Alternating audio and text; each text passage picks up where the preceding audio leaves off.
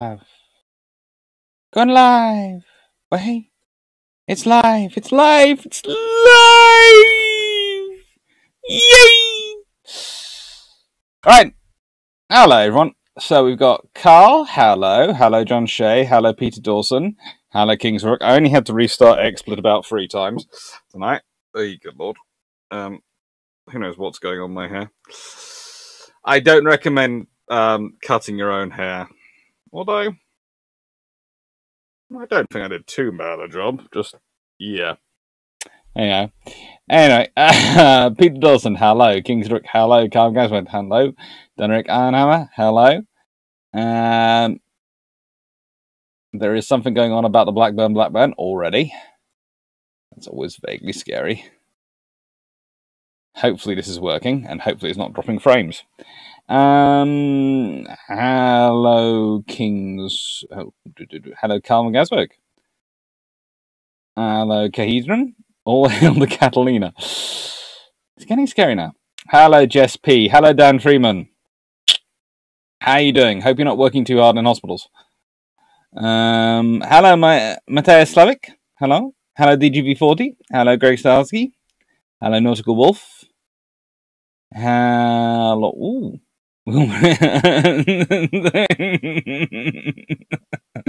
You're praying to the Blackburn Blackburn for expert to work. I don't know. Right.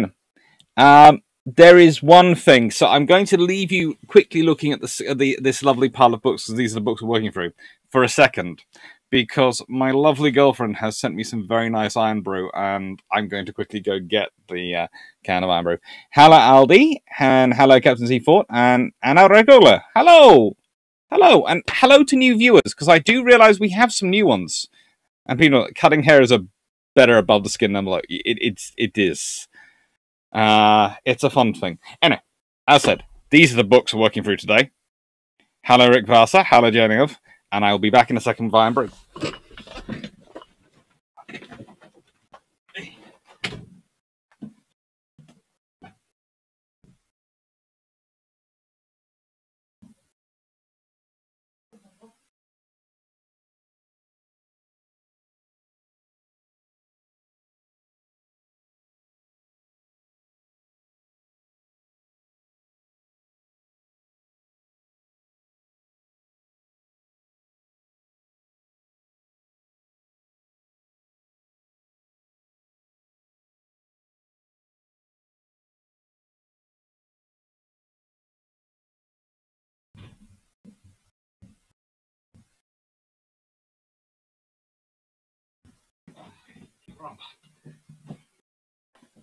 Sorry, I had put this in the garage to make sure it was appropriately cold. It is, trust me, very, very cold. I could have put it in the freezer, but I would have actually warmed it up. In comparison, the garage is very cold today. So, Dennis, the is busy. We are having issues with oxygen flow as the pipes can't handle it. Have the army helping out. Uh, okay, just make sure, as always, when dealing. Oh, no, I won't make that joke. They're being seriously helpful. I was going to make the joke about not having anything, uh, making sure everything's tied down, uh, including any attractive members of staff. But um, yeah, in this moment, we won't make those jokes. They are the British Army. They're doing a good job. I'm not sure about the idea of making them into a human security force or a humane security force. In my experience, war tends to be won by the side who's prepared to apply the most amount of force, not the one who's prepared to apply it humanely or minimally.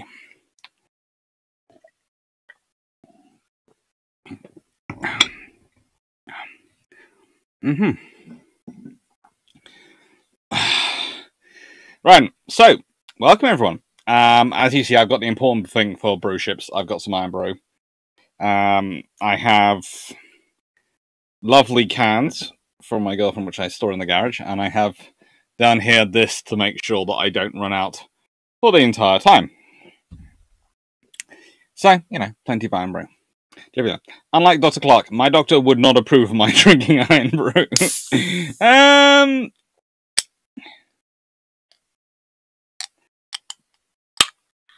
well, you know, here's the thing about Irn-Bru. It's okay in moderation.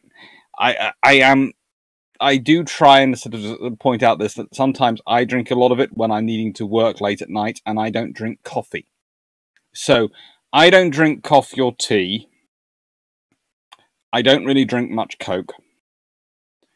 Apart from when I can't find Irn-Bru. So Irn-Bru basically fills the role of coffee and tea for me, as well as a soft drink. So that is probably explains the amount I drink compared to what normally you drink.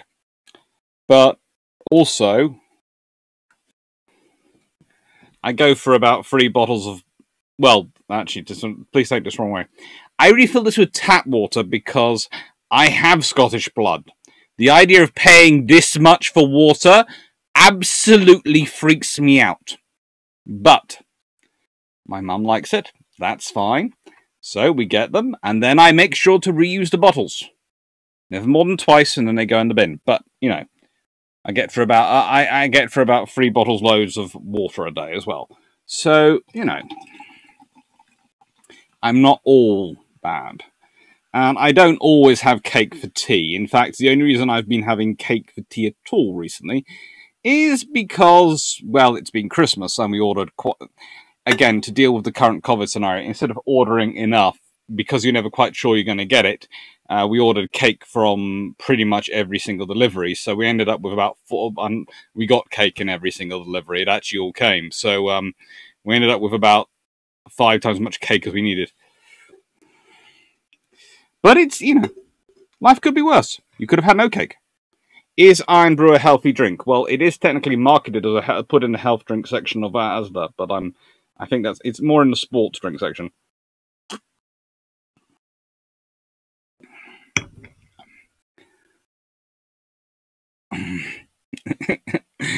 mm-hmm. Carmen, how's the new intro idea gone down the Karoo? Um, more popular than the idea of making them all sing um, sea shanties, but we're working on both for bilge pumps. Right.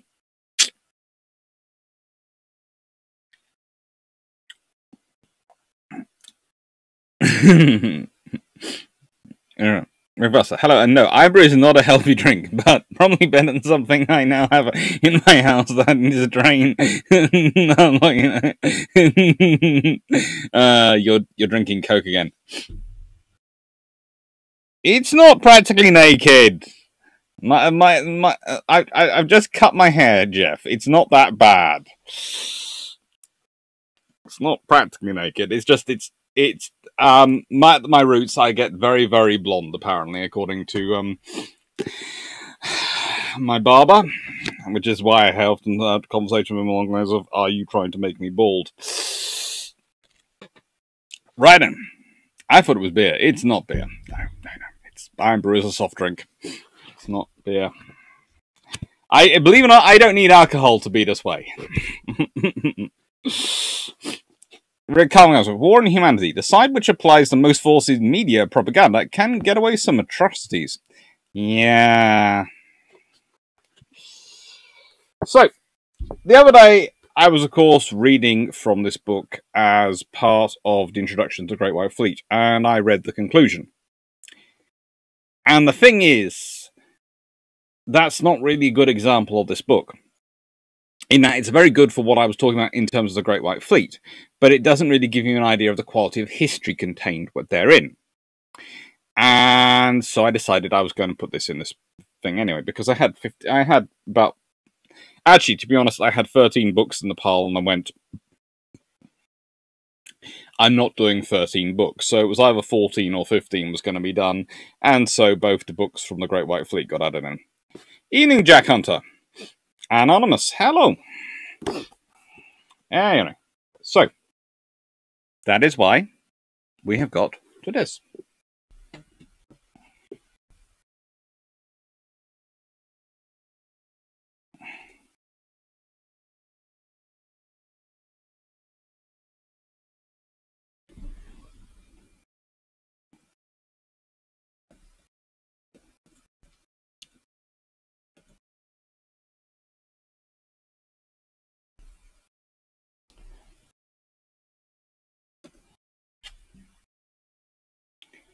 Right. So,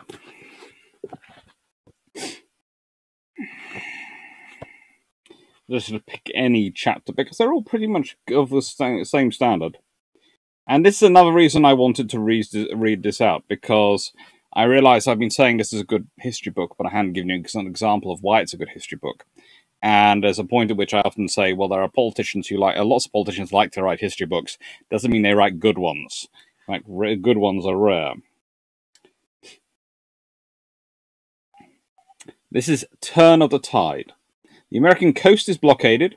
Effect of the blockade, raids on the coast, retaliation by the privateers, failure of expectations on both sides, fleets, the true commerce destroyers, the Shannon and Chesapeake, the power of good organization, the Pelican and the Argus, the Enterprise and the Boxer, failure of the attack on Norfolk, outrages at Hampton, inadequacy of the American gunboats, the Junon in Delaware Bay, attack on the Asp, capture of the Surveyor, affair in the Stone River, capture of the Lottery, Polkinghorne and the Privateers, Cochrane succeeds Warren, cruise of the Essex, the Phoebe and Cherub, and the Essex and the Essex Junior. Throughout the year of 1812 and the beginning of the year of 1813, Britain had made no effective use whatever of her tremendous sea so far as the United States was concerned. She had suffered from overwhelmingly self confidence in her own prowess, and from overweening contempt for her foe. During the first year of the war, the utter futility of the American land attacks on Canada could fairly be matched by the utter inefficiency of the efforts of the British both to destroy the little American navy and to employ their own huge navy so as to make it a determining factor in the struggle. Now, I would like to point out there is one thing I have a small gripe with and Roosevelt in terms of writing this history. You would think that the only problem the Royal Navy has to deal with in 1812 is the US Navy, so they can concentrate the whole thing that are not also worrying about the Spanish Navy, the French Navy, the Dutch Navy, the da- Danish Navy, and pretty much other, every, uh, every other navy in the world, and potentially going over to Napoleon. They are. So that means that I'm sorry, America is currently getting what remains of the C team, if not some leavenings of the D team being sent there. It's the reality. So, America, you have a small group of ships which are their plucky best. The British equivalent is what is enough force we can possibly dispatch that will not interfere with these other operations, but will not mean we start losing and have a lot to have to regain. It's that complicated.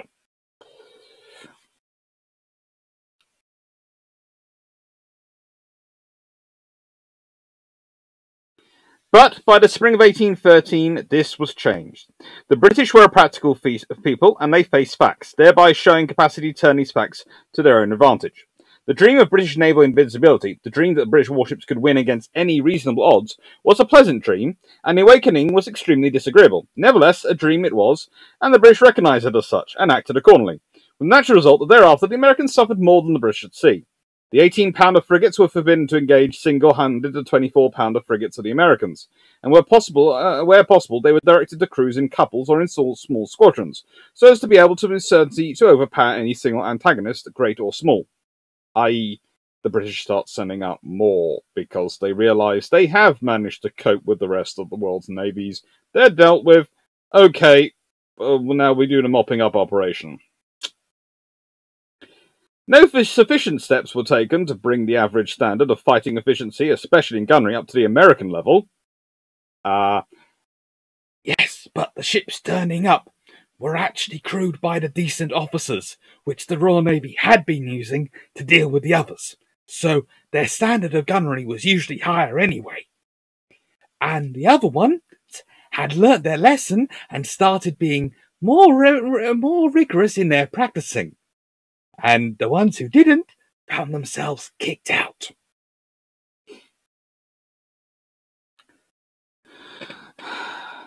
But the best captains in the British Navy were already as good as any to be found in America or anywhere else, and it was now to turn the Americans to suffer from overconfidence, while the British, wherever possible, made dexterous use of their superior forces. In other words, the British actually sent a couple of the B team, uh, even one of the A team, out. Sorry to say, but even the B team had more sea time than the A, uh, than the Americans. And yes, it does matter. After this period, no British frigate was captured, while three American frigates surrendered, one to an opponent of superior fighting efficiency, and the other two to superior force skillfully used. It was good when you have that as a reason. The American sloops did better, but even their career was checkered by defeat. Yeah. The important factor on the British side was the use of the Navy to blockade the American coast. When war was declared, the Napoleonic struggle was at its height. Thank you for finally pointing this out and the chances seemed on the whole to favour Napoleon. But by the spring of 1813, the Grand Army had gone to its death in the snowland east of Russia, and Wellington had completely bested the French marshals in Spain, so it was merely a question of time as to when he would invade France. In Germany, the French were steadily losing ground, and all the nations of Europe were combining for the overthrow of that splendid evil and terrible genius before whom they had so long cowered. Britain could therefore afford to turn attention to America in earnest.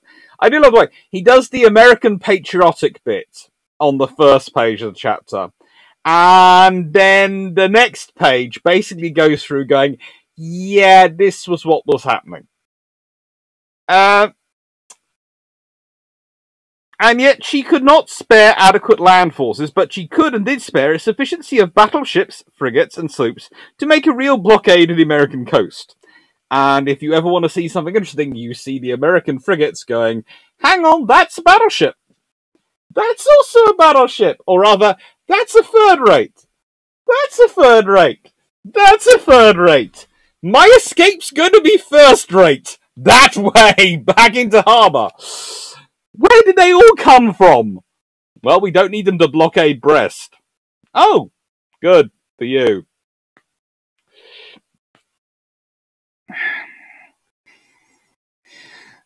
After May 1813, the blockade was complete from New York southward. In the autumn, it was extended further east, but it was not until the following year that it was applied with the same iron severity to the New England coast. For the British government hoped always that the seditious spirit in New England would manifest itself in open revolt.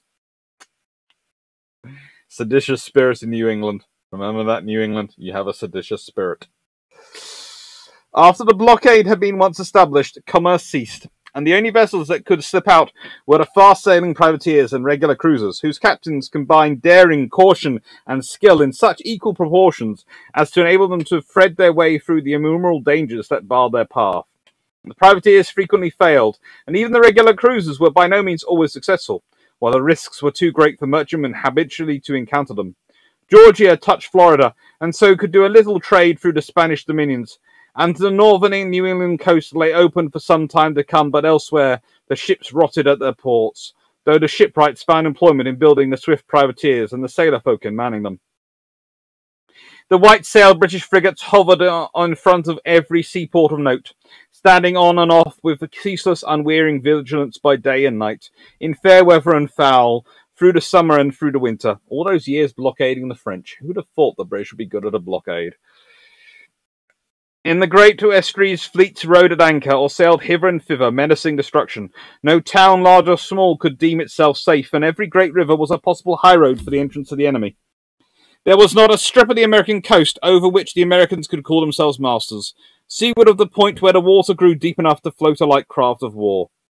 The one lesson which should be most clearly taught by this war is the folly of a nation's relying for safety upon anything but its own readiness to rebel attack and in the case of uh, in case of a power with an extended seaboard, this readiness implies the possession of a great fighting navy. The utter failure of Jefferson's embargo and his other measures of what he termed peaceable coercion teach their part of the lesson so plainly that it would seem impossible to misread it. But the glory won by their little navy has tended to blind Americans to the fact that this navy was too small to do anything except win glory, it lacked the power to harm anything but Britain's pride, and it was too weak to parry a single blow delivered by the British along the coast. When once they realized their task was serious and set about it in earnest. Twenty ships of the line, as good of their kind as were the frigates and sloops, would have rendered the blockade impossible. Even if they had not prevented the war and judged merely from the monetary standpoint, they would have repaid to the nation their cost a thousand times over by the commerce they would have saved and the business losses they would have averted. As it was, the Americans were utterly powerless to offer any effective resistance to the British blockade. For it is too late to try to build a fleet or take any other effective steps when once the war has begun. The nevertheless administration at Washington did not even take steps to defend the capital city. It is the fashion to speak of the people as misrepresented by the politicians, but in this case, certainly the, the people deserve just the government they had. Indeed, it's curious and instructive, as well as melancholy, to see how powerless the Americans as a whole were to make good the shortcomings of which they had been guilty prior to the declaration of war. It is especially instructive to for those Americans, and indeed those Englishmen, who are fond of saying that either country needs no protection merely because it cannot be directly invaded by land, and who tried to teach us that immense reserve strength which each, nation undoubtedly possesses can be immediately drawn on to make good any deficiencies in preparation at the outbreak of war. This is much like telling a prize fighter that he need not train because he has such an excellent con- constitution that he may draw on it to make good defects in his preparation for the ring. The truth seems to be that, in naval matters especially, nothing can supply the lack of adequate preparation and training before the outbreak of war. The lead which is lost at the beginning cannot be regained save by superhuman effort and after enormous waste of strength. They did call battleships ships of the line then. But Roosevelt is not calling them ships of the line, he's calling them battleships for a reason, because He's writing this book in uh, 1904 for publication in 1905. This book is a history, and it's a good history, but it also is Roosevelt making the case for spending on the Navy. And it's a good book. It's worth reading. So, Anna, hello. Let's see. Have I missed anyone saying hello to anyone?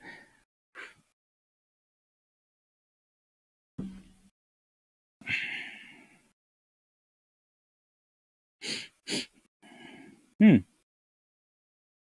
How about hello, Albert Zaski? Hello, Robola. Hello. good evening, Shade F, and good evening, Shimmy. And let's see, Greg Sadowski. Hello. You get a third rate. You get a third rate. Everybody gets a third rate. Oprah, probably. Well, the equivalent of Oprah at the time, which had been, I don't know, one of the queens. Aviator and Bryce, hello. The War of 1812 is always one that uh, had me scratching my head in history classes, wondering why did we need to this war? Well, because they thought they could steal Canada and beat up the British because the British would be beaten by the French. Yes, the Americans bet on the Brit- on the French beating the British. I'm not saying it hasn't happened in history. I'm just saying by the point they make the bet, it hadn't happened for a long time. Jeff Sheila, Beeler, HMS Shannon mounted a nine pounder sniper weapon that kept knocking out USS Chesapeake's helmsmen and officers, such that a midshipman ended up in command while he was taking the captain to safety. well, you know, it works.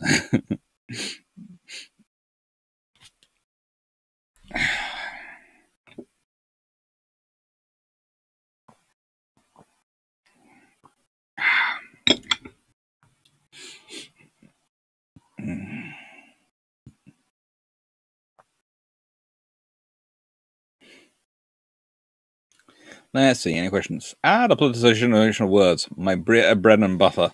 Yes, well, you know, they're using battle. He's using battleship rather than first rate or third rate because he uh, wants his audience to understand what he's saying. Also, he's also not using the phrase ships of the line. He's using battleship. And he's using cruiser a lot to describe frigates. Don Shay, what British A team in 1800s Doctor called Doctor?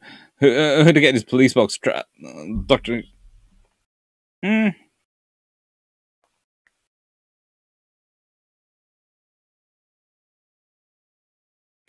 Yeah.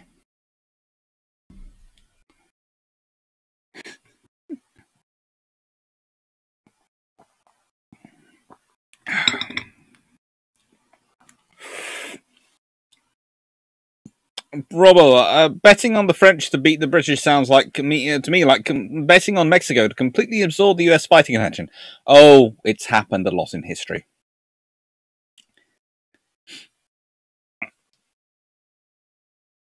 Does Roosevelt mention the Great Lakes at all? Yes, the Great Lakes are covered in here. He likes the Great Lakes operations. He mainly likes the commanders in them. Um, it has good things. It's like sort of. Uh, let's get into. It goes into the high level and also does the the sort of low level. It's a sort of what I would call a really good example of the sort of histories you have written in this period. On occasion, the Gironde did little better than the gunboats, but she had had, had her revenge a month later. On the 29th, she was in Delaware Bay with the ship sloop Martin, 18, Commander Humphrey's, uh, Humphrey uh, Fleming Senhouse. When the latter grounded on the outside of the Crow's Shoal, the frigate anchored within supporting distance, and shortly afterwards, the two ships were attacked by a flotilla of ten American gunboats. Besides the usual disadvantages of gunboats, these particular ones suffered under an additional handicap. But their powder was so bad that all the officers had joined in a solemn protest to the Navy Department and had stated that it was unfit for service. The flotilla kept at a distance which permitted an hour's can- uh, cannonading with no damage to anyone. Their own shot fall- failing to reach even the brig, while those of the frigate occasionally passed over them. During the firing, gunboat number 121, Sailing Master Shead, drifted a mile and a half away from her consorts. This gave the British an opportunity, of which they took prompt advantage. They made a dash for number 121 in seven boats containing 140 men under the command of Lieutenant Philip Westphal. Mr. Shead anchored and made an obstinate defence, but at the second discharge of his long gun, the carriage was almost torn to pieces, and he was reduced to the use of small arms. The British boats advanced steadily, firing their bo- boat carronades and, uh, carronades and musketry, and carried the gunboat by boarding, though not without a loss of three killed or mortally wounded and four wounded, while seven of the 25 members of the gunboat's crew suffered likewise.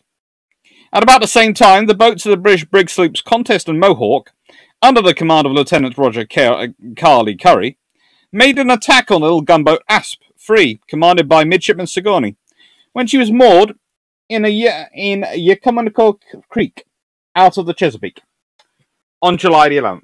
After a murderous conflict in which 11 Americans, including Mr. Sigourney, and 8 British, including Lieutenant Curry, were killed or wounded, the British carried the Asp and set her on fire. However, the surviving Americans, nine in number, escaped to the shore, rallied under Midshipman McClintock, and as soon as the British retired, boarded the Asp, put out the flames, and got her into fighting order. They were not again molested. I'm not sure how a ship that's been burned as badly as the was is put back into fighting order, but I presume they put their flag up and said that we will fight if we can, but please don't make us fight. Uh, the, shortly before this, on June 12th, the boats of the British frigate Narcissus, 32 guns, Captain John Richard Lumley. You notice there's a McClintock, a Lumley. These are not exactly names which are unknown in history going on here uh, containing 50 men under the, the command of Lieutenant John Skirry, captured the little cutter Surveyor, 6, under Mr. William S. Travis, with a crew of 15 men, as she lay in York River out of the Chesapeake. Struggle was brief but bloody, five Americans and nine British being killed or wounded.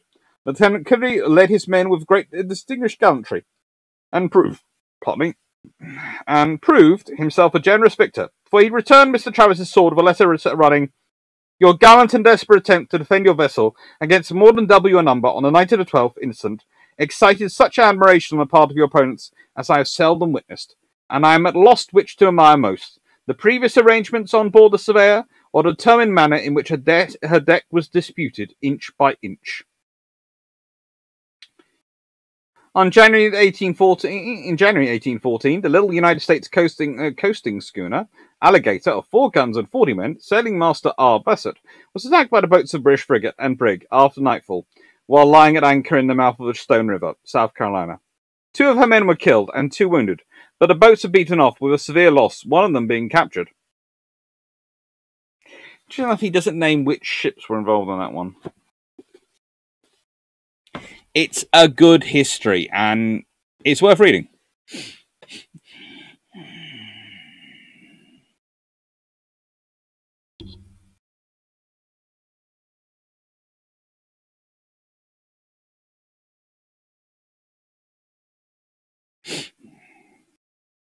John Emmett, hello. Alternate history question. Clemson versus 120 gun ship L'Orient. How does it? T- how long does it take the Clemson to sink the first rate? Uh, let's see. Let me just. I, I, for this, I need to check the exact thickness of the Clemson's hull.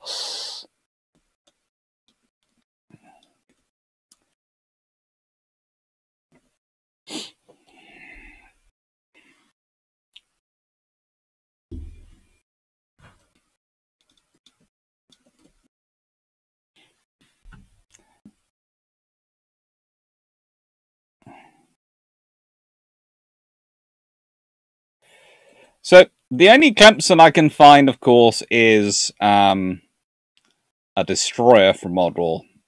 Yeah. Let's see. Well, he had commanded the, the Somers. Uh, so I'm presuming you mean the Clemson of 1918. In which case, let's see, she's got uh, four four inch guns. Depends. Can they? Are they carrying high explosive instead of armor piercing? Um, if they're carrying high explosive, one shot. If they're carrying armor piercing, it might well go through the wood and come out the other side. In which case, my money might be on the Lorient. Greg Sassy, you mean the Lorient's hull? The Clemson Woods sit out range. Uh, I was remember in the mind of remembering midshipman Clemson, and I was quickly changing the Shannon to the Clemson and sort of going, ah, da da da da, in my head. And then I remembered, no, the Clemson is named for Midshipman Clemson, who served on that ship. And therefore, oh, it's the World War One, uh, World War One era sort of destroyer with four-inch guns. Cute. USS Gearing versus HMS Victory. No torpedoes. Who wins? And how long to win? Again, it's if they've got high explosive and they've got modern guns, they will sit out of range and blast them. It'll be a couple of shots, especially if they hit the powder.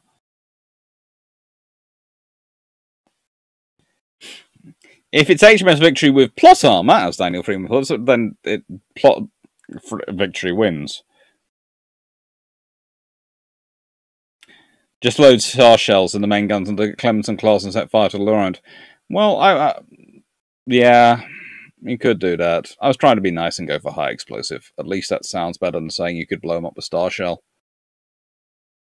It's kind of cruel.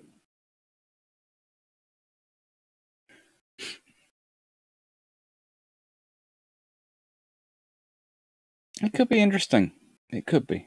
But no. It's a cool book. Of course, making the case for a navy in the early 1900s.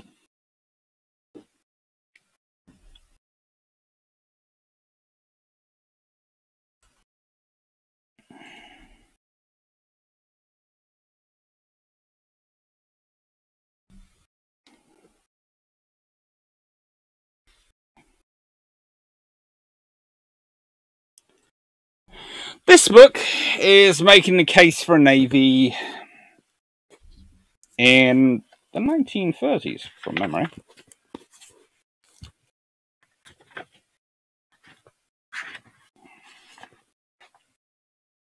Published in 1940. So, just, yeah. While World War II is going on, this is making the case for a navy. And it is Modern Naval Strategy by Admiral Sir Reginald Bacon and F.E. McMurtrie. Uh,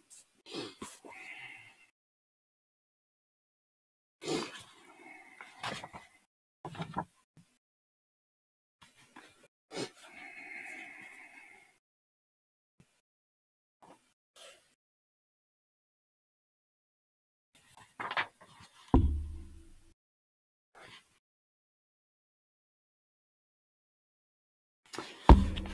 Well, let's start off with actually, I will read out this to you. I knew there was something. With that question, I was sort of going, I, I know there's something in the next book which is going to interest you. And you can't possibly read that as well as I can. But um, there is a comparison of battleships table in this book on page 46. And it has the titles of name, date of launch, tonnage, length in feet, armament, design, speed, and cost. So there's HMS Victory here. Date of launch 1765, tonnage 2,164 tons, length in feet 186, armament 100 muzzle loading cast iron guns, design speed, sail, cost £100,000. Now, next one. Name Alexandra, date of launch 1875, tonnage 9,490 tons. Length and feet 325. Armament 818 ton, 4 22 ton muzzle loading guns. 14.3 knots. £514,000 in cost. Then there's Camperdown, 1885, 10,600 tons, 330 feet long, Four 13 and a half inch, 67 ton, breech loading guns, 16.9 knots, 769,000 pounds. Lord Nelson, 1906, 16,500 tons, 14, uh, 410 feet long, four 12 inch, that's 58 ton, 45 caliber guns, and 10 9.2 inch guns. 18 knots designed for speed, 1.6 million pounds. Dreadnought, 1906, 17,900 tons, 490 feet long, 10 12 inch, that's 58 ton, 45 caliber guns. 21 uh, knots designed for speed, 1.8 million. And then finally Nelson, 1925, 33,950 tons, 660 feet long, 9 16 inch, 103 tons, 23 knots designed for speed, and 7.5 million. It will be seen that the tonnage of the ships rose only moderately between 1875 and 1906. Between 1906 and 1925, it practically doubled. The cost rose nearly five times. The caliber of principal guns increased from 12 to 16 inches. Lovely statement.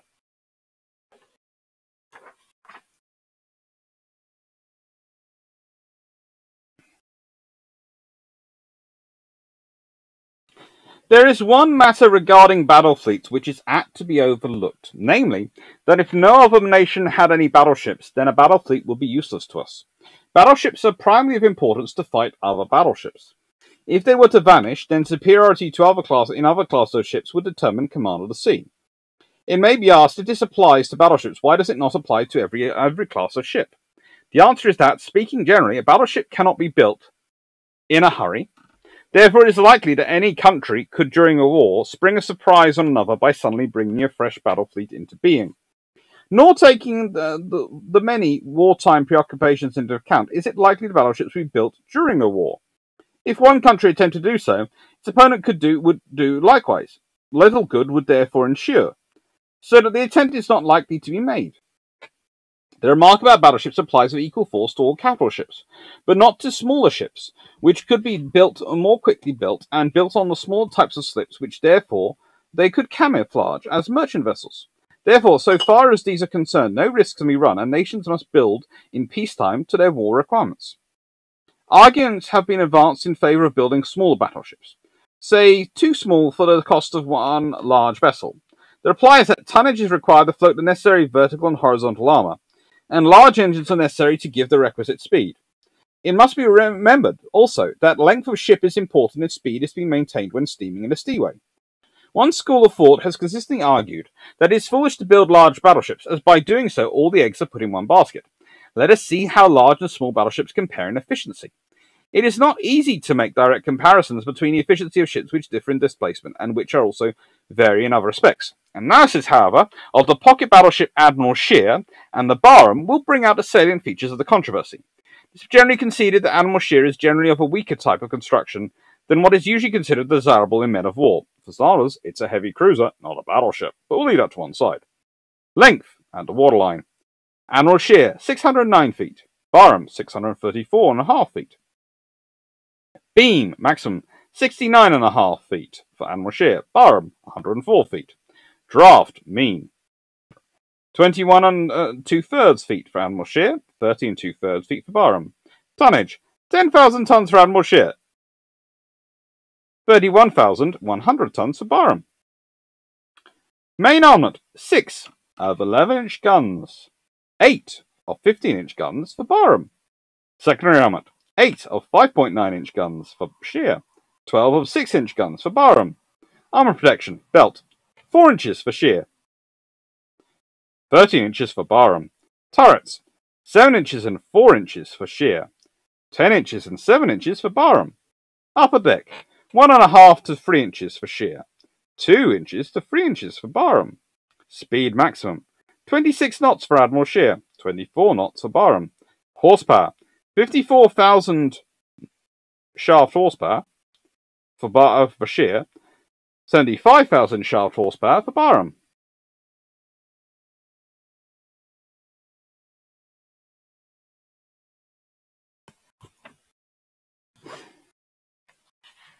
Goes on to make the case that one Barham is equal to three Scheers. Osprey uh, uh, 28, your Irn-Bru arrived. Congratulations. This is actually a good book. It's going to sound strange. What I, I I disagree with so many things in this book. I can spend my day taking bits pieces, but I would also urge it still to be read because it has all sorts of things in it which explain the thinking in the 1920s and 1930s. You have to remember that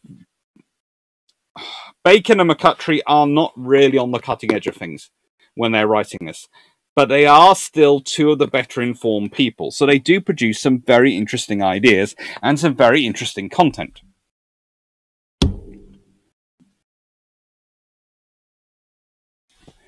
Albert Zaski, Reginald Bacon, the guy that was the first commander of the Dreadnought. Yep.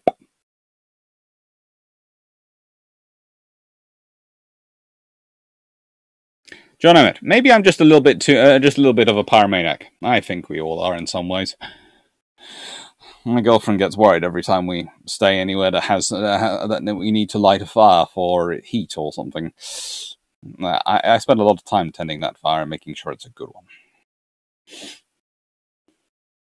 Denton tries to work out what the Washington Naval Treaty, London Naval Treaty would classify HMS Cruiser as. Heavier than a treaty destroyer, so must be a cruiser.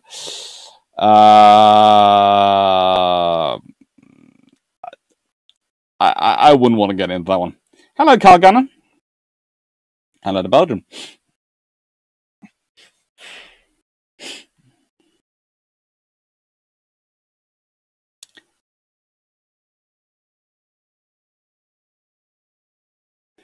Elam, the Ironclad era were identifying guns by weight of mount, and battleships the size of the treaty cruisers were the rule.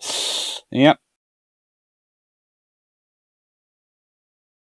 Decision. Hello. This book sounds to be edging close to that infamous pronouncement about the US military eventually being able to afford one plane with the Air Force and Navy gets three days, uh, get three days and the Marine on Sundays. Uh, it's an interesting book to read.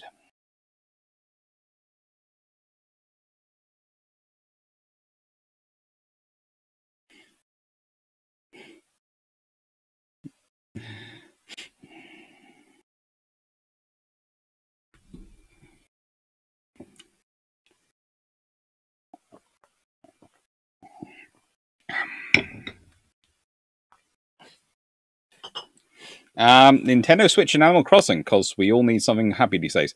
I don't have either. mm-hmm. But if anyone else has a Nintendo one, please put them in the chat. Let's see. We need fire for our very comfortable lifestyle. Mm. Scheer is an armored commerce raider that can also handle Scandinavian coast battleships. I would honestly think if those Scandinavian coastal battleships were actually, I don't know, at alert and prepared to fire straight away, then she might not be able to handle them.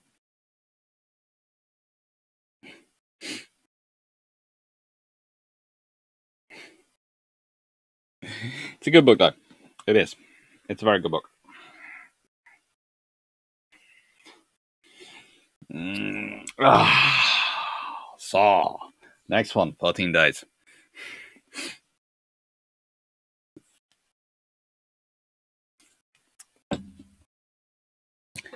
Right.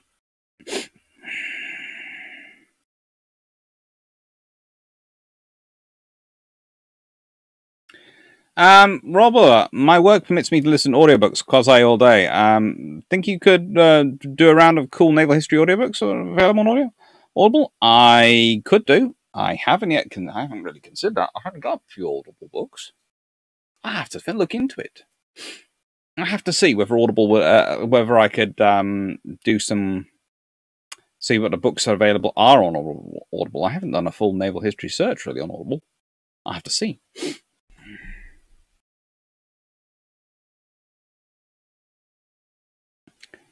Right, and let's put this into 46.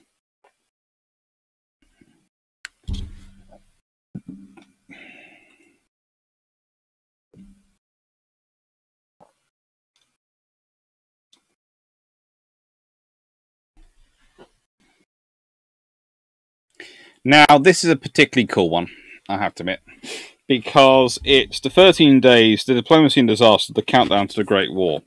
And it's a really interesting idea because it's literally what happened. We all know the myth and the idea of, you know,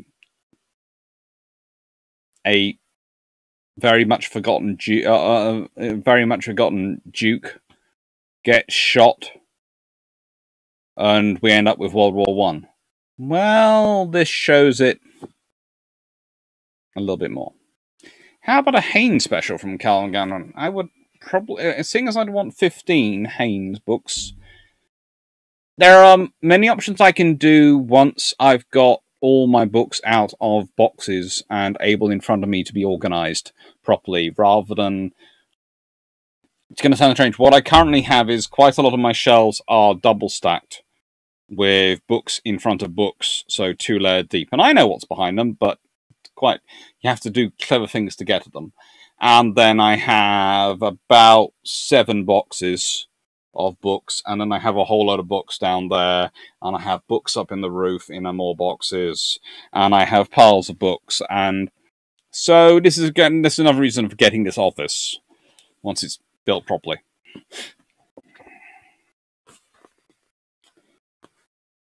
Serbian cabinet agreed that it would be impolite, impolitic to reject the ultimatum outright. Another possibility was to follow the line suggested by Berthelot in Paris and San Giuliano in Rome. Acceptance in principle. This would have been the most subtle response. It would have badly wrong footed Vienna, which was expecting rejection. If Serbia had accepted the ultimatum in principle, Vienna would have been forced to engage in a long process of negotiating over the details of its complex demands, which have given Serbia plenty of opportunities to argue and delay, while diplomatic pressure was brought on Austria-Hungary. It seems that Belgrade never considered this possibility. There were two reasons why it did not. First, it would have been interpreted as humiliating.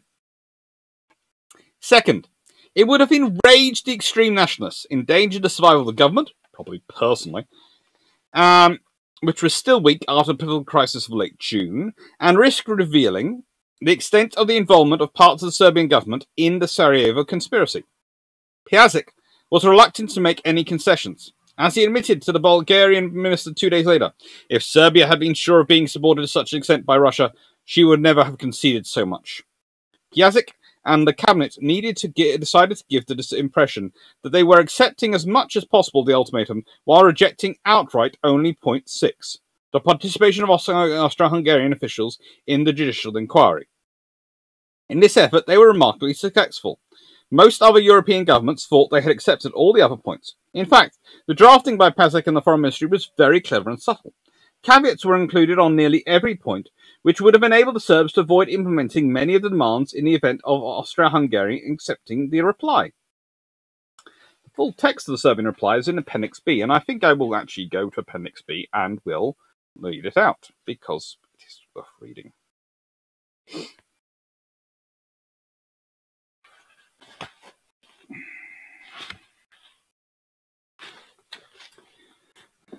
The Royal Serbian government has received the communication of the Imperial and Royal government of the 23rd instant, and are convinced that their reply will, be, uh, will remove any misunderstanding which may threaten to impair the good, impair the good rela- neighbourly relations between the Austro-Hungarian monarchy and the Kingdom of Serbia. Conscious of the fact that the protests which were made both from the Tribune of the National uh, Shibunskina and in the declarations and actions of the responsible representatives, representatives of the state.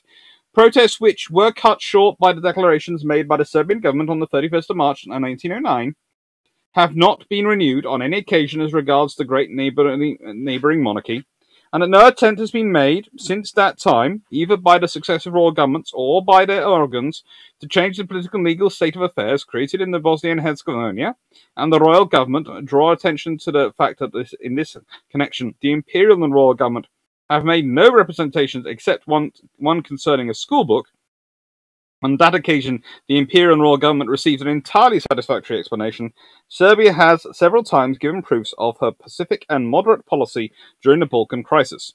And it is thanks to Serbia and to the sacrifice that be made in exclusive interest of European peace that that peace has been preserved.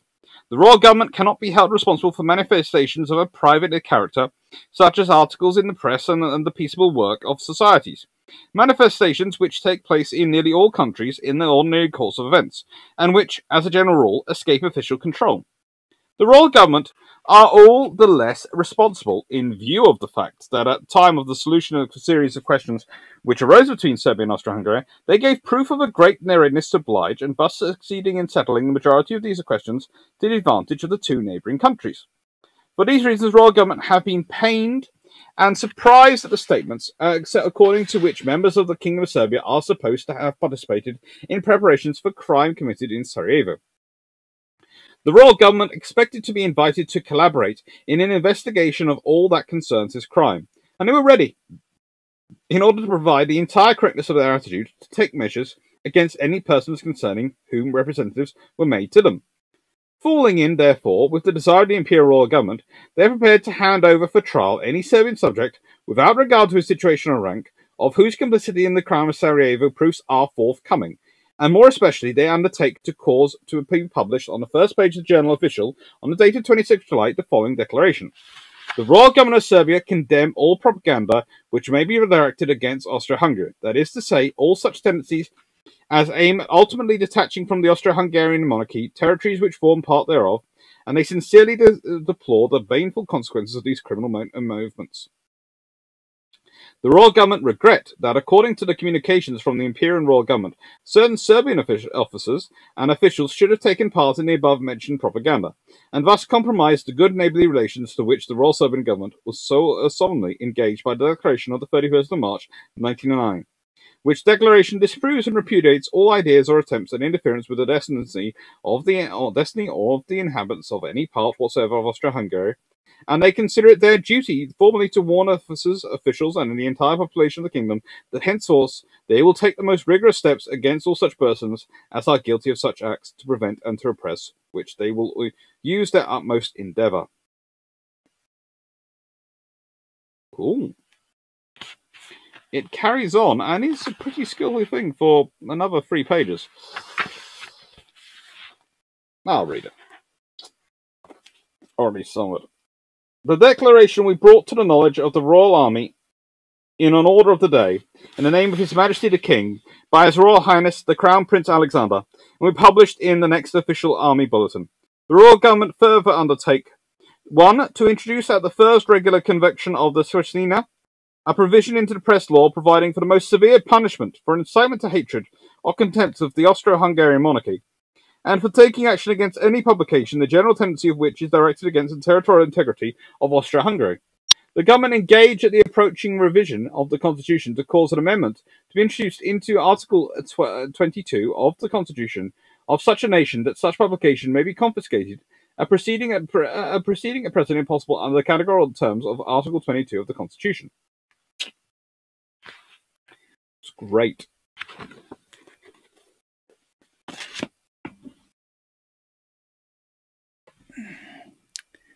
And let's see.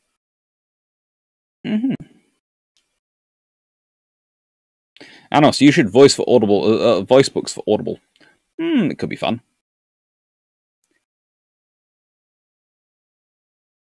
Dan Freeman, I can learn Haynes book. I do have the Haynes books. They're just in boxes. I even have a Haynes book for all for my first car, which I might add into the mix because I got the Haynes manual for my first car. I always get a Haynes manual when I buy when I buy a new when I get a car, which usually is second hand one. I always get a Haynes manual for it as well.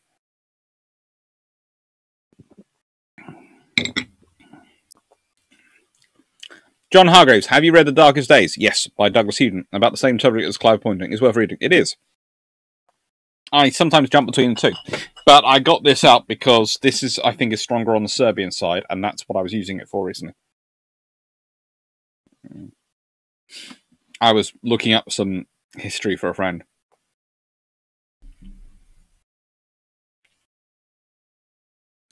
Dan Freeman,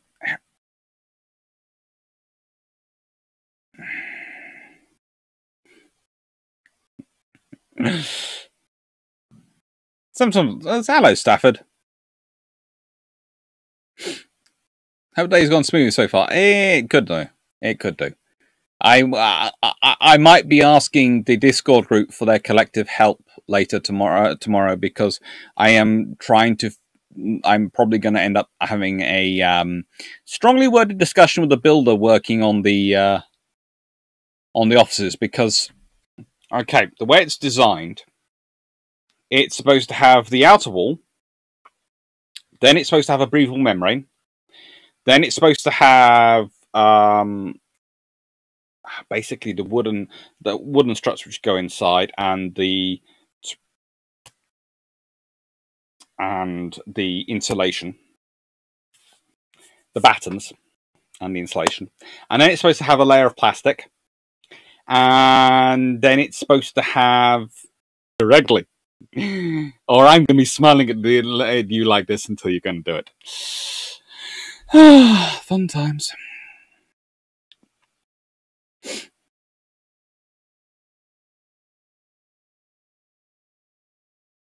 Don't. Are you trying to keep Dan Freeman at bay with the apple? it might work. Um, I was asking. By the way, my wife just ordered me a new pile of books. U-boats type. Uh, oh, type 10B. Oh, German submarine warfare, 1914-19, battle British battle cruisers, Italian cruisers, World War II, German cargo battleships, and more. You have a lovely wife. You know, uh, she sounds like she's in the mold of my wonderful girlfriend who sends me Irn-Bru. It's it's very lucky when you when you find someone who will support you in your passions. I hope I support her as well. Right, uh, Rick Vasa. I just read that Irn-Bru was banned in Canada due to illegal additives. Then repo It's made to meet Canadian standards.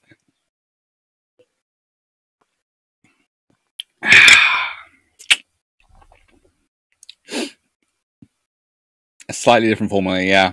It's not quite the same in Canada.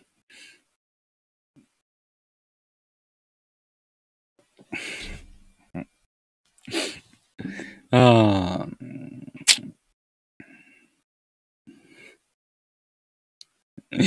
Carmen, don't buy a Kia Picanto. Um, no, don't worry. You're safe from, from that. Um, I tend to go by 4x4s and big cars because I have to. Well, you've seen the fluffy research assistant.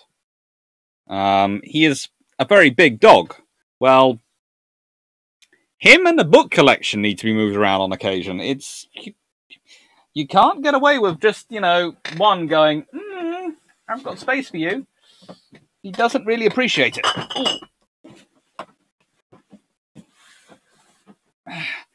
He will just complain. So it's kind of case of to move him requires a big car.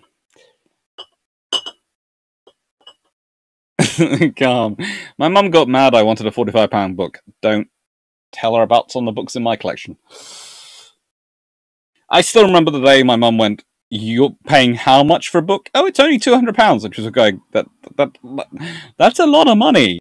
I went, "Yeah, it is, but it's not even the most expensive one I bought." oh, that's a seriously expensive habit.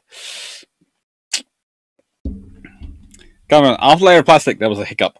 Um, yeah, it's supposed to go outer wall, breathable membrane, battens and insulation, plastic, and then the inner wall.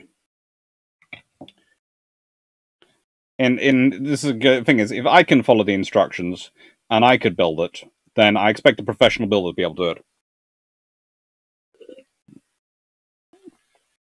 it. Uh, no. Um, it, my backup is to call in Drac, and him and me will build it together. I'll have to pay him in Chinese food the takeaways. Oh. That's it. Uh. Now, what was I going on the phone for? Oh, yes. Just been sent a message.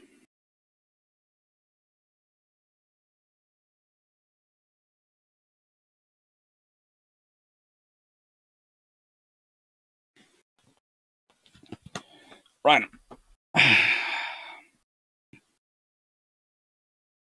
Is that okay?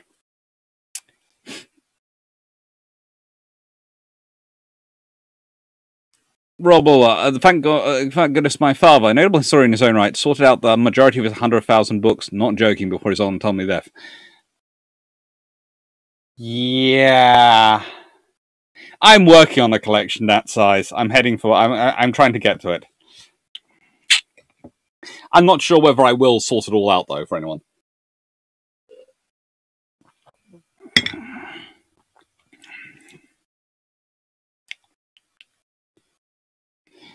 Jermac, old hobbyist pro say, I pray that after my death my family will not sell my stuff at the price I told them I paid for it. yes.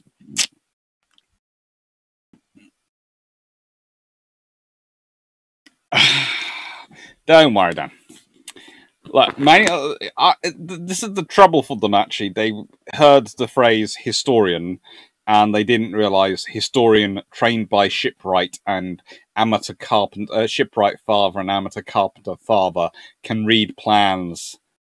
Um, an amateur carpenter grandfather as well, and does know how to work with wood. And you guys were employed because there was a team of four of you, and you were supposed to build it quickly and correctly so I didn't have to worry.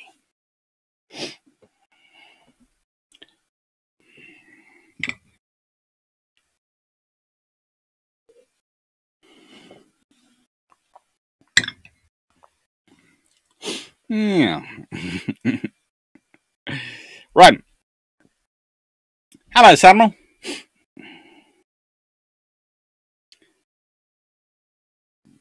Those were the ones he had in the apartment. Those are the ones in the office. Two officers not counting. Mm. Carmen, have you read Nicholas Moran, The Can Openers? Is uh, is it good? Worth forty pound, five pounds? That's a fairly decent book. Worth forty-five pounds in good condition. Well, if it was on eBay, I would probably bid about forty with the expectation it could go up to 50. Um, but if it's on Amazon in good condition for £45, I'd say that's probably okay. As long as that includes postage. If they're, if they're going to charge you 15 or 16 pounds postage, it's not worth that much, but you know.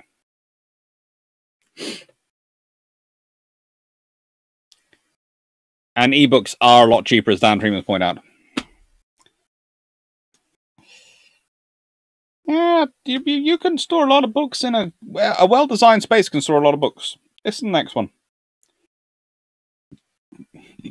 and helpfully the timer's reset on my on my thing.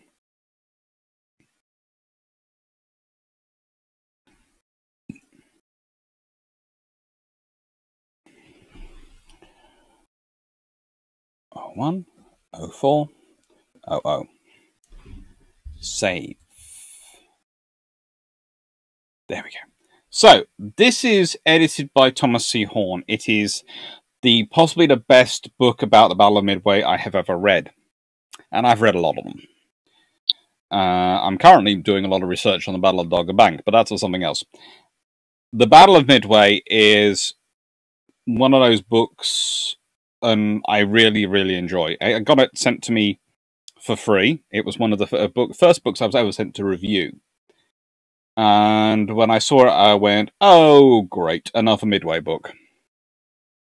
I'm going to see this, and this is going to be formulaic. I'm basically going to go. It's going to go bang, bang, bang, bang, bang. We all know the formula of Midway. They basically turn it into a movie. It's could be it's that it's so regularly gone through. It's practically become its own meme.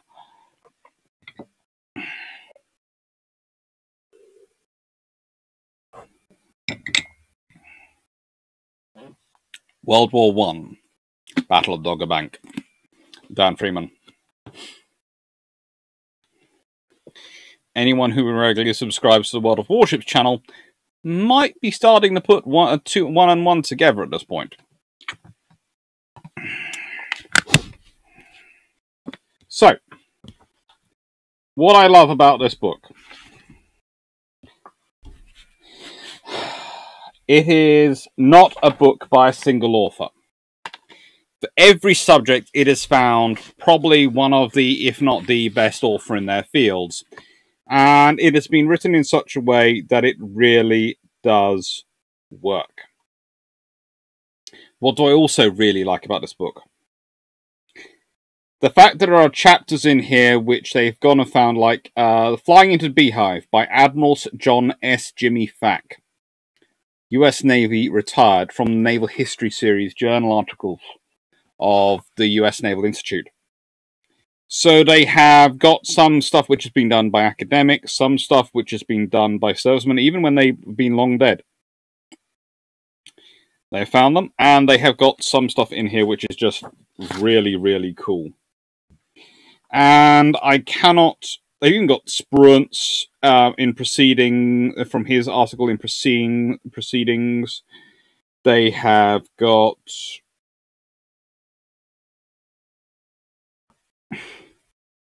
Layton.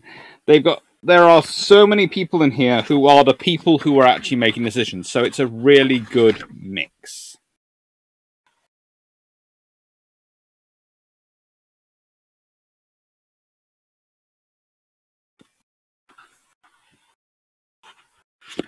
So,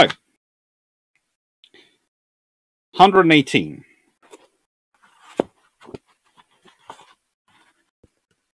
Is the page I'm looking for. There we go. Flying into a Beehive by Admiral John S. Jimmy Thach. US Navy retired. Published in 2007. This book itself was published in. I got it the same year it was published. 2013.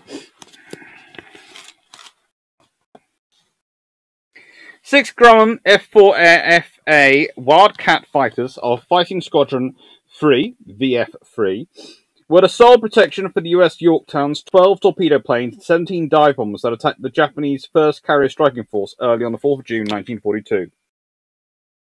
Launching nearly two hours after their compatriots on board the US Enterprise and USS Hornet the F4Fs were led by then Lieutenant Commander Jimmy Thach.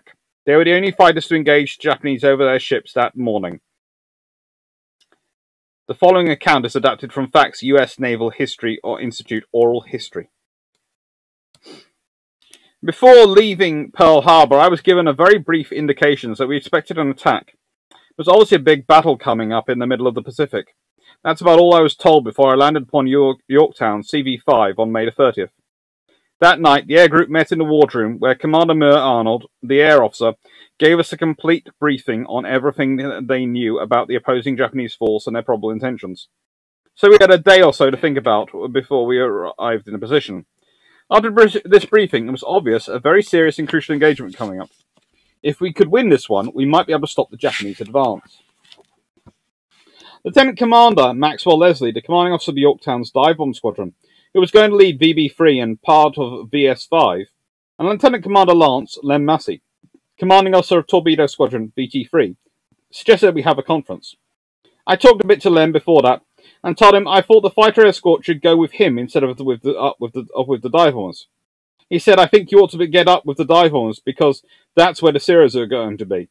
That's where they were in the Coral Sea battle. We knew we weren't going to have enough fighters to send with each. I had a plan to take eight planes because I wanted two divisions. That was the basic tactical breakdown we developed. and I couldn't believe that anybody would try to break this up. If you're going to send any number of airplanes, it's got to be divisible by four, otherwise you've left two planes without wingmen. Mac Leslie said he thought that I should go with the torpedo bombers. I said, how about letting me decide? Because they were playing Alphonse and Gaston, trying to give the fighters to the other squadron. I decided that since in the Coral Sea battle the torpedo bomb planes had gone in uh, pretty much unopposed and done the work in sinking ship, these ships, the Japanese would be more concerned about them. They were going to be very concerned about a torpedo attack, and they're going to try to knock it out.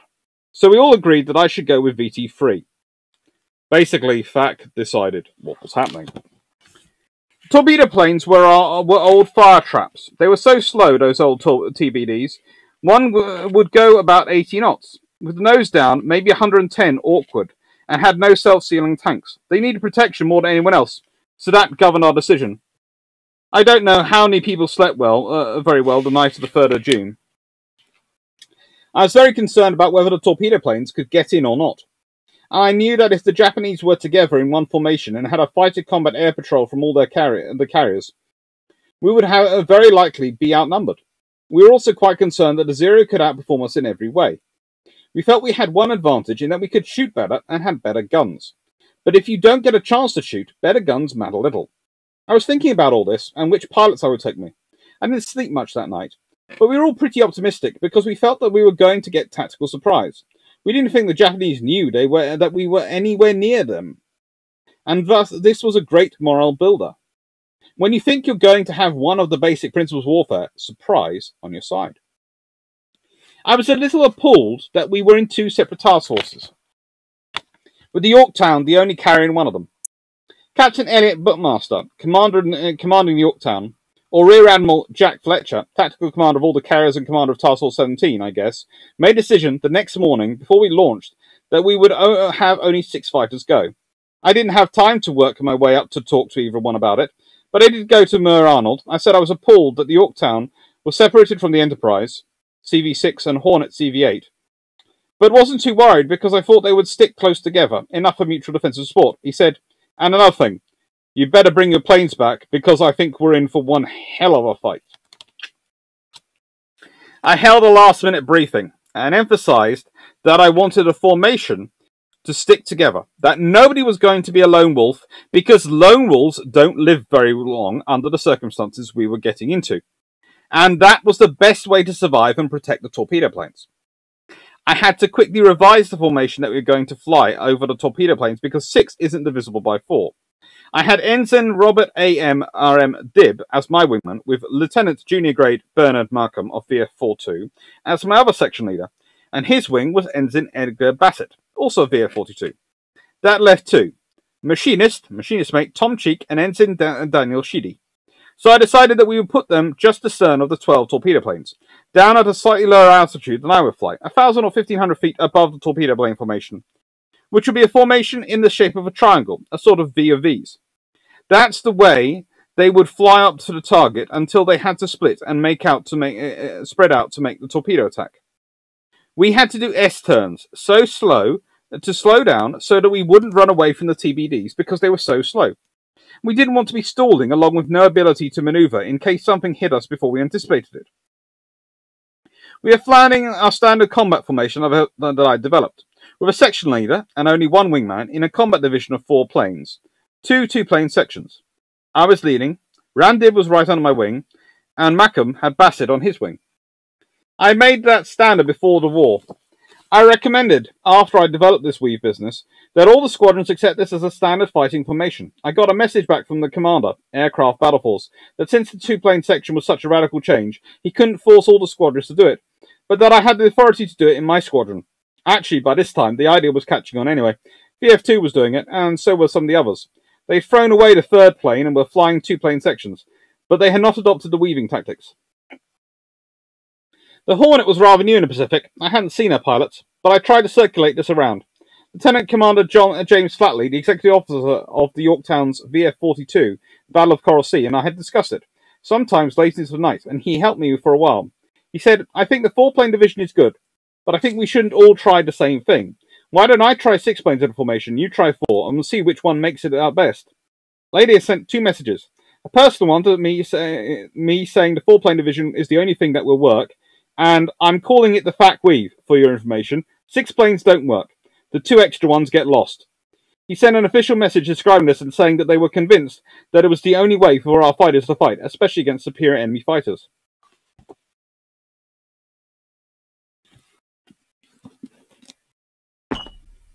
It's a very, very good book. Hmm. Let's see. Bum, bum. What time? Oh. Okay, Kingsrook, take care. I'm falling asleep with the keyboard. Night night. Alvasaski, enjoyed them as well, uh, especially the one on why Sher- uh, Sherman is as it is. Hmm. I think you're probably talking about Haynes manuals, aren't we? Uh, all right. Ooh, no, we're talking about videos. Whose videos are we talking about? Ah, video on Chieftain's channel. Chieftain, yeah. He does good books, uh, good videos. I like the one, I think it's mentioned actually on tank destroyers. I'm not sure. I haven't managed to track down his video on the Archer. I would like to. I would like to see what his opinion of the Archer was.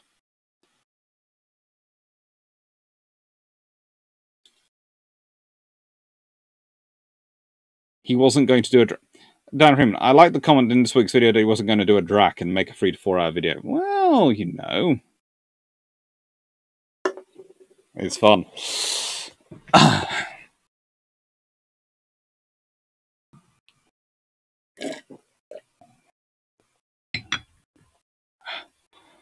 yeah.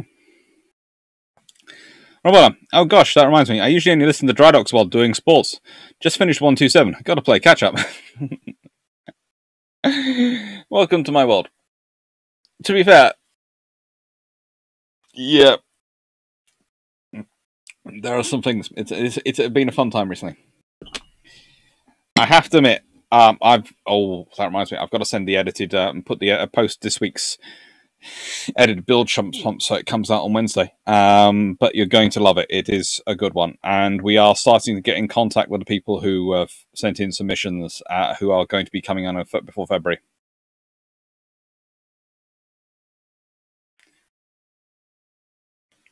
Cal goes, refact week. I never found any evidence that German BF 110s ever developed similar formation tactics. Yeah, it takes a specific sort of threat and attention you're dealing with. The Thach weave works against, well, in the nicest way, against zoom and boom fighters, which are going to try and use their speed and maneuverability to outmaneuver you, and you basically trap them in because the only way they can track you is to follow you. And while they're fixated on target, you cut uh, this. Uh, your uh, colleague comes around and goes boom, bye bye, with its firepower. The one, uh, the one wo doesn't really have that scenario, that scenario or advantage. The one wo is facing off against. Let's be honest. Spitfires, Hurricanes, and Gladiators, and you don't really have that sort of scenario. Or in terms of Russia, the MiGs and Yaks are not really the type of aircraft you want to try and do that against. Race Car Maker. Bilgepumps too? I can't keep up with Dragon Dr. Clarke. Oh, you. That, yeah. We work hard. We drink a lot of Irn-Bru, but we work hard. And we keep trying to get Kate Jameson on the um, show because um, she also drinks Irn-Bru. So, you know, she'd fit with us.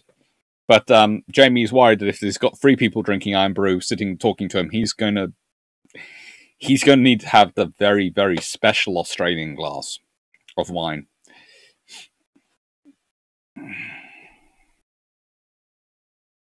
Hmm. Thank you, Tom. Uh, thank you, Stafford. I'll look it up.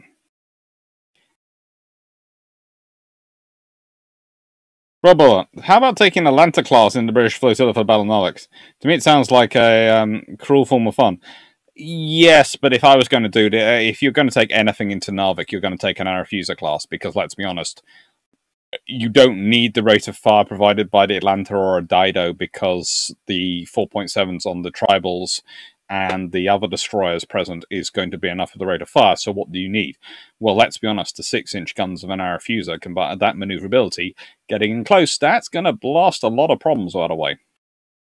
But there again, you do have Warspite, which goes a lot further up the fjord than the chart necessarily shows that's produced after World War II for the records.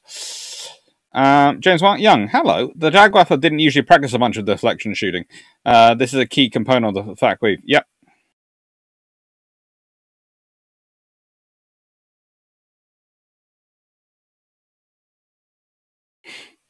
Gahaman, uh, getting my girlfriend on the Bilgepumps. Uh, we are going to be working on that, but at the moment she's got she's very very busy. Once she's through her very very busy period, then we will try and see again.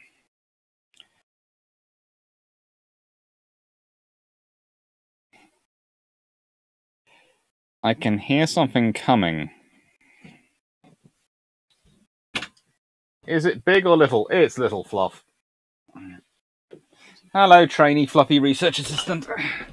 I'm campaigning for squeaky balls. You're campaigning for squeaky balls. You're always campaigning for squeaky balls. Hello, everyone. Um, chew toys. Squeaky boys and children. Hello, everyone. The assistant fluffy research assistant come up to say hello. Hello, hello. Hello, hello. Everything for you is a chew toy, isn't it? Very, sore- very sore teeth. He's currently teething. So you've come to say hello.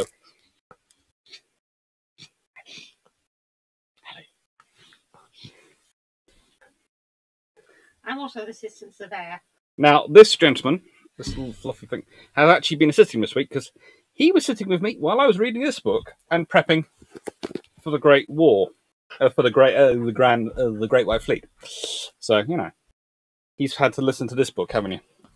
You have several times. Shall I let you go? You said hi to everyone, and you're now currently trying to take blood.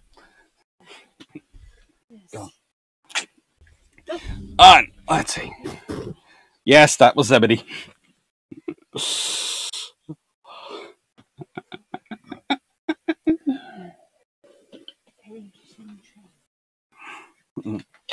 He is very interested in the model always. Right. Um, let's see. So, let's check out the timings because I want to try and get this right on this one. Right then, uh, 0122, let's, so let's call it.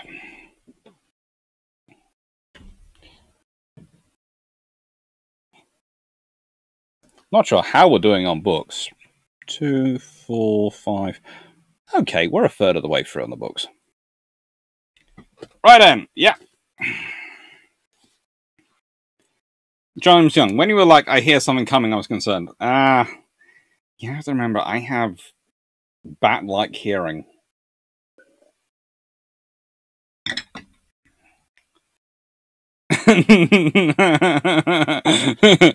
Trainee assistant, fluffy research assistant. Yes, it's basically go. It's probably actually taking Irn-Bru from me.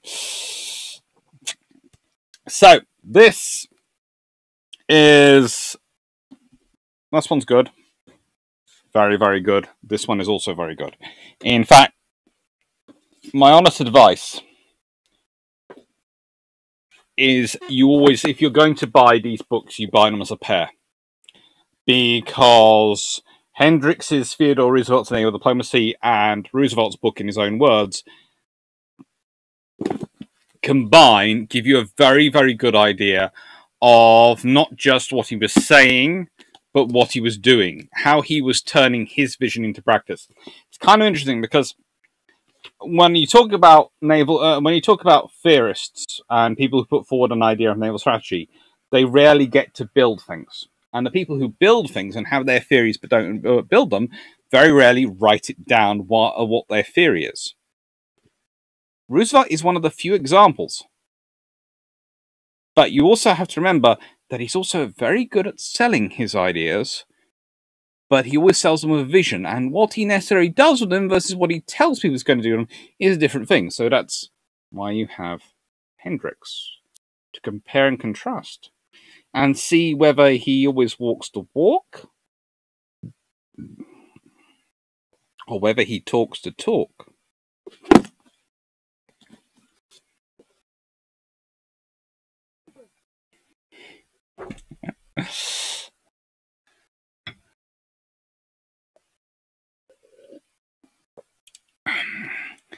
Sir uh, Roll Bonner. Sad to say, my his the fluffy research assistant might scare my fleet of fluff.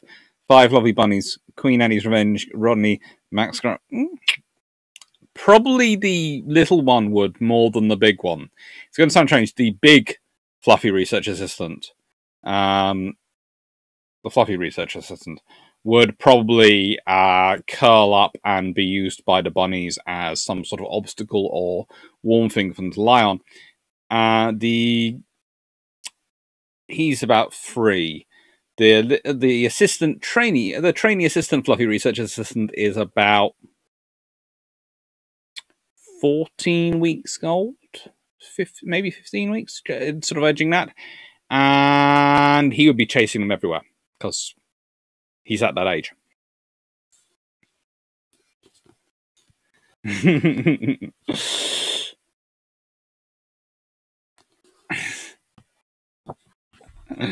oh, right. So,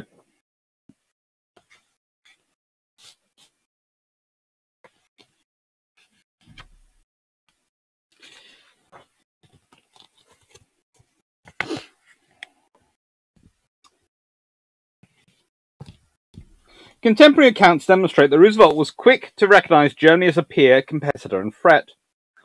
In recent actions in China, coupled with its uh, recent actions in China, coupled with its rapidly growing immigrant population in South America, and solidly Mahanian naval policy, suggested correctly, as historical documents will later point out, the possibility of a larger, more permanent German presence in the Western Hemisphere.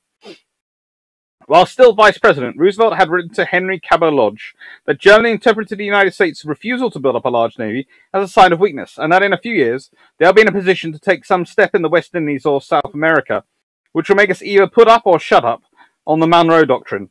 Austria, Italy, and Russia did not trouble his thoughts. Germany was his focus. What Roosevelt needed, and perhaps even desired, was an opportunity to pit his will and the armament of the United States against Germany to firmly establish America's position as a leading power in the international system.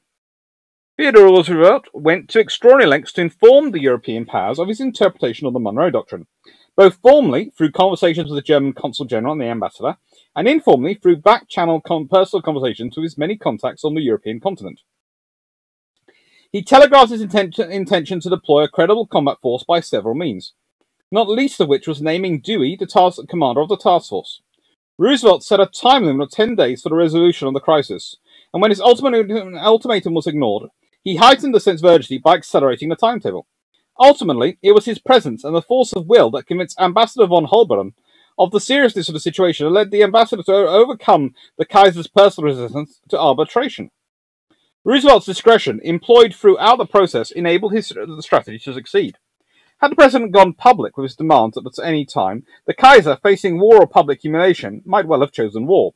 Yet the discreet nature of Roosevelt's demands allowed Wilhelm the opportunity to back down in private and preserved, for the immediate present, the future relations between the two nations.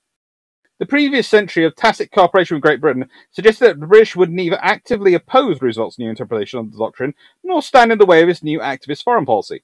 Nevertheless, the events in Venezuela, along with the events of the last decade of the 19th century, suggest that conflict in the United States was not outside the realm of possibility.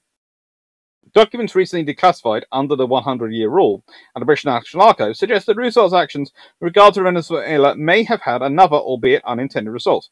As the winter exercise ex- approached and tensions increased between the United States and European powers, the British Colonial Office drafted a secret memorandum that was forwarded to the Colonial Defence Committee, the War Office, and ultimately the Admiralty for comment. The memorandum raised questions about the defensibility of British possessions in the Western Atlantic in the event of conflict with the United States.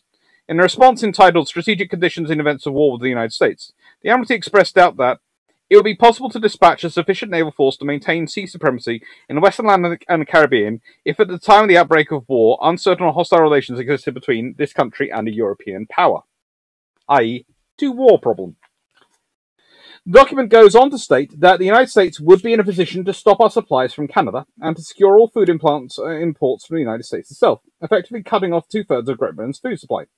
The inescapable conclusion was that current realities emphasized the necessity of preserving good relations with the United States. Within two years, Lansdowne and Balfour would secure an unofficial security arrangement with the United States, the beginning of what has become known to uh, come to be known as a special relationship. But thus it was that Theodore Roosevelt established for all the world to see the two pillars on which he would construct his foreign policy: Mon Monroe Doctrine and the U.S. Navy. His actions during the Venezuela, uh, Venezuela crisis established precedents for American involvement in the world throughout the 20th century. Yet, for all his speak softly discretion, he could be driven to big stick audaciousness as well, as his next excursion in statecraft would amply illustrate.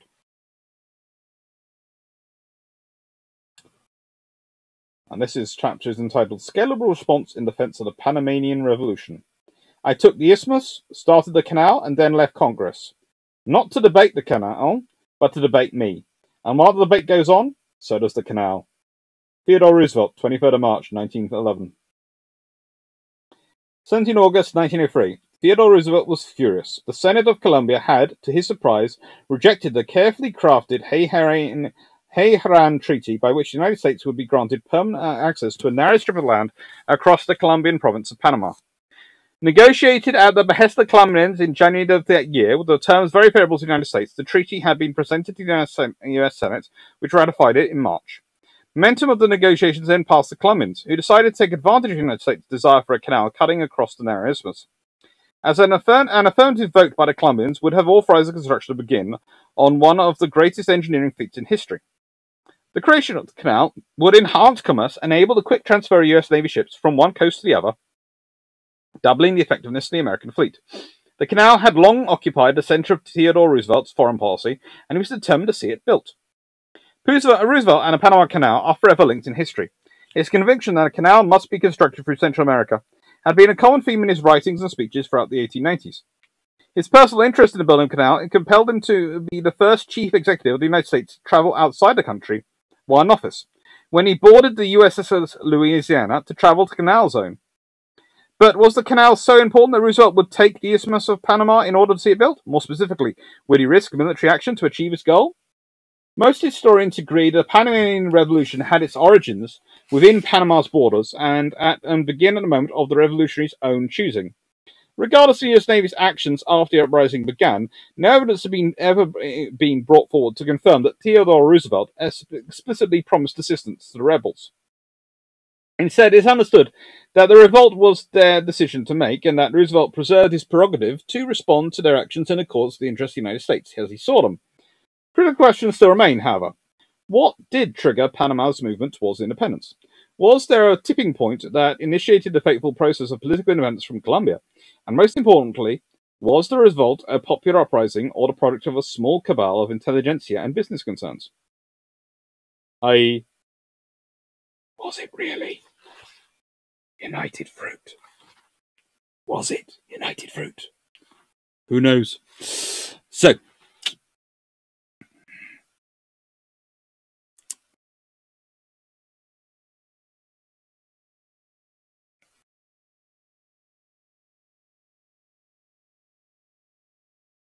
Nightham Productions. Hey, Yeah, I missed uh, a bit miffed. I missed 13 days. I have to go back there later on. Oh, don't worry. Mm-hmm. Anyway, a rigorous review of the operational military records reveals other events that contributed to the onset of revolution. Specifically, the actions of two young U.S. Army officers acting behind the scenes in Colombia and Panama, and the appearance of a U.S. Navy warship off the coast of the Colombian province. Additionally, close scrutiny of the Navy Department correspondence reveals a plan created the specific direction of the president's of the President of the United States. This plan, referred to as War Portfolio Number One, envisioned an active defense of the new Panama, uh, Panamanian Republic by military units of the United States. Little known and never referenced by previous Roosevelt biographers, War Portfolio Number One demonstrates a decisiveness and predilection for action that stands in stark contrast to the demure foreign policy statements issued by the first Roosevelt administration. Policy statements that may have convinced the Colombians they could pull the tail of the tiger during the months of the negotiation that led up to the rejection of the Hay-Herran Treaty. Dan Freeman, don't mess with Big Fruit or Big Fruit will mess with you. Yep.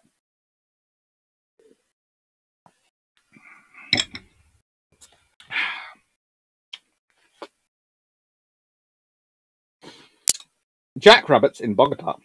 The arrival of the ratified canal treaty in the Colombian capital relieved the pressure on President Jose Marroquin. Previously, he worried about numerous interests within the United States that were actively lobbying for a canal route across Nicaragua. But with the ball now safely back in his court, it was within the Colombian leader's power to confirm the treaty outright, given the dictatorial character of his office. Instead, he chose to call the nation's legislature into session.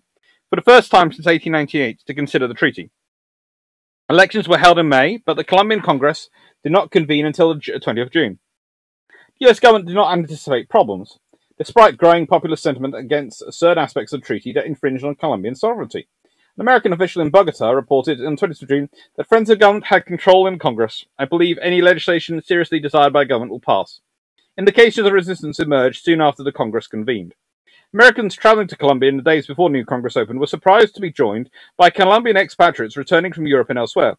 The Colombians were amazingly frank about their intentions. They hoped to gain a seat in the Colombian Senate, where they planned to sit with open pockets awaiting American bribes to buy their votes. An agent of the Kaiser was supposedly also in Bogota, actively working behind the scenes to defeat the treaty in hopes that Germany might gain the uh, canal franchise. On 26 June, the American embassy in Bogota, Arthur M. Beaupre, a law, lawyer from Illinois, appointed minister to Colombia on the basis of his loyalty to the Republican Party, reported that while the treaty's passage in the Colombian lower house seemed assured, unfriendly influence makes the majority in the Senate uncertain. Two weeks later, Beaupre admitted to the Secretary of State Hay that one of the Secretary's encrypted telegrams had reached certain members of the Senate. Among other things, the telegram stated, if Colombia should now reject the treaty or unduly uh, delay its ratification, the friendly understanding between the two countries would be so seriously compromised that action might be taken by Congress next winter, with every, which every friend of Colombia would regret. Beaupre had presented the substance of this telegram to the Foreign Minister of Colombia a few days later. Two weeks after that, shortly after the Colombian Congress convened, President Marroquin met with the members of the nation's Senate at the President's Palace and leaked the contents of the private communication between the American Secretary of State and the Colombian Foreign Minister. The disclosure, in Beaupre's words, created sensation. Beaupre soon notified Washington that the leak was part of a deliberate strategy employed by President Marroquin. The motivation of the Colombian government became clear two weeks later when Beaupre communicated two suggested amendments that would remove any further delay in ratification. The First Amendment required the French-owned Panama Canal Company to pay Colombia $10 million of the 40 million the company was scheduled to receive from the United States as compensation for the canal concession. The Second Amendment increased the United States direct com- uh, payment to Colombia from $10 million to $15 million. Jose Marroquin and his cronies were scheming for more money. As mentioned earlier, some members of the new Colombian Senate had sent, spent a number of years abroad in Europe. One such member who had lived in Germany asked the German charge d'affaires if the German government would like to enter the bidding for the canal concession. Britain's diplomatic representative in Bogota received a similar inquiry. The Colombian senators saw a potential windfall in the canal and were certain that the United States would soon see the light and agree to their terms.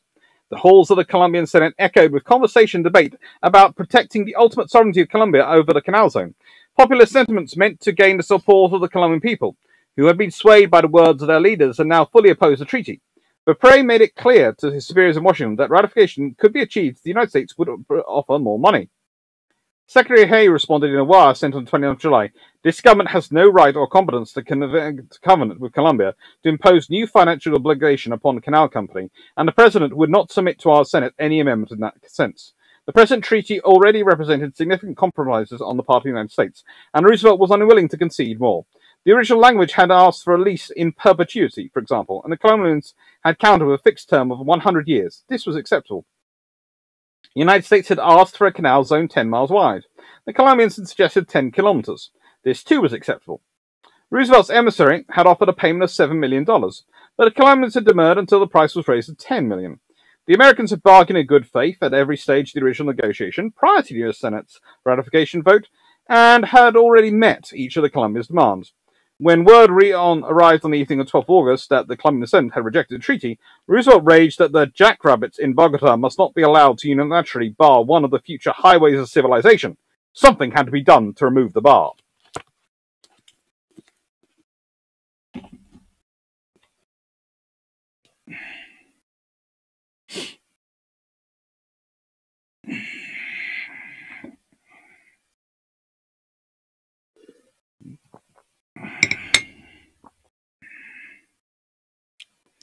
Dan Freeman, I want a Marine Corps and diplomatic service. How do I go about buying one? Um, change your name to Big Fruit. Apparently, according to Trent Tadanka. it was true at that time. Uh, mm. General Smedley Butler wrote a lot about Big Fruit. They were powerful at the time.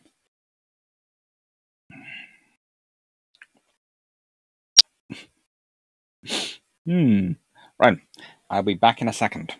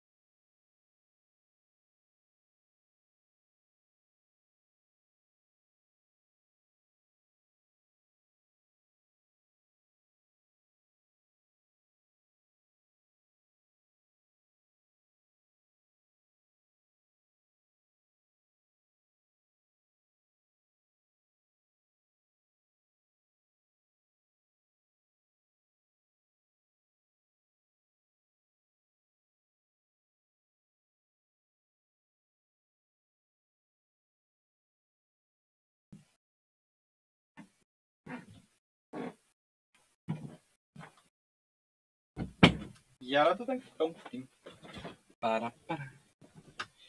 Ooh. Hello, Yickers. Right then. Uh, mhm. So, it's a good book, and as I said, the two combined, great combination. A great combination, and a fun one to read.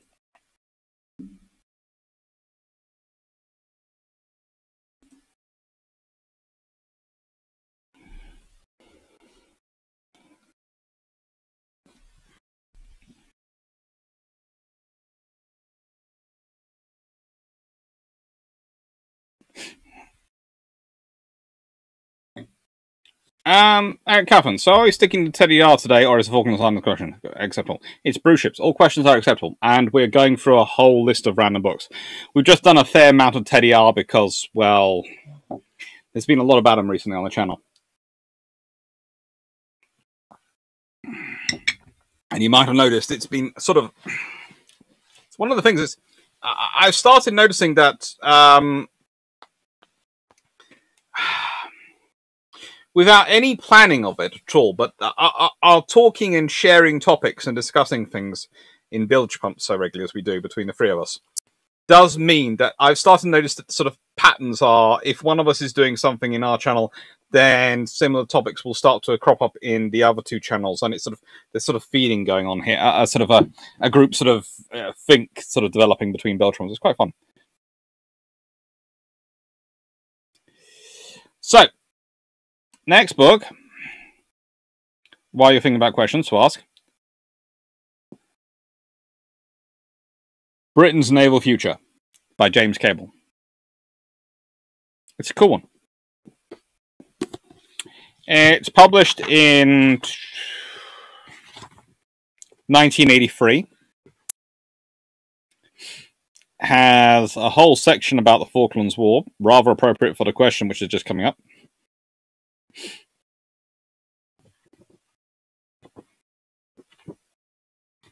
And has a whole chapter entitled The Relevance of Sea Power. And I'm going to be getting into that in a second now. The relevance of sea power. What is the objective in naval warfare if command of the sea cannot be achieved? By Rosin- uh, is a quote from Rosinski. Before attempting to examine the prospective utility to Britain of the Royal Navy, it seems desirable to consider briefly the general relevance of sea power in a world that has undergone profound changes political as well as technology, in the 36 years, the longest period in modern history that have elapsed since two fleets last met in naval battle. In doing so, one temptation must regretfully be set aside.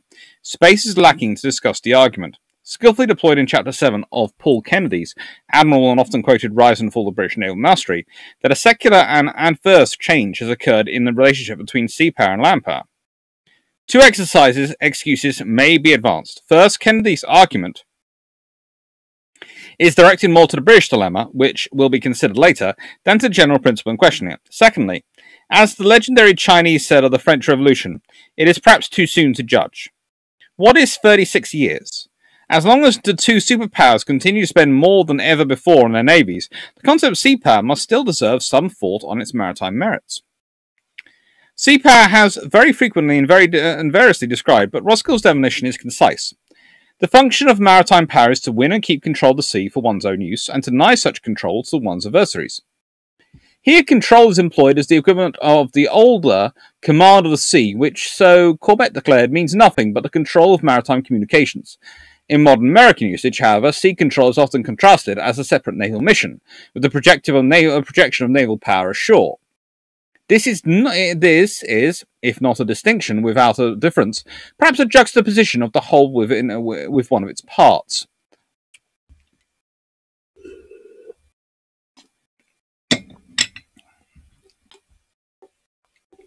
As Admiral Holloway pointed out, when Chief of Naval Operations in the United States, sea control is a prerequisite of all other naval tasks and most sustained operations by the general purpose forces of other services.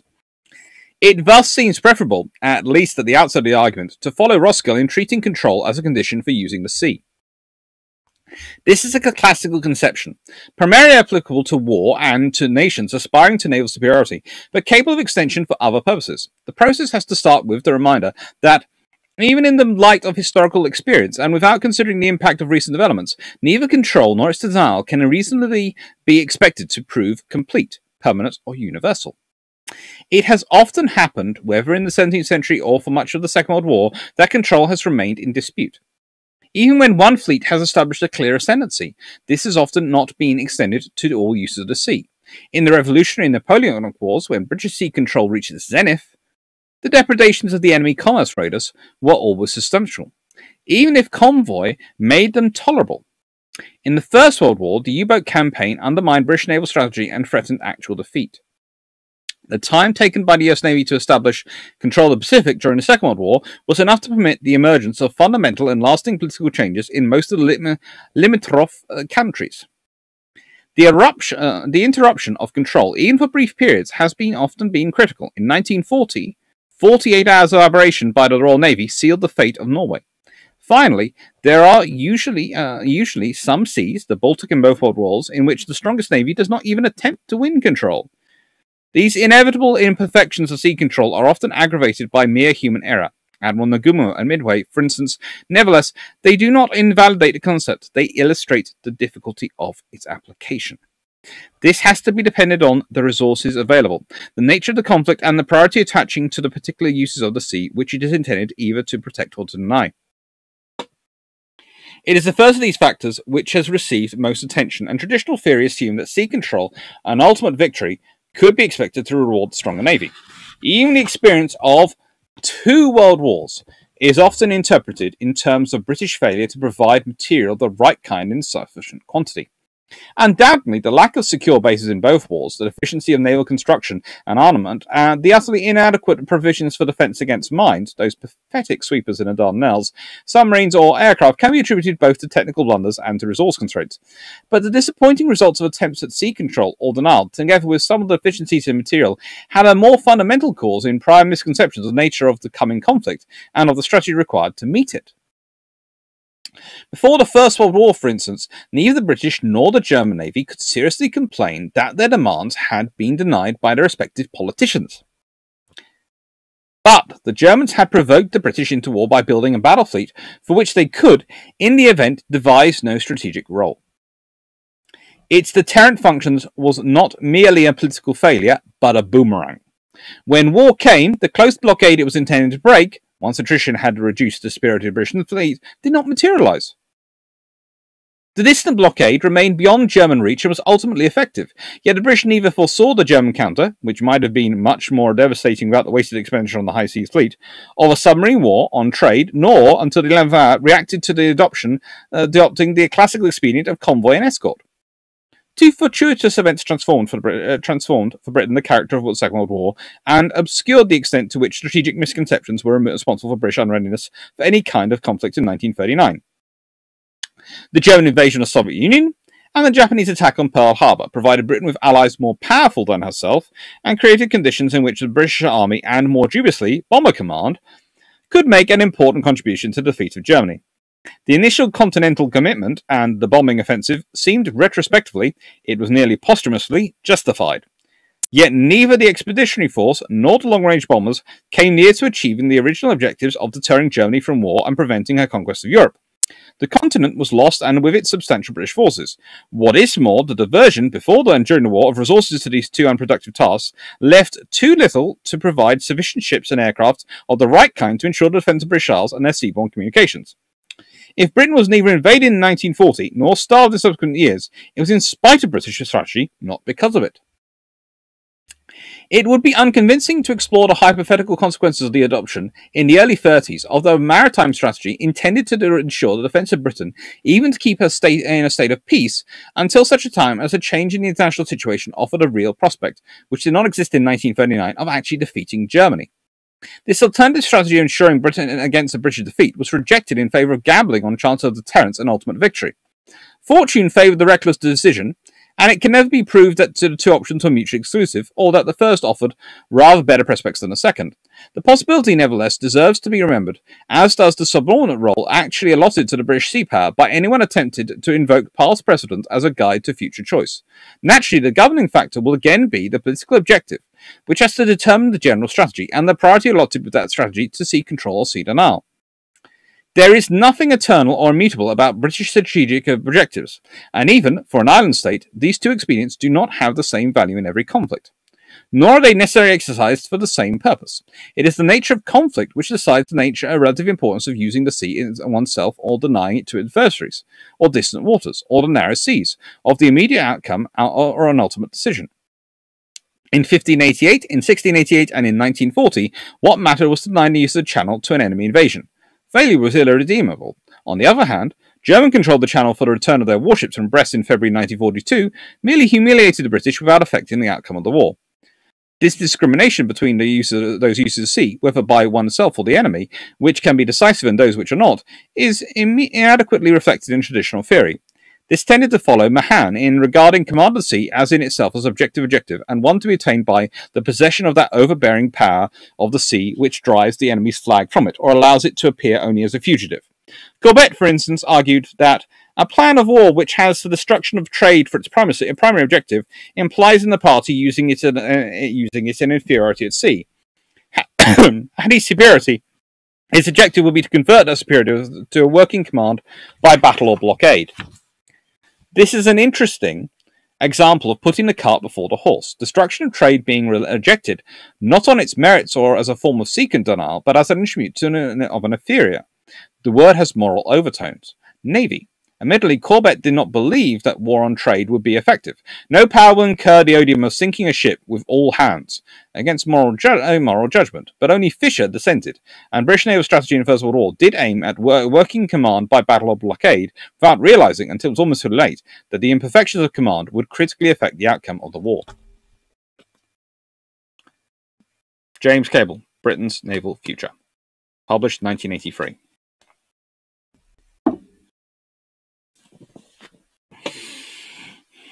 Right. It's a good book, and I'll see if there's any questions coming through on it. But while doing that, I will answer Eric Kaufman's question on the Falklands War. Okay, so Simon Whistler on the YouTube Friday mentioned that the Black uh, Black Buck raids were not worth it.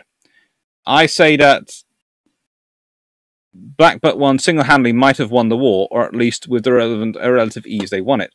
Uh, the one, one bomb hit that knocked out the runway, I say the Argentina out, cut off their spare uh, supplies and possibility of reinforcement, demoralizing them. And also said to Buenos, uh, uh, to Buenos that we can, Buenos Aires, we can touch you, and thus sent their uh, funding military branch, uh, feuding military branches in further disarray. Your thoughts? Well, I agree with you on the latter that actually carrying out the bombing raid did have an impact and did force the enemy to relocate fighters seeing as they were still bringing in Hercules and other aircraft by night, I don't think it really stopped off the air bridge. I don't think they were ever in a position really at the time once uh, the blockade started to extend the runway to be able to support fighters, so that wasn't a problem. And I, uh, from all the, com- uh, the discussions I've seen over the years, I'm not convinced that the runway was in any way significantly damaged by the bomb. I think, as a moral and psychological operation, it was absolutely successful. I think, as a military operation, it was not, but I also think it was very useful in terms of what it achieved, in terms of, as you say, diverting fighter strength north. So that's what I would go for. Uh, Daniel Freeman, a single bomb hit on runway should take a uh, should take a competent military airbase a full 30 to 40 minutes, five minutes to fix, depending on whether they interrupt the meal they are eating when it hits. Eh, a little bit longer, but yeah, you got, you're sort of not so far away. Dylan uh, hello, I don't think I've seen him before. Lelaire, um, didn't they get the runway repaired within a day and had large aircraft landing next? They either didn't get hit or they got it very rapidly repaired. They certainly had Hercules coming in and out that night. Um, they weren't using scatterable mines. Nighttime Productions. Given the RN's Thatcher government reduction of the RN naval vessels in the wake of the Falklands, what would you view as a good or potentially good decision to be maintained, expanded? Uh, and what would you say to uh, do away with, and so favor of what? I hope the question makes sense. Uh, honestly, what uh, Thatcher starts getting rid of is the deadwood in some respects.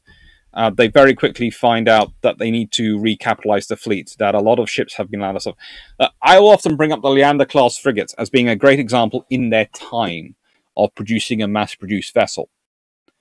But they shouldn't have been being, uh, being used as they were in the Falklands War. They weren't designed for that they didn't have the capabilities for that. And there's a reason the Type 23s come about and the Type 22s get increased in numbers. I would have liked a Type 43 to come into service after the Falklands War, but it doesn't. It's the Type 42s um, are, are sort of longer ones I put in. And the Falklands is an interesting war in that you have a lot of cuts. It's not just we often talk about Thatcher's government, but every government had been cutting the Royal Navy since a since Eden. From Eden onwards, they're non they're cutting the navy. Why? Because they're prioritizing the Central Front, which makes sense in the strategic paradigm you have of the Cold War, where everything's focused on the Central Front. But uh, I think it's in. I'm not sure in which of Michael Clapp's um, sings in Bilgepumps it is, whether it's in the special edition or it's in the others, he makes the point that when he was trying to organize a convoy practice, he was told war was going to be over in a couple of days, so there was no point doing a convoy because it would never reach anywhere. There was no point practicing it, it would never happen. And you have to remember, in the Cold War period, everyone was so focused on fighting a nuclear war, they forgot other wars might happen and I have a fear that's why you end up with the Falklands. Everyone's so focused on the number one threat, they've forgotten number two threat, number three threat, number four threat, and number five threat actually exist. And you always have to be so careful of that.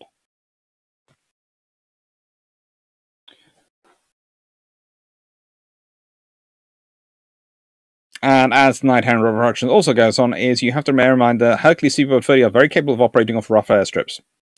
They are.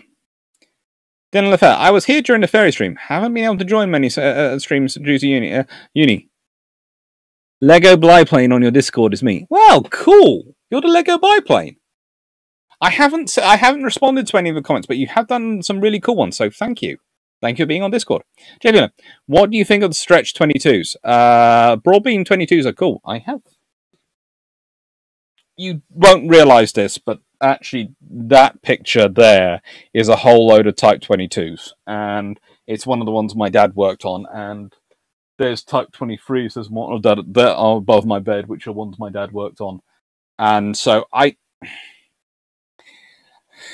Uh, my dad would always tell you the biggest missed opportunity for Britain after uh, uh, uh in this period was not um was not the CVA one, although he would have loved that, he felt the Invincible class were fairly good. He would have liked to do and stretch the Invincible class, which was going to be an extra 20 meters longer 20 uh, was it 20 or 25 meters? 25 meters longer i think uh, roughly. And so would have had a lot more space and was going to have a deck edge lifts rather than centerline lifts. And so that would have been a far more useful sort of thing but it would have been obviously a carrier rather than a through deck cruiser he also would have liked he he was always arguing that the bristol should have been kept being built with a hybrid Sea Dart Seawolf system rather than building Type 42s, and were especially uh, necessary after the CVA 1 was cancelled. It would have been an interesting scenario to have.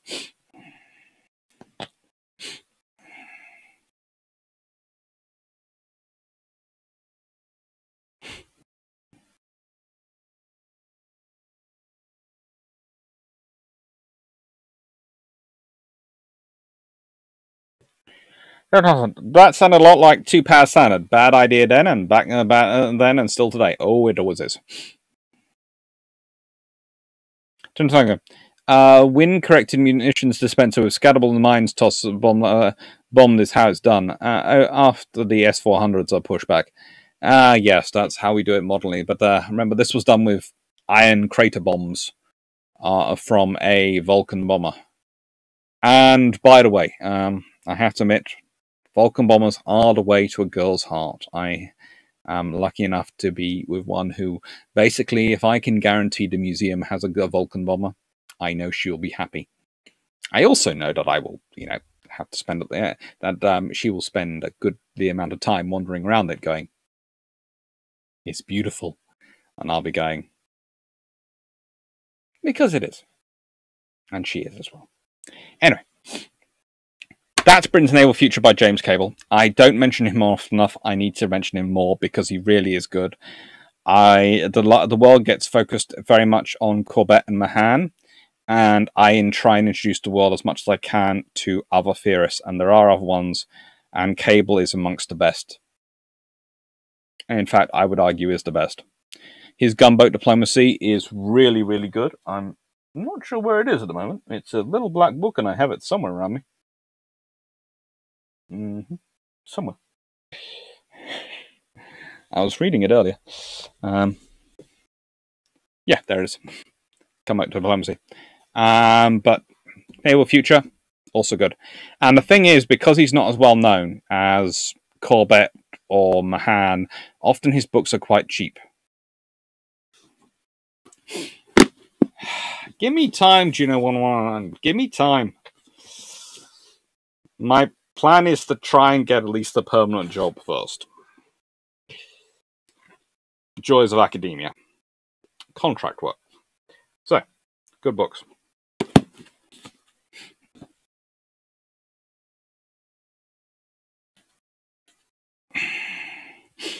Captain Seawolf, your father's idea of an SD, uh, S, uh, Sea Dart uh, Seawolf Bristol sounds like a Type 64 combo in one hole. Actually, they worked it up. It was going to be a modification. They were going to build more Bristols based on it. And then they were build, decided to build the Type 42s, and he just went, he, he, he found them all mm, annoying. He, he had fun sometimes with the politicians. Um, Dr. Clarke, how much of a threat were the Argentine Canberras during the conflict? I know they were involved, but I don't hear much on them. They didn't really do much. They were very good for reconnaissance, not really involved doing much else. Dan Herman, what kind of crazy idea is this? Is it to put decent functional weapon systems that complement each other together on the same warship and get it in decent numbers? I know it's it's so absurd, but he thought it would be a great force multiplier for the carriers because he thought if you have the invincible class carriers and they each had a couple of Ds with them, and they of course had their own Dart launchers, then combine uh, that would be a very effective operational force, and then it would free up the frigates to do the anti-submarine warfare role more. Hmm.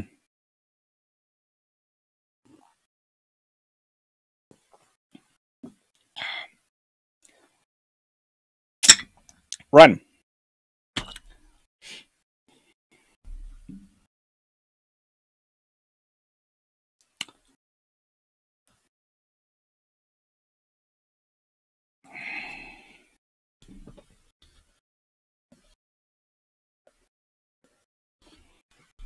Ooh. Good lord, I'm not sure if I'll get through all these tonight if I keep doing 20 minutes a book, but we're discussing them, so that's good. And the other books will just be done another time. So, landing assault craft.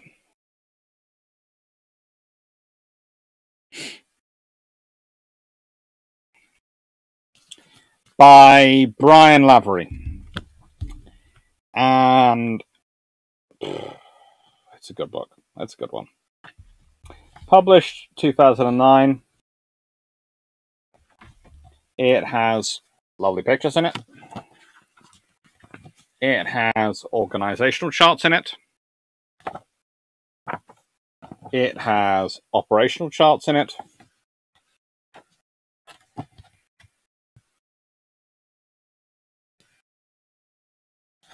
It has designs of the ships which carried them in it.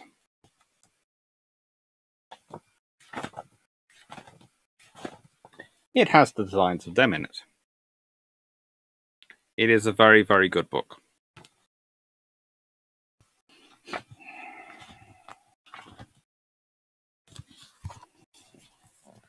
If you're feeling like modeling landing craft, this is certainly the book to have. Layout and build. The hull. Seen in profile and out of the water, the assaulting landing craft had just the hint of the attractive lines that might be expected from a yacht builder such as Thornycroft. The deck had a very slight upward curve or shear to help the bow and meet the waves more effectively. The lower bow had a much steeper curve in what was officially known as the sampan style, perhaps based on Maund's experience in the Far East. It was intended to allow the craft to beach gently, whatever the angle of the shore. From above, the ALC also also had surprisingly attractive curves as the hull narrowed, narrowed towards the bow, which of course was completely flat because of the need to, to fit a ramp. From any other aspect, the ALC was undoubtedly angler, although not entirely box-like. Boat builders called this chine construction, with very definite corners in the form of the hull, it was an extreme example of a shape common in fast powerboats, of a type built by Thornycroft and other yards. Its bottom was not completely flat and was angled slightly upwards on each side. This allowed it to hit the water more gently than when pitching.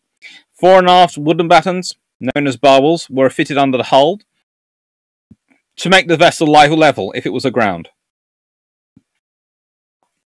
The sides of the boat were not vertical, but angled slightly outward helping create a, a, a, right, a righting motion if the vessel heeled to one side or the other. The transom that formed the stern, however, was completely flat and vertical. The shape of the bow was dominated by the ramp, angled forward at about 45 degrees when in the stowed position at sea. It's about 4 foot, uh, feet 6 inches wide, so that two lines of men could get out simultaneously, and it was raised and lowered by means of a system of pulleys inside the hull. It had a small rollers on its outer end to help when getting off the beach. Internally, the space behind, behind the ramp was raised above the level of the troop deck and shut off from it uh, at sea by armoured doors. In earlier models, the space on either side was filled with buoyant material known as Onazote. Behind the doors was a troop compartment, which took up more than half of the length of the vessel. The men sat on three rows of fore and aft seats. The men of the middle row were exposed unless canvas awnings were fitted. Those on the outside could get, find some shelter under the decks. Forward in this area, the coxswain steering shelter was fitted on the starboard side, except in the very early models, or those adapted for special purposes. In that position, it did not interrupt across the troop accommodation, but it gave the coxswain a good view while keeping him on a lowdown. The steering position was armoured against small arms fire, with slots one and three quarter inches wide that would be kept could be kept opened or closed. The coxswain had a folding seat fifteen inches above the deck so he had a choice of positions. He could open the armoured doors on the roof to stand up and get a better view, or he could sit down, close the doors, and get the benefit of armour if the enemy fire was intense.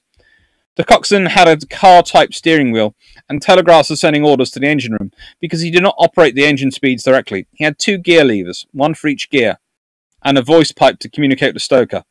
Selected vessels, can to be used by flotilla leaders and navigators, had armor made in non-magnetic alloys, so that they would not cause deviation on the compass. Later models had radios fitted just forward of the steering position. On the port side, Opposite the steering compartment was an armoured position for a Lewis gun and later a Bren gun. This had full height armour forward, with its side panels sloping downwards to allow the gun to be used for anti aircraft fire. The frontal armour of this compartment, the steering compartment, and the bow doors formed a continuous line against enemy fire. The deck of the troop compartment was almost uh, mostly flat, except where it rose towards the bows to take the men to the armoured doors. The interior of the troop compartment was featureless except for the three benches, which were eight inches high and might be made with boards or slats. The central bench could be removed if stores had to be carried inside instead of men. At the after end of the troop compartments was a watertight bulkhead that sealed off the engine room with a small hatch for access by the stoker. Above this, after the after deck of the craft covered the entire width of the engines. A small breakwater can protect the crew and the troops from waves that might break astern. Just forward of that, easily accessible from the troop deck, was the anchor windlass. A small stroller on top of this allowed the anchor cable to run free, and there was a double roller fair, uh, fair, uh, fair lead on the screen.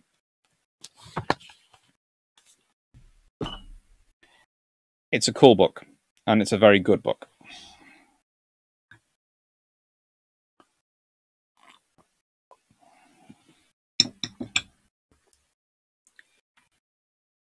Okay.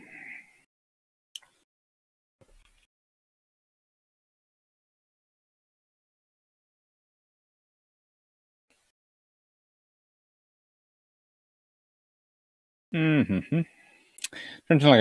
US did not sign that treaty. Um, I never did.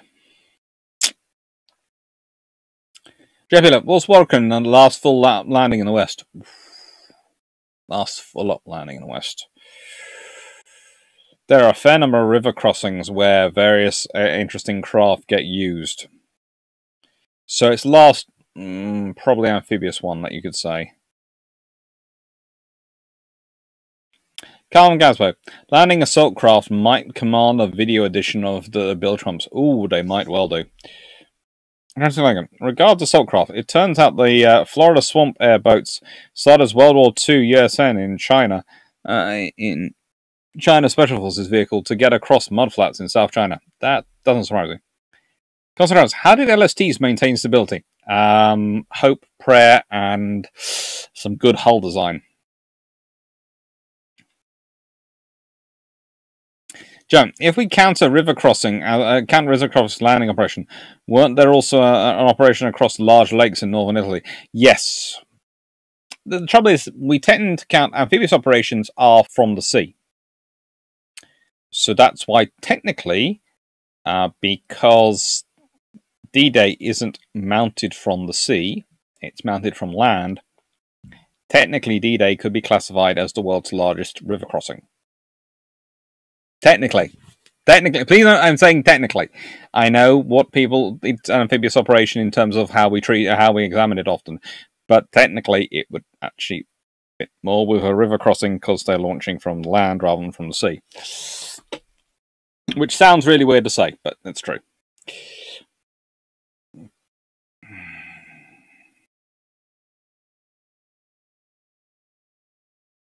Hmm.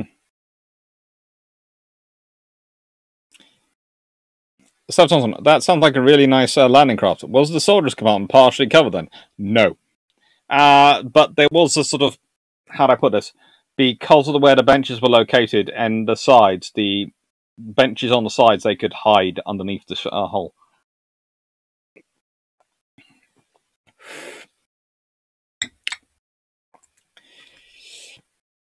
Don't joke about that, Stafford. Uh, it wouldn't be the first time a historian has faced that. it's been very, very weird. Right.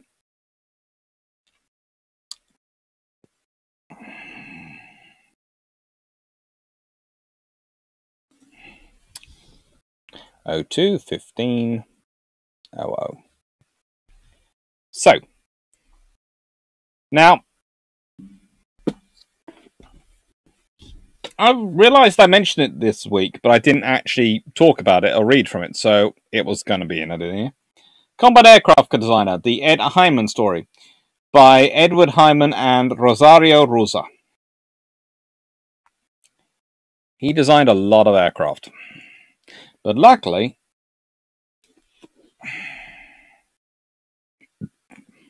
he does look good. Healer, was Narvik the first Allied amphibious landing? No. There'd been a few done before then. In various things. Good times. Churchill College, Cambridge. Rosk collection, Roskill, number 22, sub number 1. Apparently, I was looking at this is from my days of my PhD research because it's from 2013. Is that after my PhD research? Just about. Plenty of spads. Eh, yes, there's a few spads in here. A few spads. Don't ask me how much this book cost. Um,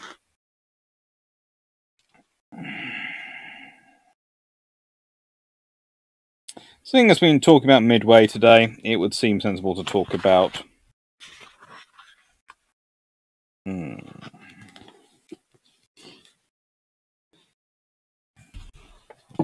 This.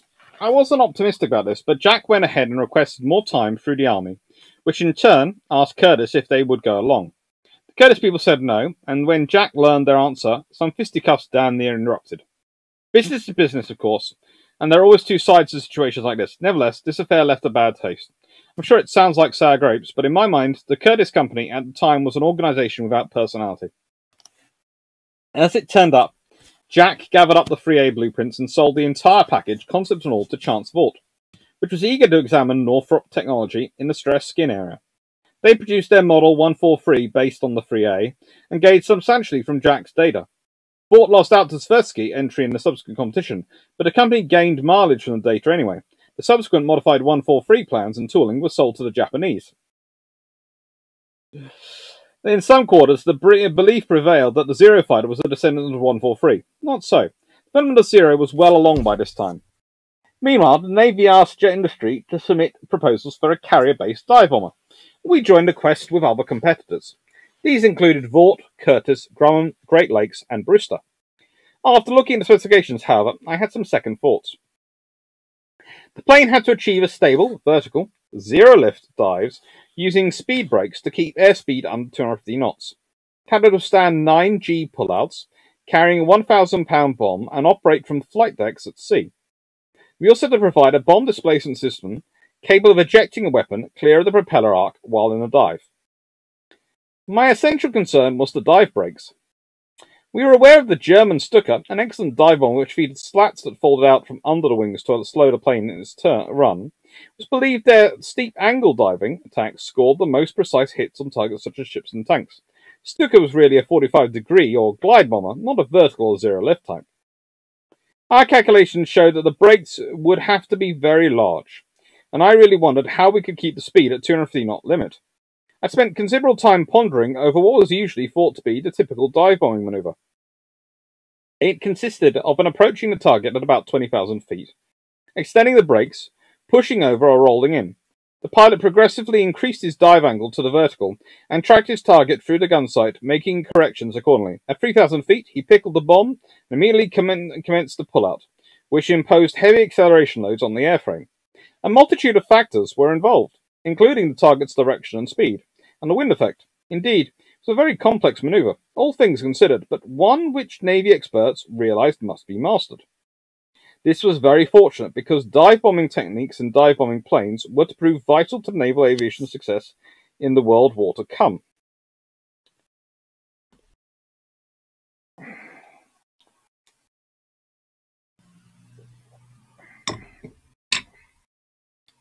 I well remember the day we had to arrive at a price for building one airplane. Jack and I drove over to Santa Monica to meet with Dutch Kindelberger, chief engineer there. Dutch checked our weight figures, as he had more experience than I, agreed with them, and took us to see Henry Wetzel, Donald Douglas's assistant. Wetzel went over our proposal, and the two came up with the cost of $64,000. Seemed high at the time, and maybe it was, but on the way back to our plant, I asked Jack how Dutch and Harry could operate that way. I couldn't get over the quick pass they'd given our proposal. That's the advantage of about 15 years of experience, Jack said. Fifteen years later, I was estimating contracts many times that size and clearly understood that process. The Pratt & Whitney R1534, which generated 700 horsepower, was to be used. For the basic shape of the plane, we chose a design similar to the A-17, but with a 42 rather than 48 foot span. The aircraft was called the XBT-1 and became the first all-metal, low-wing monoplane bomber and they're built to Navy specifications. It had partially retractable landing gear and accommodations for an observer gunner in the rear seat. The trailing edge flaps, which would serve as dive brakes for the attack maneuvers, were split. I designed a double, concentric cylinder hydraulic control mechanism, which permitted either the lower flap to be extended for takeoff and landing, or both upper and lower flaps extended for the dives. Both sets of flaps had to be carefully synchronized to avoid negative effects of, on longitudinal trim during extension in dives. I had read about a linkage, a linkage system called the Scott Russell, and used the basics of it, coupled with some of my own ideas to enhance the synchronization. This worked out quite well, and we had a minimum problems with it, and the overall project as the first year of development and construction passed. With test flights were finally scheduled at Mines Field, Vance Breeze uh, was hired to do the job. He usually flew for us on a part-time basis. He was a Serb aviator, one of the finest I knew uh, I ever knew. We paid him a resounding $2,000 for his work with XBT-1, a figure which became an inside joke some years later. After Vance had wrung out the P-38 for another organisation, he earned $65,000. He took delight in showing me that rather huge check. The aircraft handled well in the horizontal mode, so he proceeded to the dive, uh, dive test stage, beginning with slow speed, shallow angles. As he steepened up the angles with the flaps extended, we ran into problems.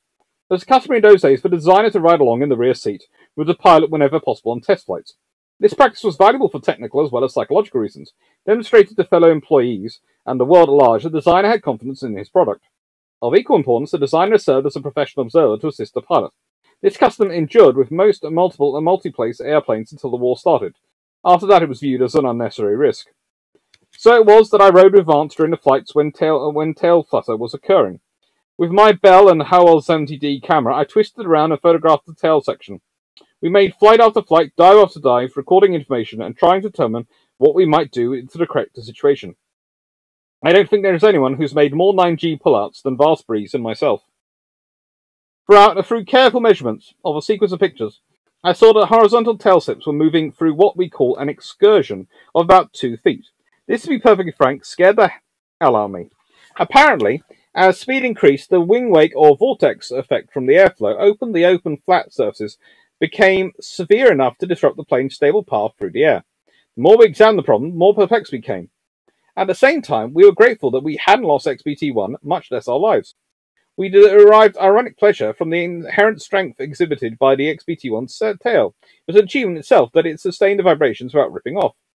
We cut small sections from the edge of wing flaps, rounding them off to eliminate sharp corners, hoping this would smooth out the wind. This helped very little. Began to feel caught between a rock and a hard place. We didn't know what to set, uh, set, step to try next. I sat back in my chair one day and took a deep breath in frustration. With this condition, I said to myself that dive flaps could not be fully extended without the possibility of overstressing the airplane and probably forcing it into uncontrolled flight. And without dive brakes that worked, it was generally obvious we didn't have a dive arm. Meanwhile, the government-owned sp- uh, sponsor, a government-sponsored National Advisory Committee for Aeronautics, respected group of aviation advocates and researchers devoted to advancing knowledge of flight, entered the picture in the person of Charlie Helm. He was sent to El Segundo to lend his aeronautical expertise, a uh, most fortuitous loan. Vance and I went into minute detail with Charlie, showing him the photographs, the blueprints, and our findings. After a time, he asked, Have you tried the alternating vortex theory? This translated in cutting holes in the flap sections. We had given that idea some thought, but discounted as too radical. Helm went on, You could try to reduce the large vortices into smaller ones with the holes. Well, we didn't have anything else going for us. I had no aces up my sleeve and was inclined to try darn near anything. I did fear that carving the holes would increase the stalling speed, and any departure from these specifications would eliminate us from consideration. 60 knots stalling speed, by the way, was a sacred number then, dictated primarily by the carrier or landing operations of Navy planes. After agreeing to try the hull design, I thought, how will I ever explain a, a, a flap with three inch holes that made it look like a slab of Swiss cheese? I was sincerely bothered by this, be it for aesthetic reasons or otherwise. Even before we started punching the hole, puncturing the holes, I was figuring in my mind ways to close them up if it, they didn't work. That same day, our mechanics brought out their fly cutters and other equipment and set about cutting holes in the inner third of the flaps adjacent to the fuselage. A series of dives were made with favourable results.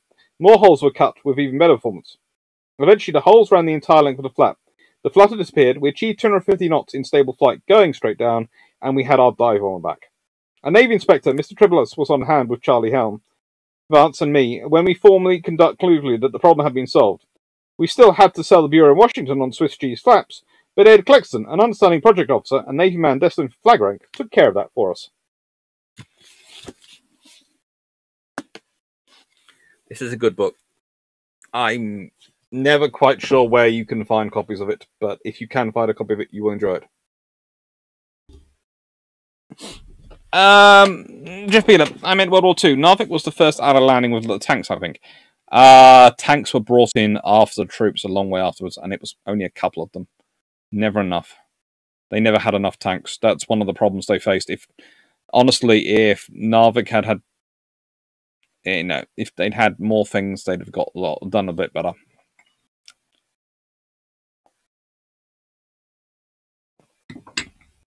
Take care, Stafford. Good luck with the ice. Those times, finding the first of anything is a huge pain. It is.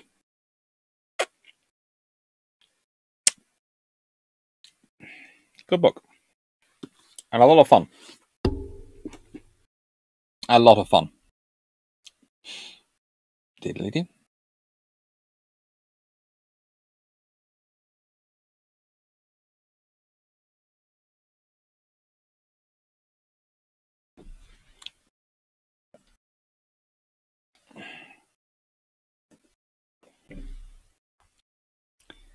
Now, Castle class corvettes.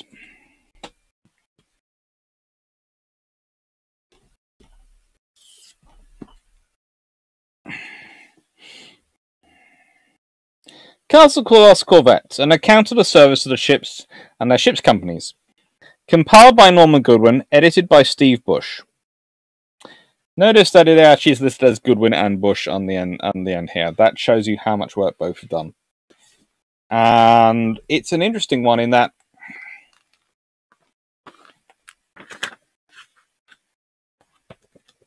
there aren't many books like this of classes, which are an exhaustive list of not just of the class, but this. It's their entire movements. I sometimes talk about things called pink slips, which are the list of where the Royal Navy has their ships on a day to day basis or a free daily basis. It's a way of tracking them for a war. This is an exhaustive day to day list of their service careers, of where they were, what they were doing, and what they're up to and it is for every single ship.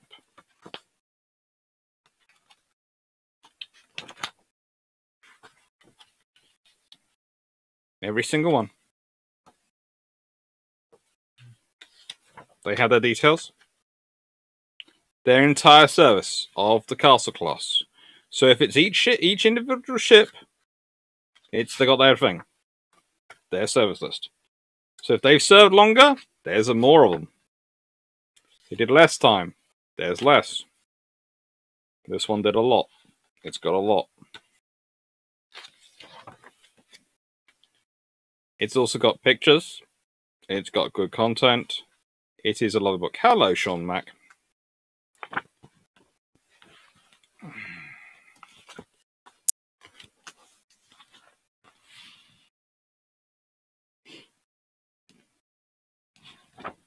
Right, Adam.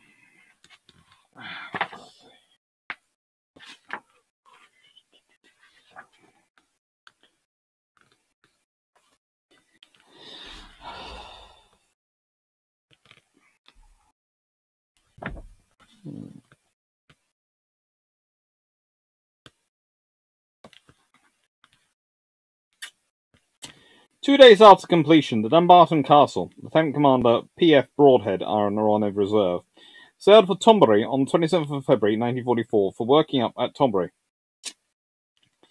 She was initially allocated to the 40th Escort Group, XSO, uh, but in fact joined the B5 Escort Group, which had been taken over by the X on 7th April 1944. She, the ship's movements between arriving on the Clyde on 17th March 1944 after working up and joining the B5S group are not reported. It is probable that she was used as a spare escort during this period. Dumbarton Castle continued with the B5 escort group in its successor, the 31st escort group, until the latter was disbanded soon after VE Day in May 1945. The B5 escort group, Dumbarton Castle, escorted eight convoys comprising 296 ships without loss to enemy action. The report of her service with these groups is given and later under headings of BF, B5 and F31 First Escort Group. She remained in commission with a reduced complement for air sea rescue duties and subsequently underwent a refit in 1946. It was then reduced to reserve.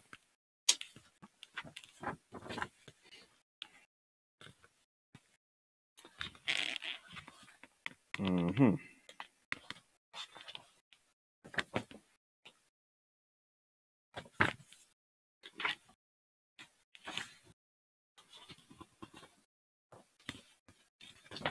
Okay, here. And then we've got Sub-Lieutenant Peter de, uh, de Beauvoir Carey Hart, served during the first year of Dumbarton Castle's final commission. His account of the time proves an insight into working of these corvettes and the duties of a junior officer serving on them. December, Dumbarton Castle, December 1943 to December 1944. My new ship, one of the first Castle-class corvettes, had been built by the Caledonians, was lying alongside the quay at Dundee. Spencer Shelley, a Lieutenant RNVR, an old Cheltonian, who had served in the Flower class corvettes, and I were the first to arrive and to report to our commanding officer, Lieutenant Commander Broadhead, Navy Reserve, who had been at one time master in the BL line, but had subsequently become a very successful barrister specializing in maritime law. Being prior to, uh, prior to joining Dumbarton Castle, he had brought a northern trawler with a mutinous crew back to UK from the Med. He told me that during that voyage he had always slept with a loaded pistol on his pillow, also because of his experience. Uh, this experience, he was a very firm disciplinarian. Sharon and I found our CEO in a Nissen hut on the quay, which was our temporary office until the arrival of the ship's company. After we had reported to Broadhead, he strode up and down. He was rather short and slightly tubby. Reminded me of Captain Bligh as he portrayed in the picture entitled Mutiny in the Bounty. He gave Shelley the choice of taking over the duties of the gunnery officer, navigator, or ASCO. Uh, and although Shelley decided he preferred to be guns, he was told that he was to be navigator, whilst I became the pinger. We both sent on appropriate weekly courses, my destination being Osprey at uh, and Nimrod at Campbeltown. At the latter, we played with a submarine in which my cousin David Carey was serving as a sub-lieutenant, and who later was to lose life in an X-craft. After I returned from respective courses, the commissioning party, which included Lieutenant Ruskill, RNVR, First Lieutenant, uh, Lieutenant Jones, Gunnery Officer, and Sub-Lieutenant Colvin, arrived. Following several days of sea trials, we sailed for Tobermory, the western approaches working up based in Mull. Before leaving Dundee, Broadhead had written to Admiral Contract built ships, proposing that a, cha- a, change in the pitch of the propeller could give the ship an extra one and a half knots, an extra 10% of speed. Some weeks later, a rather curt letter arrived suggesting Broadhead would do better than mind his own business. He was rather incensed, but at last laughed since the pitch was later changed and he was proved to be right. Commodore Western Isles, with his HQ at Western, aboard Western Isles, was Admiral Sir Gilbert Stephenson, better known as Monkey Stephenson, a man for whom I have had the most tremendous admiration and someone I got to know after the war when I was commanding a Sea Cadet Corps unit. The war had brought him from retirement, and as an old man, he was a beachmaster at Dunkirk and a commodore of convoys. Everybody was terrified of him and dreaded his visits to their ships.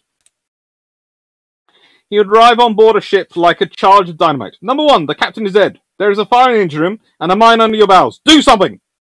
Twice, whilst I was ashore in charge of squad of seamen undergoing field training, he would come. He came running towards me. Do something! Make them think! Make them think!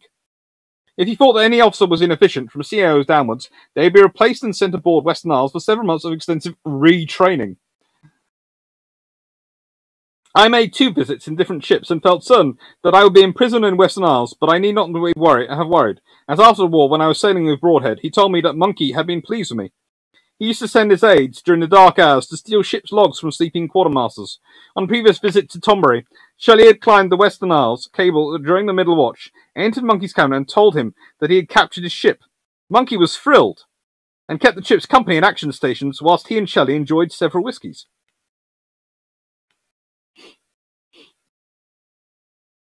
On leaving Tobermory, after three weeks of unpleasant time, we sailed to Greenock, where we joined an escort group. B5.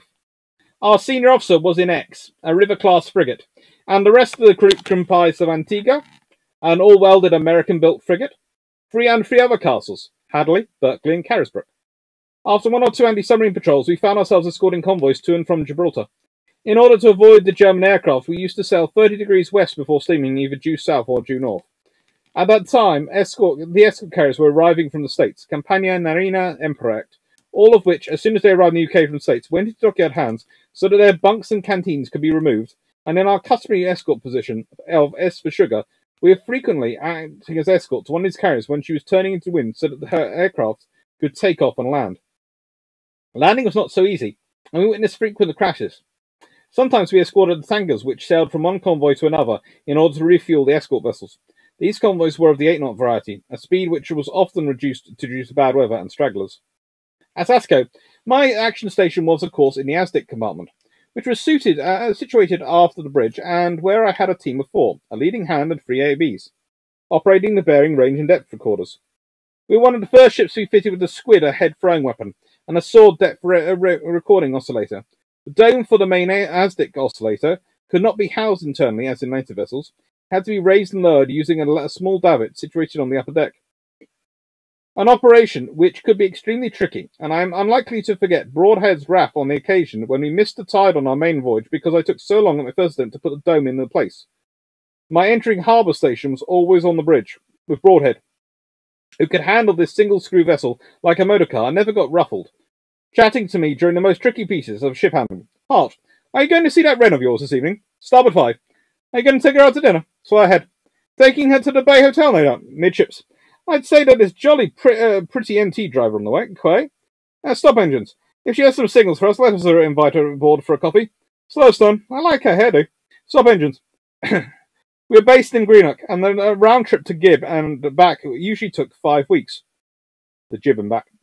Following uh, by a week aside, uh, alongside either at Pier or Great Harbour, whilst boiler cleaning was in progress. From time to time, we carried the odd passenger, and on one occasion, we were oiling at Moville after exercising with Isle of Sark, formerly one of the mailboats running between Southampton and Channel Isles in the Irish Sea, received a signal to say that there was an outbreak of smallpox in Gibraltar and that no one would be allowed ashore there unless they had been very recently vaccinated. Fortunately, a Polish Air Force doctor was taking passengers and he vaccinated the entire ship company with a sewing needle sterilized in the flame of the candle. On another occasion, we brought an RAF Commodore back from Gib to Greenock. Whilst customs officials were boarding us from their launch on the port side, all the Commodore's duty-free rabbits were being loaded onto an RAF launch lying on our starboard quarter. It's a good book. It is a lovely book. Okay. John Shea, so that's how the Swiss cheese flaps SBD came out. Uh, Swiss cheese flaps on the of the SBD came out. Yes, that's from the early Ed Heinemann book. Um, then uh, Dylan, I feel as if naming a whole mass production ship after castles you have is both a uh, boast in that you can mass produce ships, but also that you can mass produce castles. I I, I comment nothing, but um, yeah. Cosmos, what is the date range for that? It's the whole castle class, so it's their service.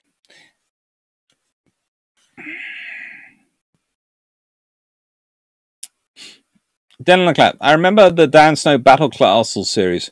One of them was on Conway Castle and how Edward I essentially spammed the car- place castle here button around North Wales.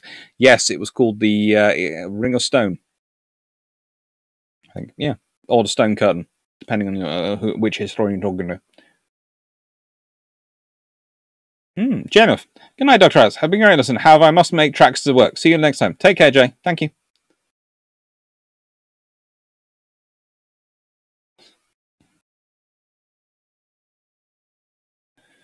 Stromac, the clock. Is there anything that has actual top speed of a Black Swan class, given certain facts about the speed uh, attainable in service? Mm, not really. Black Swans were pretty interesting. Um, they were basically, in some respects, um, speedboats. Uh, Dylan, uh, Dylan I grew up in Jersey, so the main castles I was exposed to as a child were Elizabeth and, Mo- and. Both heavily changed over time. You can really see the different centuries in each. Yeah, that's cool.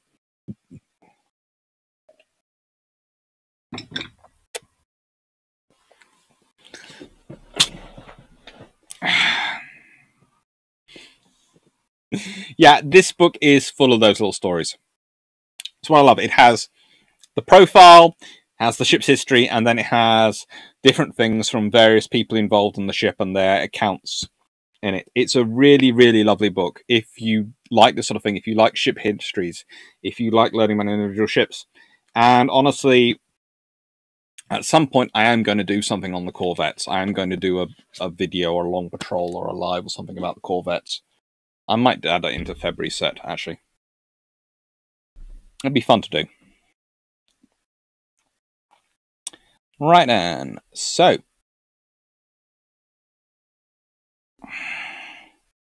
O two forty one.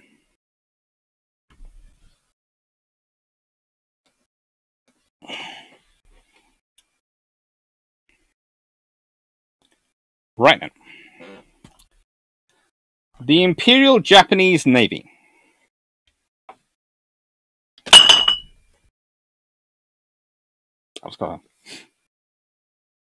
I was asking. There are only fourteen of this class completed. Um, see.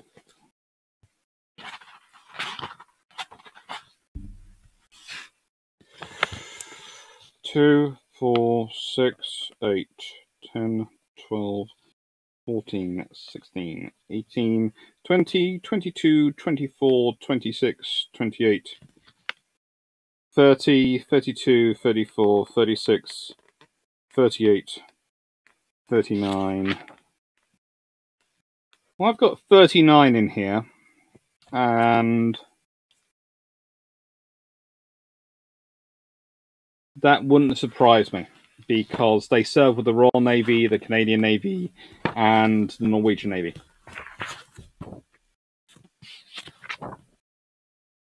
So there are HMSs, there are HMCSs, and there's an HM uh, in here. Tunsberg Castle on 353. Let's see. Let's have a look at that.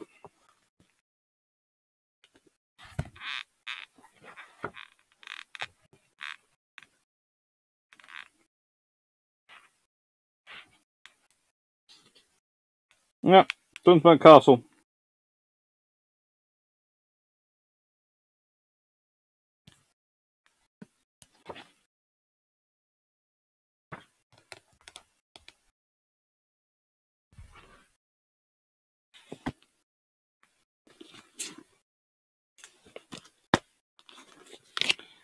Amber's asking, oh, so, okay, sorry, didn't see the additional tables on wiki pages. Always be careful of additional pages on wiki pages.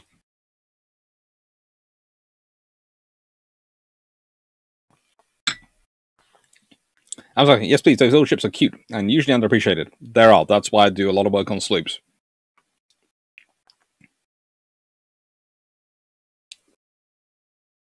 John Hart, when did electric searchlights start to make an appearance on warships? Now, I know when it was Royal Navy, but I have a feeling the US Navy had them first. So let me just check that one.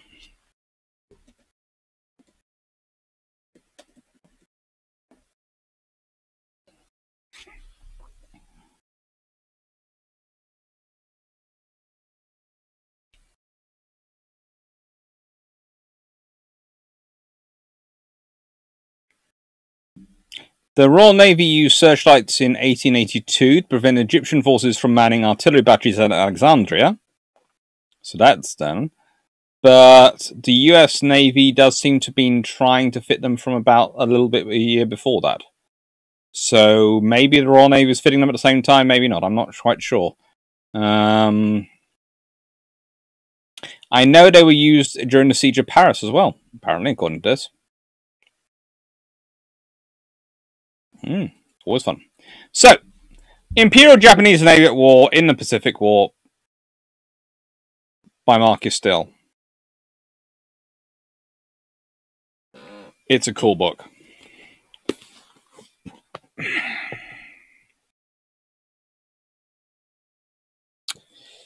It's one of the better books I find for any. If you want to start as an introduction to the Japanese Navy, it's one of the better books to start with because it goes through it all. And We started off with, let's go with some of the really, something that's really, really forgotten with something in Japan out.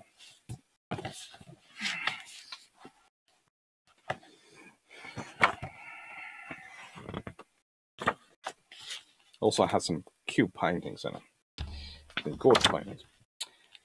The units of the C class were intended as attack boats to operate with A-type command boats and B-type scout submarines.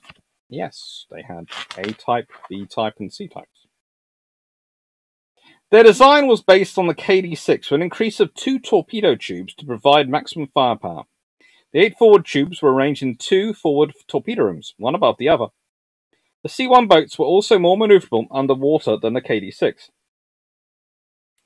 Eight 21-inch bow torpedo tubes and 20 torpedoes, one 5.5-inch DAC gun mounted aft, one 25, twin 25mm anti-aircraft gun fitted on the conning tower. No aircraft were carried. Each boat was provided with fittings aft of the conning tower to carry one Type A midget submarine. In early 1943, I-16 was modified for duty as a supply submarine. The forward 5.5-inch gun was removed, the number of torpedo reloads was reduced, and the fittings were provided aft for a Daihatsu.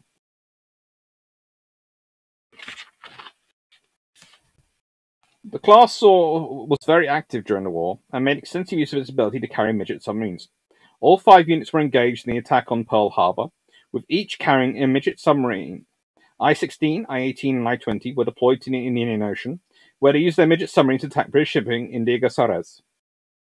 The attack heavily damaged battleship HMS Ramillies and sank a tanker. The boats later sank 14 freighters in the Indian Ocean as commerce raiders. Later, I-16 and I-20 each launched three more midget attacks off Guadalcanal. Only a single USN transport was damaged. While being used as supply submarines, I-18 was sunk in February 1943 and I-16 in June 1944, both by US destroyers. I-20 was also sunk in the Solomons by US destroyers in September 1943. I-22 and I-24 were used to ferry midget submarines to attack Sydney, Australia in May 1942. The attack was a failure, sinking only an old accommodation ferry. I-22 was reported as missing in Eastern Solomons in October 1942. After the attack on Sydney, I-24 sank a freighter. I-24 was also used to launch two midget attacks on Guadalcanal. It was later used for supply missions to Solomon. In July, in June 1943, the 2,500 ton submarine was rammed and sunk off the Aleutians by a 675 ton subchaser.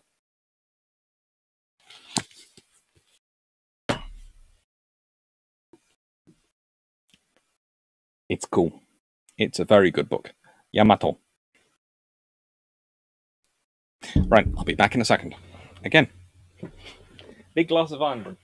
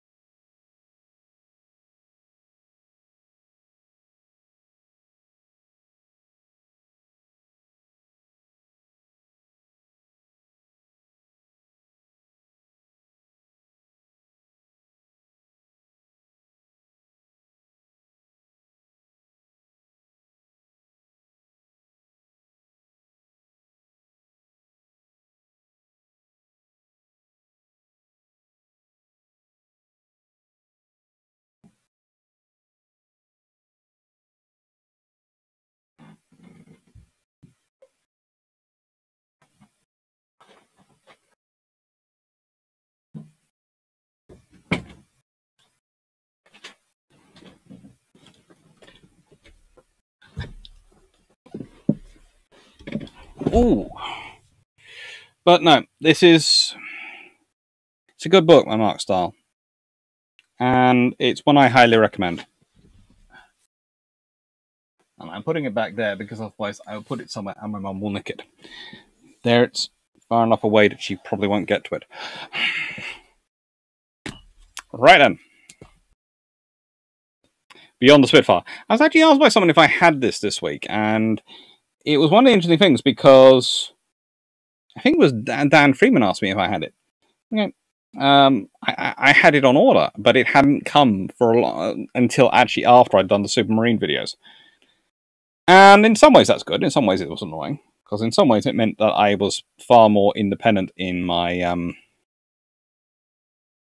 things than I might have been if I'd read this in my analysis. But you know, it's a good book. Uh, also, what was annoying was in Amazon fashion, it got bashed on the way, which is unusual for Amazon's books. But you know, worse things happen at sea.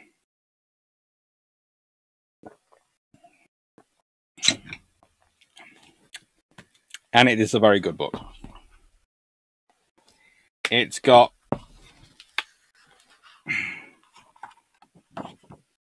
some very interesting and very cool graphics.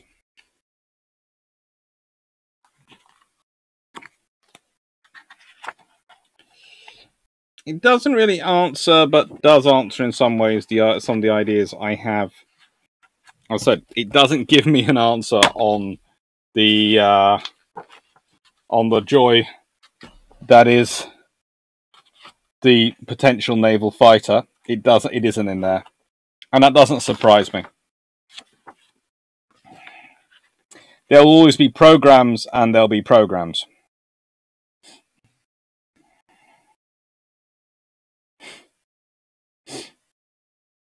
The fact that he keeps trying to get the Royal Navy to take a twin-engine aircraft is kind of interesting one. That's his answer to the swordfish. S930, this is what Supermarine were proposing. Twin engined, biplane, monocoque, uh, monocoque um, profile. It's an interesting aircraft. I'm not sure which carrier they've pictured below. I don't think the Royal Navy's ever had a carrier that looked like that. I, I, I- I think they've managed to imagine a carrier and that definitely they didn't. That, for example, there was no carrier built with that kind of thing on the flight deck.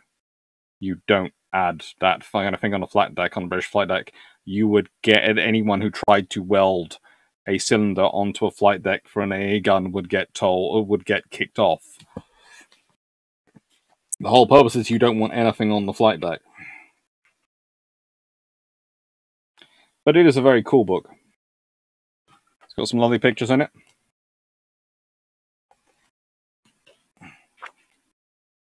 Lovely stuff about the company.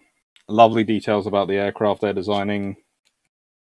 Really, it was. It's quite nice after reading it to find that after I'd done mine, that somehow actually also this book also agreed with me quite a lot, and this was obviously is far more of an expert on the Supermarine than I am.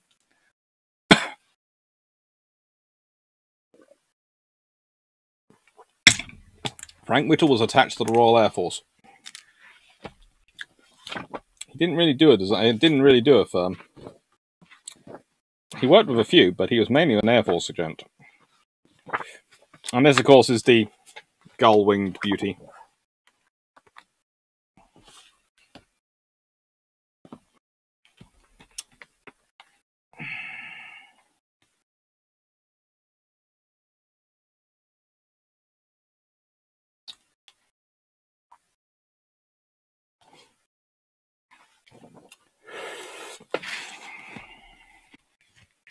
What I like, especially like about this author, is he's remembered that aircraft doesn't need an S.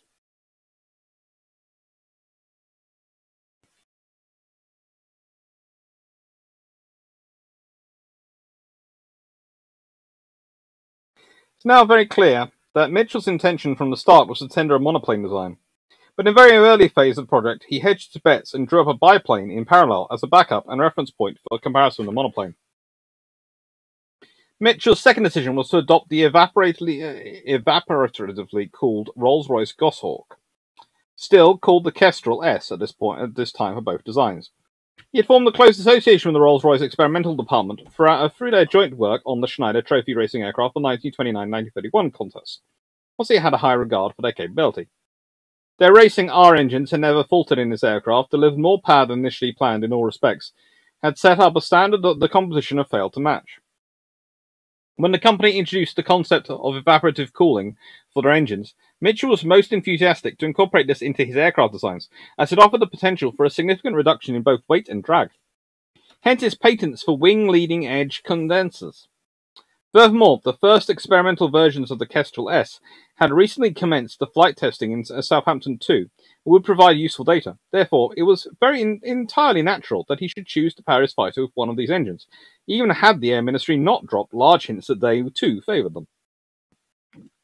The two aircraft designs started life as the Type 178 and as the one as 178-10 were subsequently split between two 17814 and 17812 respectively, the earliest surviving layout drawings from February 1931.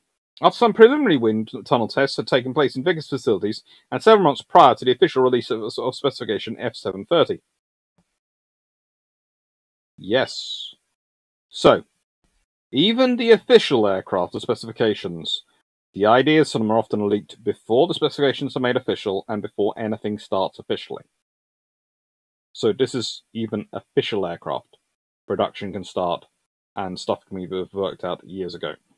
For example, we're talking about events in pretty much 1929 and the official specification is F730, which starts the fighter development.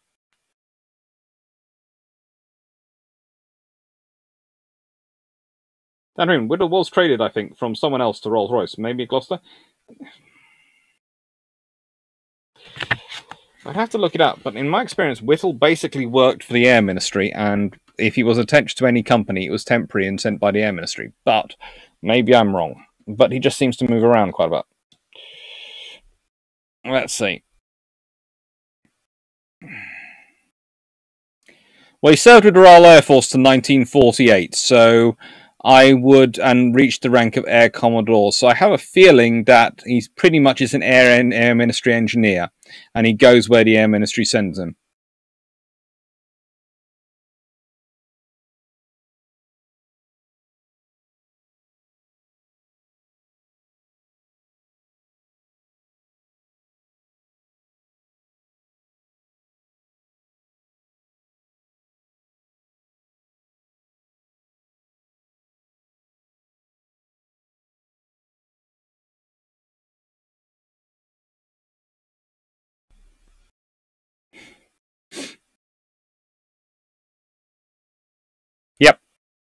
He's an Air Ministry officer. Okay.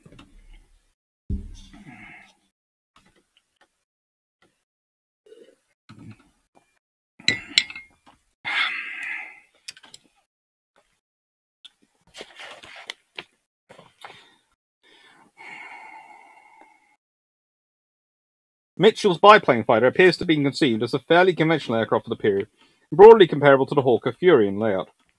The fuselage was constructed around cross-braced metal longerons and formers, and it is believed that it was intended to be skinned, at least in part, with non-load-bearing metal pa- panels. The cockpit was positioned quite high in order to provide a pilot with a few degrees of forward but downward view over the knees. Two Vickers machine guns were mounted above the engine, with their breeches in the cockpit. The exhaust pipes from the engine were carried back to behind the cockpit the opening in order to avoid problems with glare during night operations. The metal frame wings were of unequal span, heavily staggered and bracing in single bays with end struts. Leading edges of all four planes incorporated the steam condensers, and hence were metal skinned with the remainder, fab- uh, remainder when fabric covered. The top wing was positioned ahead of the cockpit and just above the pilot's eye line in order to minimize the, um, minimize the blind zone, whilst the lower wing was directly below the cockpit with trailing edge uh, cutouts so that the view forward and downward was reasonably unobstructed. The top wing was fitted with leading edge slats and ailerons, while the lower wing housed two more Vickers guns firing outside the propeller disc. Although considered the thin wing, uh, thin wing, it appears doubtful they would have been fitted without substantial blisters or fairings. There's also a semi-recessed bomb rack for uh, for four two 20-pound bombs under each uh, provided on each wing, or under the right wing. The undercarriage wheels had independent suspension, brakes that could be operated differently in order to facilitate ground handling, and were enclosed in spats in many ways. This aircraft paralleled, uh, parallel work underway at Hawker on developed versions of the Fury that would lead to their own submission to F-730. As Mitchell did not regard this project as his prime design, it may well have been considered simply as a benchmark against time which to compare the monoplane fighter.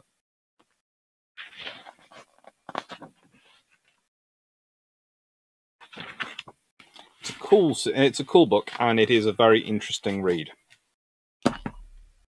it's worthwhile reading. Um,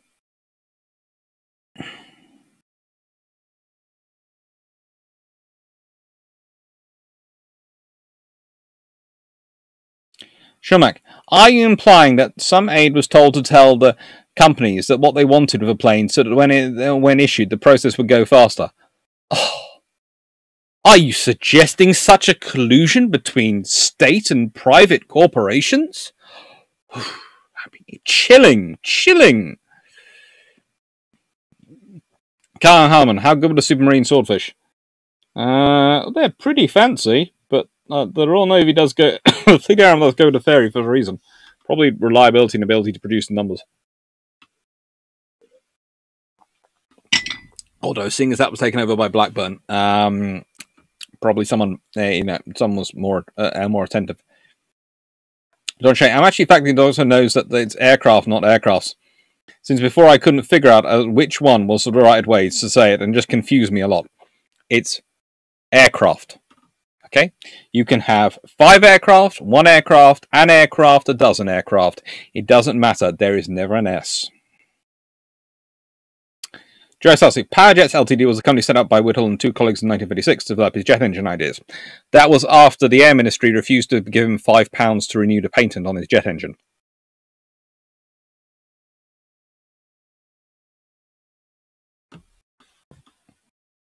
It was nationalized in 1944. Yeah, nationalized. Yay!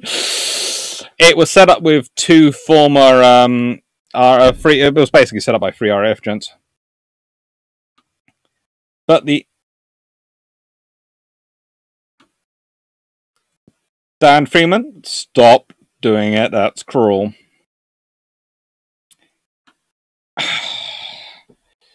No, it's a good book. It is a good book. I enjoy it. And I don't think, as the reason I had both these books in here was because I don't think with either one you will ever get the full story.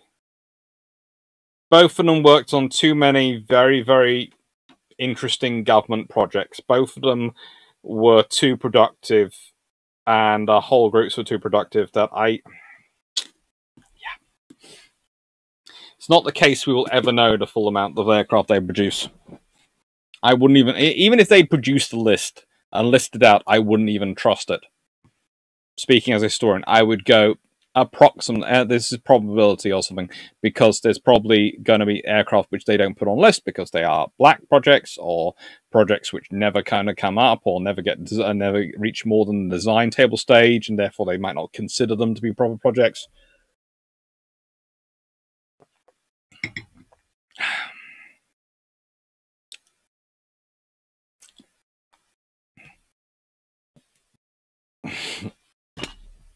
So, next book.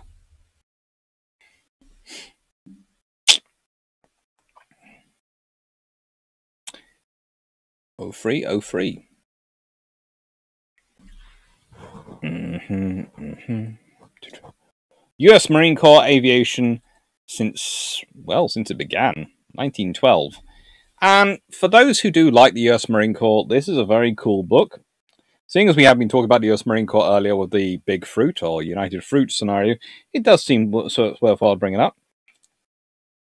Also, I do find it interesting that that the Corsair is more associated with the US Marine Corps rather than the Royal Navy, when it's the Royal Navy who wanted to turn it into a fighter that it became, whereas the US Marine Corps were just basically going, "Is this what we're getting? Really? Can we have more LCATs?"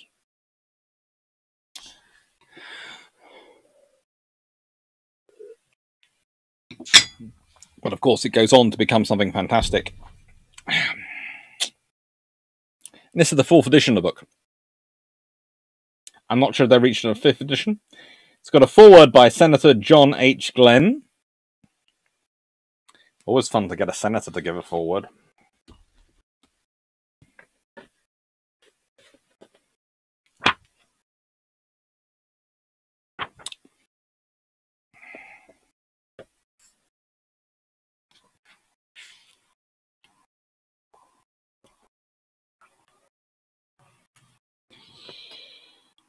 Fixed wing developments in the 1950s. While the Marine Corps created a place for the helicopter, several fixed wing aircraft were finding their way into the inventory, most of them becoming classics in the years to come. The battle tested Grumman F9F series continued to serve after Korea, having established a reputation for toughness in combat with VMF 115 and VMF 311, as well as several Navy carrier squadrons. As the war drew to a close, the more powerful F9F5 was entering combat overseas. Next variant, the F9F6, was radical enough to warrant a new name, the Cougar. Many US companies by this time had tried to establish an image for their aircraft by using a common series name. Therefore, Grumman used cat names Wildcat, Hellcat, Panther, and Cougar. Douglas used the Sky prefix, Sky Knight, Sky Skyray for the F4D, and Skyhawk. And McDonnell entered the spirit with names like Phantom, Demon, the Navy's F-3H fighters, and Voodoo, the Air Force's heavy fighter. The routine was quite effective as a public relations tool.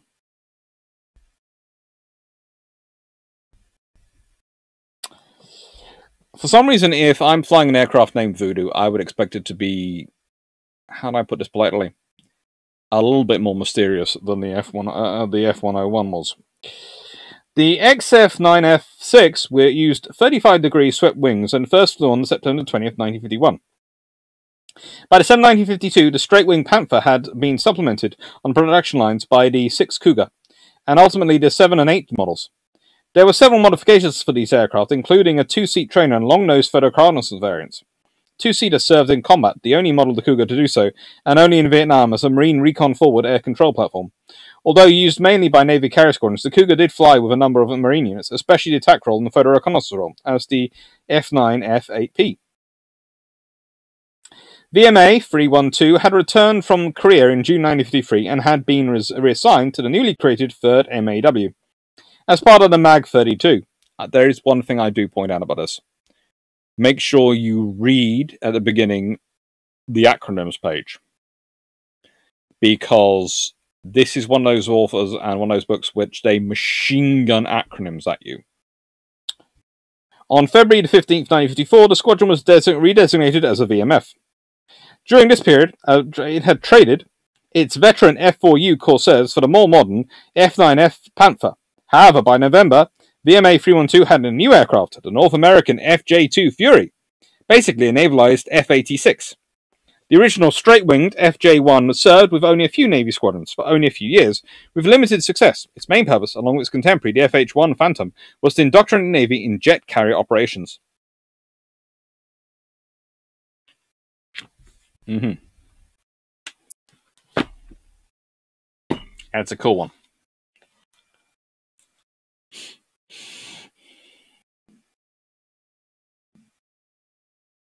Greg uh, Shumack. Something tells me he got paid way more than five pounds for it when it was nationalised. Not much more though. Um,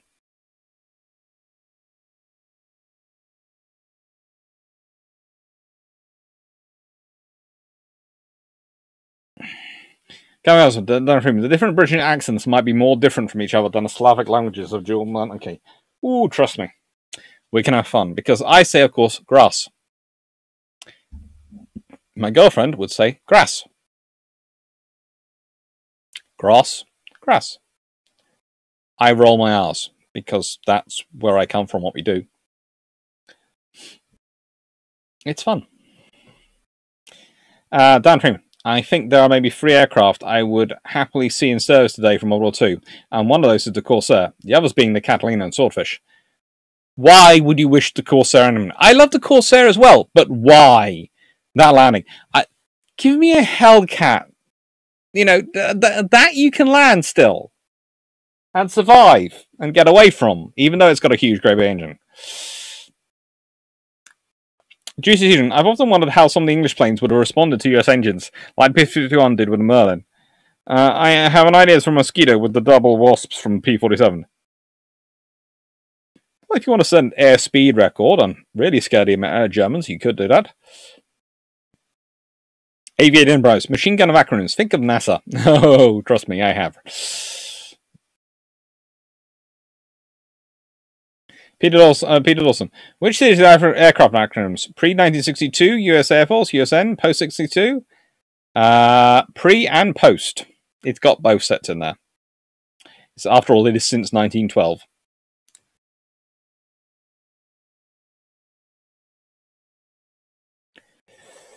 That's a fun thing. And as you know, that book tends to sit there for reasons of various projects. People keep asking me questions about US Marine Corps aviation lately, so, you know, it just seems sensible.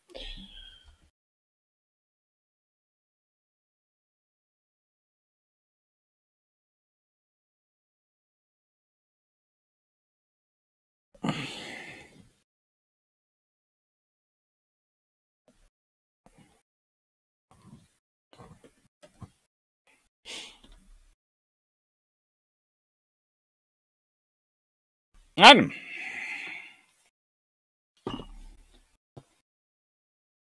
The British warship design in World War II.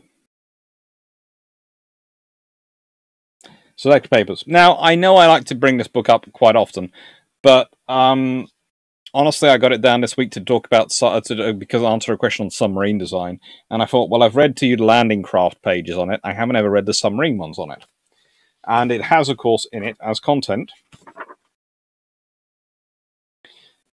Ships of the Invasion Fleet, merchant aircraft carrier ships, that's Mac ship designs, British submarine design in the war, during the war, corvettes and frigates, coastal forces, and notes on development of landing craft. So I thought I'd go for the submarines this time. Although Mac ships are always fun. And helpfully it opens straight on Mac ships. So, da -da -da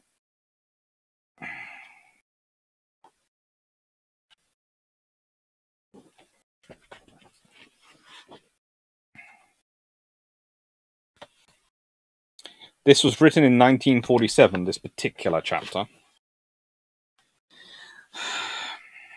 In this paper, the Royal Navy at the outbreak of war, Sir Stanley Goodall, KCB OBE, has given us some details of the two latest types of submarines, the U and T class in service at the outbreak of recent war. It's worthwhile reading.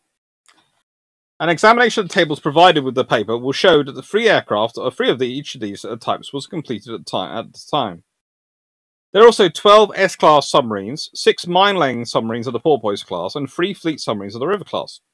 The remainder of the submarine fleet comprised the O, P, and R classes. Programmed in the later 1920s, and a number of H and L classes completed or laid down during the 1914-18 war. The pre-war designs of S, U, and T classes formed the basis of all submarines which completed during the war in time to take part in operations.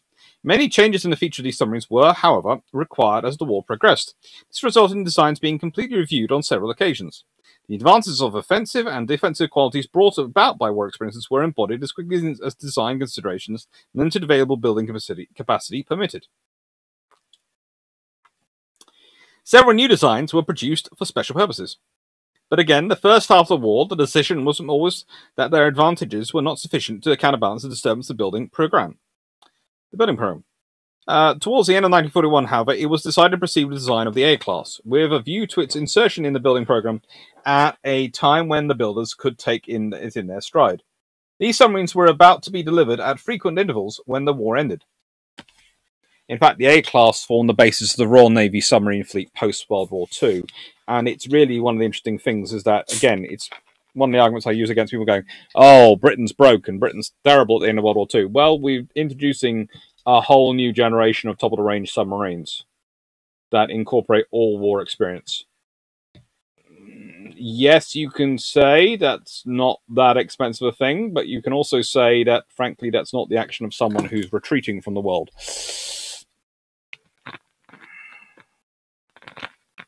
Reference must also be made to the midget submarine designs of the X and XE types, and with this should be associated the design of chariots, the name given to the British type of human torpedo. These vessels required a diversion of the design effort, disproportionately greater than their size, but naval history now testifies that this was worthwhile. SUNT classes, Section 2. The principal design particulars concerning these classes are given in the accompanying table. There are several minor differences between vessels of any one class. The S-class submarines were designed for offensive patrols in confined waters, i.e. the Mediterranean and the North Sea. A small pre-war building programs between 1929 and 1935 and afforded the opportunity of successfully eliminating minor troubles with this class and bringing design to continually up to date. Operationally, experience during the opening months of the war showed that these submarines were very suitable for North Sea work and they were economical as far as production was concerned. The design was therefore further reviewed early in 1940 in order to incorporate such war experience as had been obtained, decision given that submarines of this class were to be inserted in the building program.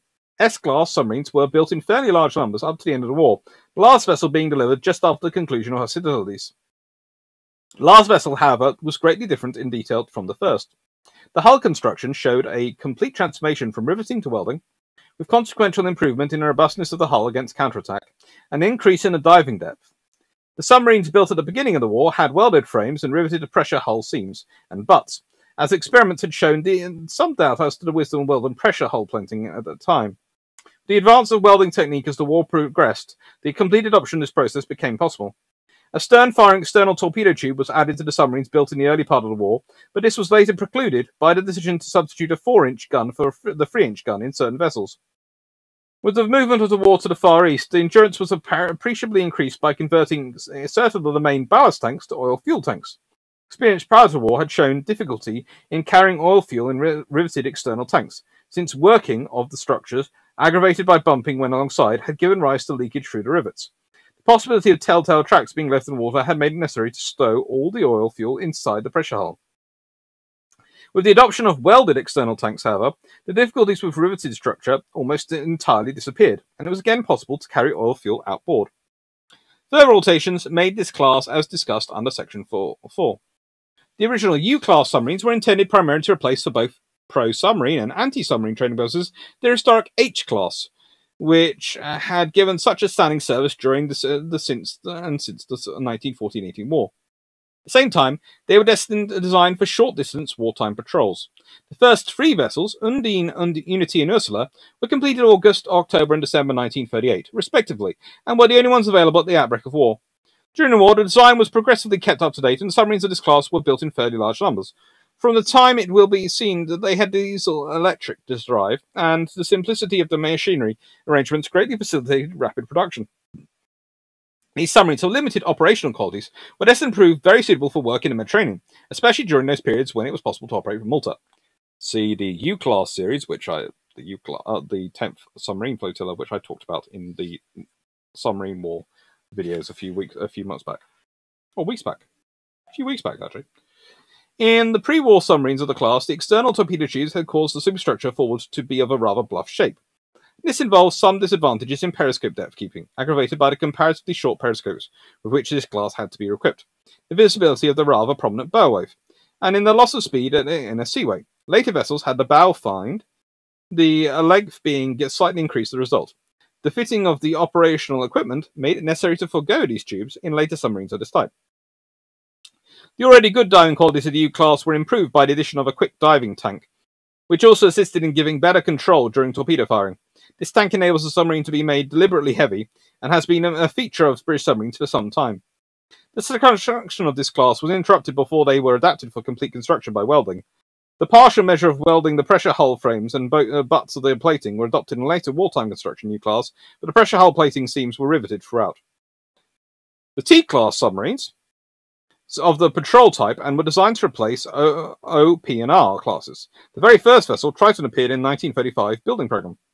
Further vessels of this class were included in subsequent pre-war and wartime building programs, and it was only when the preparations for the building the A class were well advanced and then that it was decided not to order further vessels of the T class. Commencement of war, only three vessels of the class had been completed Triton, Triumph, and Thistle, although several others were in various stages of construction. Every effort was made during the war to obtain larger numbers of this very successful and very useful type of submarine.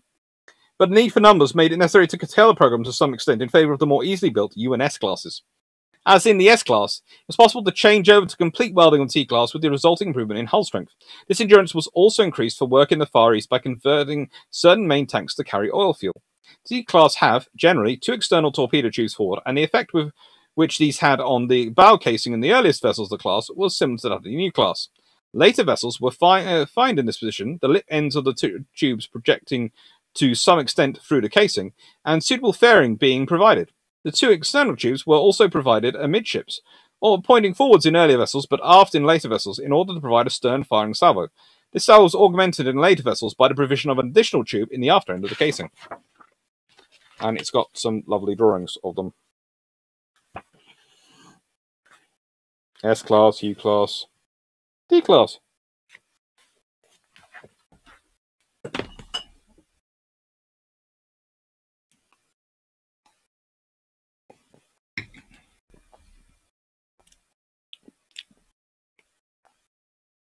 Hmm.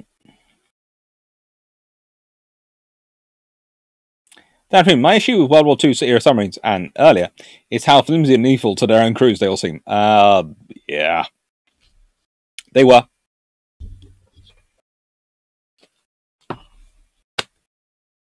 It's a good old book, that. Where did I get it out of? It was in there.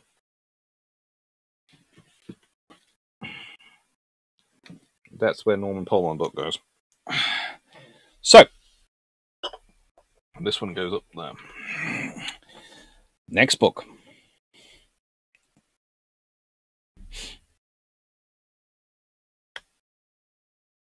Oh, 322.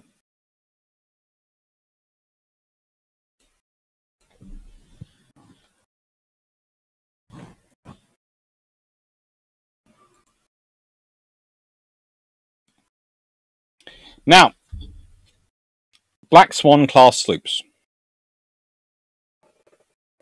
Les Brown, detailed in the original shipbuilder's plans. Now, I know I've talked about this one before. I know I've mentioned it before, but I like sloops.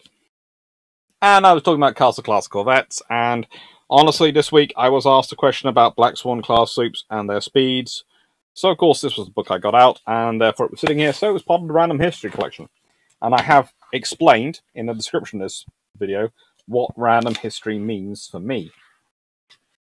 It, of course, has the to be expected and always beloved Ubermassive folder. Yes.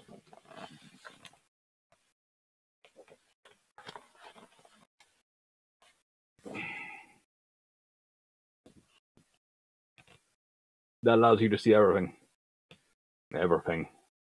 There is nothing of this one you cannot know. You will see it all. You will see it all. You will. It's a lot of fun. And it's a really cool book with a lot of great history in it.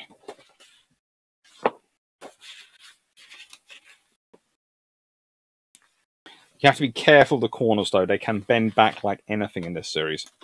So my one complaint about them, I wish they were made of slightly thicker paper. I do understand the expense that would cause and the issues that would cause in other ways, but it, they they do have bendy ends, and it it does worry me.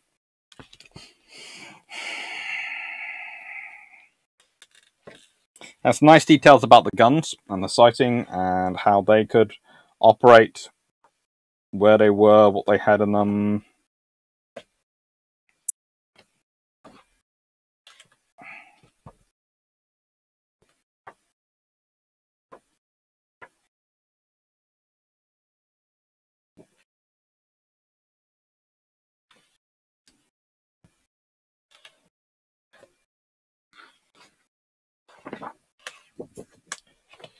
And I always love the way they have this sort of protection.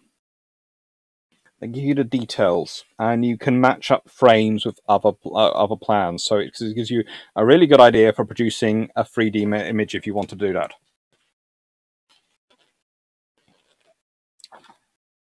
Because I know you can't always get 3D computer graphics, but it's nice to be have the ability to produce them.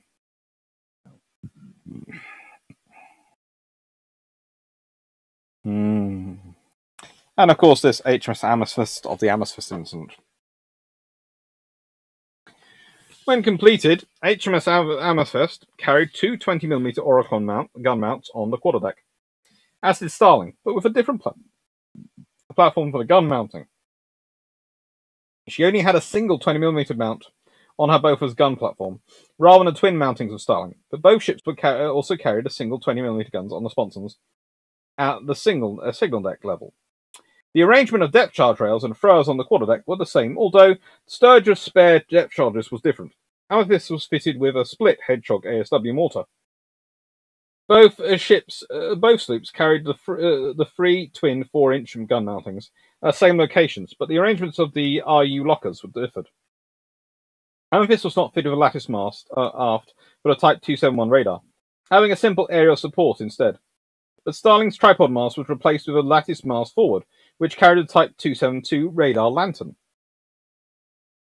The boat arrangements for, of the two sloops were the same 27 foot whaler and 25 foot cutter to starboard, and a 16 foot dinghy to port, all on davits, although the arrangements of Carly floats differed.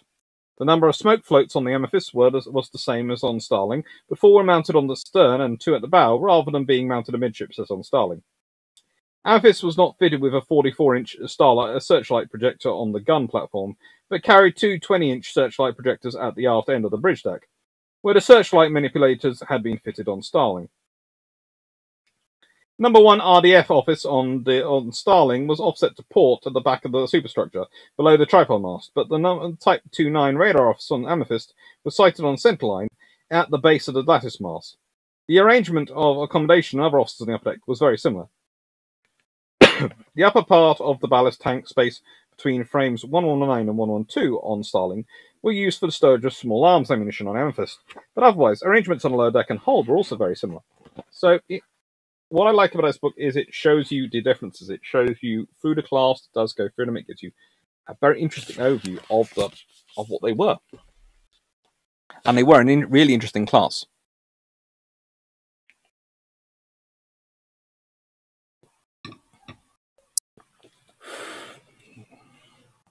Downstream, a different set or sort of centerfold showing everything to what one might expect from a chap in his bedroom.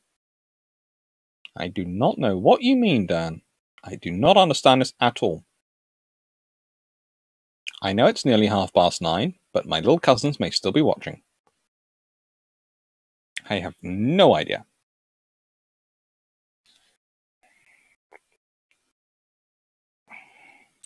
Guys, these folding uh, blueprint pages are the best things before 3D computer graphics. That they are. That they are.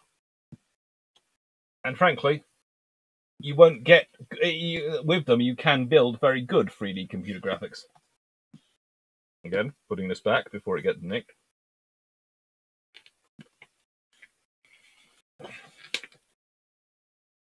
Most people don't understand. The main thing I'm looking, at, one of the major things I'm looking forward to in my office, a lockable door that I can hide books behind. Just have to be careful to make sure there are no spare keys made.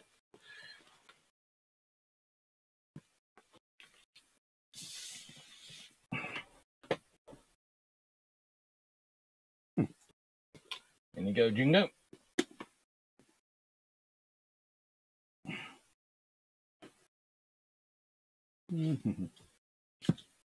Mm-hmm. That might be better. That probably be a lot better. Yeah, it does. There we go. Cajun, we're just sending a sister, a sister a set of lockpicks. Is he thinking that my sister doesn't already have a set?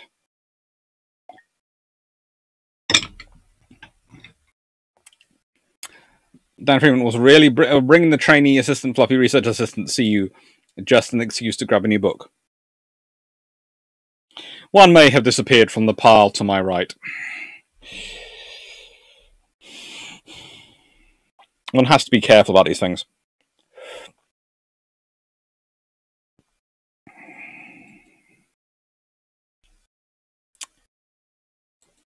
And today's last book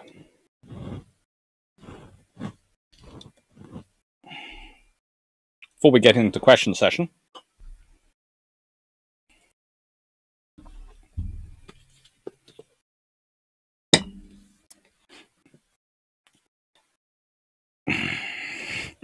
Remember. The day you put in a lock on your door is the day that your mom starts to watch lo- how to put the lockpick on your YouTube. A. What makes you think again? She doesn't know. B. If you think I'm just going to leave it at just a locked door, the locked door is going to be the warning. There will be something else behind it. I am a product of my family. They are lovely. We are all have a very similar mindset when it comes to getting into places. This brought up, uh, come on, this brought up the, that fire in Gerald Durrell's art compound, where thick old wooden cabinets saved precious documentation. Yes, thick wooden. Hmm. Anyway, today's last book. The Naval Institute, so a guide to the Soviet Navy, 5th edition, Norman Polmar. I love this book. I don't get to talk about the Soviet Navy as much as I really would like because I consider them actually a really cool Navy to learn from. They get given a lot of. hmm But they don't deserve it. Eric Kaufman, hooking up shotguns to locked door is illegal. Yeah, I know that's illegal. That uh, you think I'm going to use something subtle, subtle as a shotgun? I'll have you know I have all sorts of plans.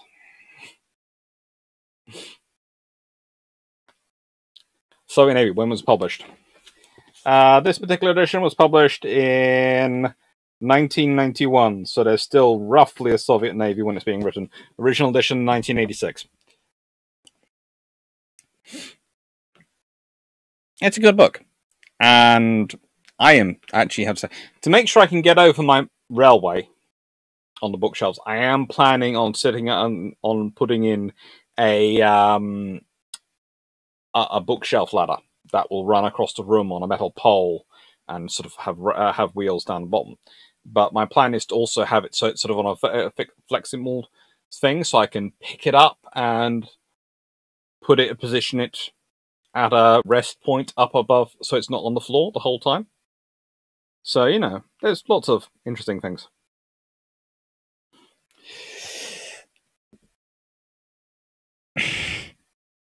Glitter bomb. Yeah, that's always a good one.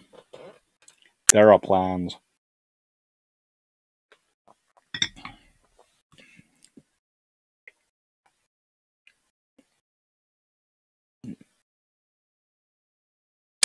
I do agree with the Eric Donnerkammers. Eric Calhoun that will do more damage to the room than the books. Do not recommend. Um, trapdoor with snake pit. I might have to interrupt to the concrete foundations for that one.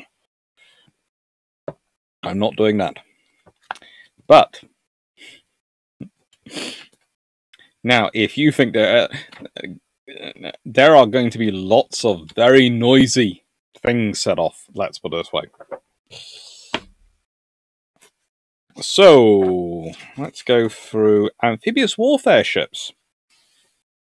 What about when people tell me Peter the Great and all the the, the new stuff, sort of some of the new warships they are um, amphibious warships they're building, oh they're completely new, and you sort go, have you looked at the designs from the 1970s?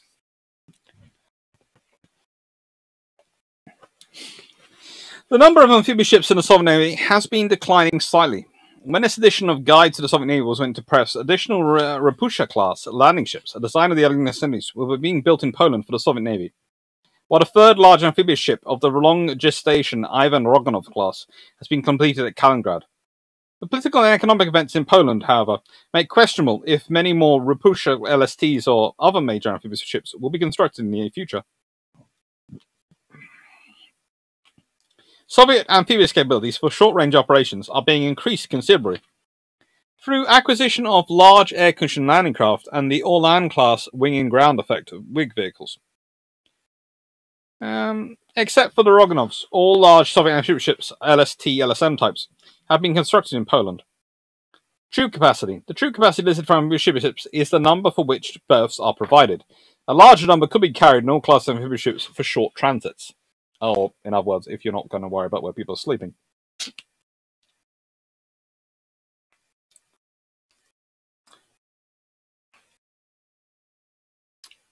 the Ivan Roganov class. Three were built at this point. Completed 1978, 1982, and 1989. Ivan Roganov, Alexander Nikolov, Mikolov uh, van Moslenko. Displacement 11,000 tons in standard, 13,000 tons full load. Length 150 meter, 8 meters. Beam 24 meters. Draft 8.2 meters. Propulsion two gas turbines providing 48,600 shaft horsepower, uh, driving two shafts, The top speed of 23 knots or 8,000 nautical miles at 10, 20 knots, or 12,500 nautical miles at 14 knots.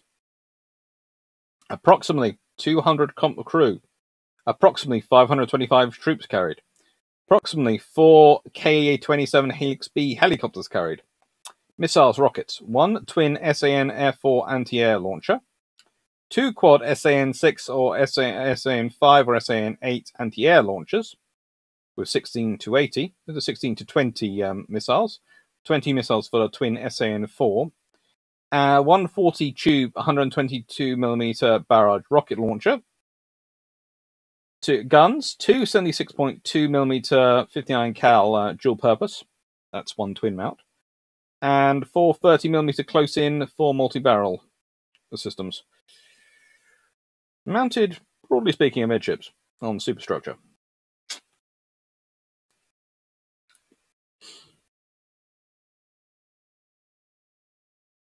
These are the largest and most versatile amphibious ships yet constructed for the Soviet Navy. Each ship can embark a naval infantry battalion, including its vehicles and equipment. They are also the only amphibious ships with a helicopter facility. The first two ships are assigned to the Pacific Fleet. The third ship was in the Baltic when this edition went to press. Class, the second ship was uh, completed four years after the first, uh, and unit, the third ship was delivered seven years after the second. Classification, Soviet BDK type. Uh, design.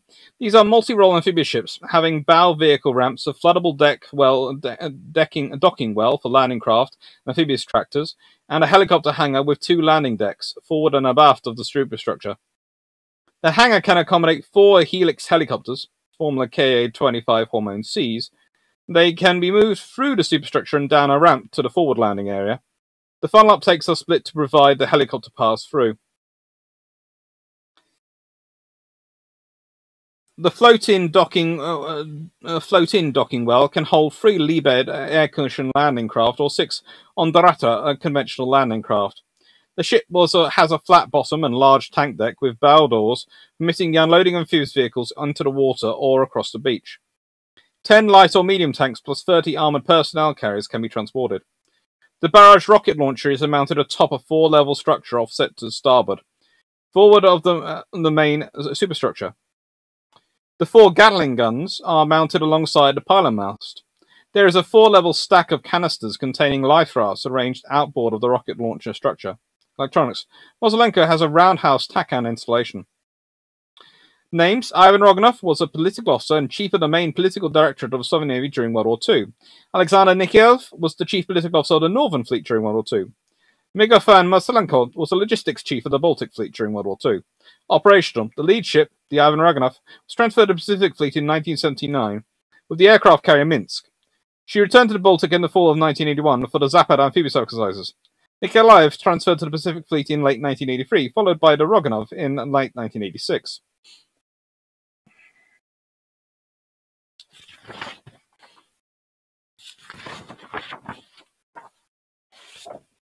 It is a very interesting book with full of very very cool details. And if you want to understand what the Soviet Navy and what we were building to fight towards the end of the Cold War, you have to. Uh, this book is a great example and a great thing to give uh, to give you information.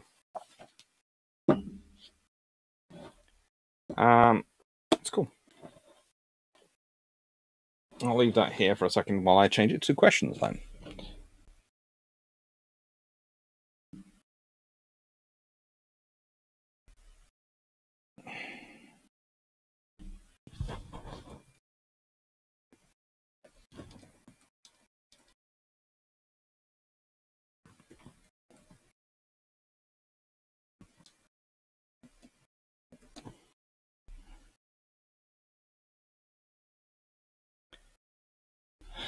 Right, let's see.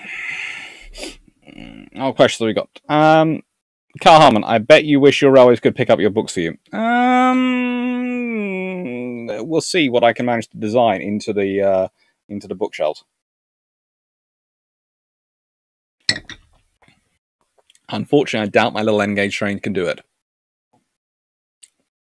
But maybe when I can um, have a bigger office office and can have I don't know G gauge probably going around. Possibly could design a system which would push the books out if they all went into certain positions. So I could push the book out onto a truck which would take carry it.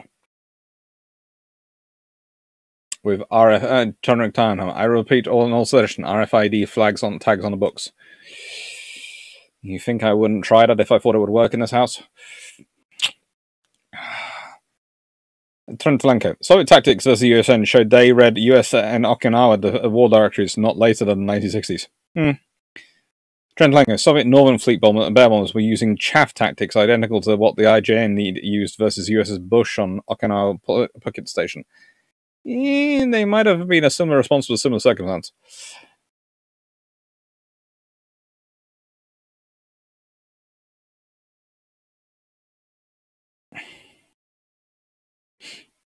When was Polmar's book written? Uh, first edition 1986. This revision, uh, this edition 1991. Remember, it's five editions, so they kept rewriting it every couple of years.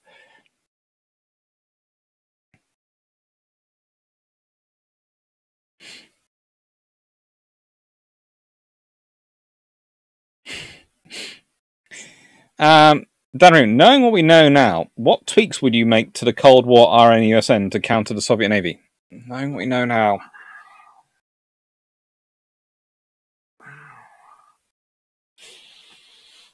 Hmm. Oh, you need to push close in weapon systems up in earlier, but um, I would have. You see, it's the, the knowing what we know now.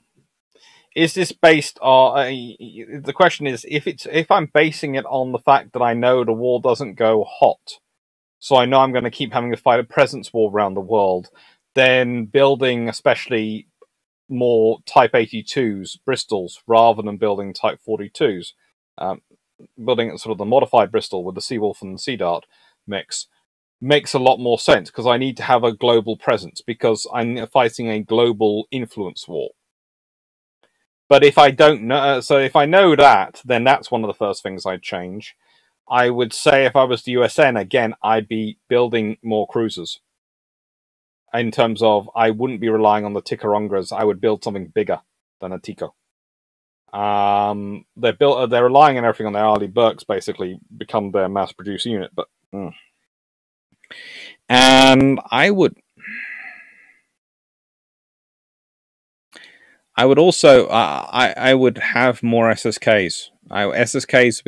You see, having the nuke boats is great. The nuke boats are excellent, but if I want to do a barrier operation and really block up the Russians, SSKs and having them would put make them paranoid enough. Because the thing is with nuke boats is they realize that they are good for the long range operations.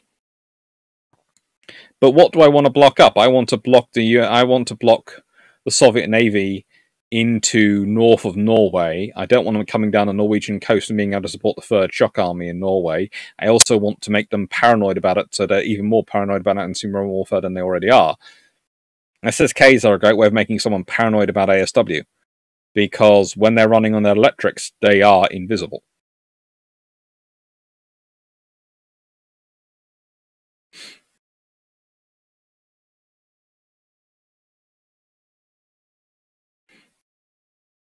Mm.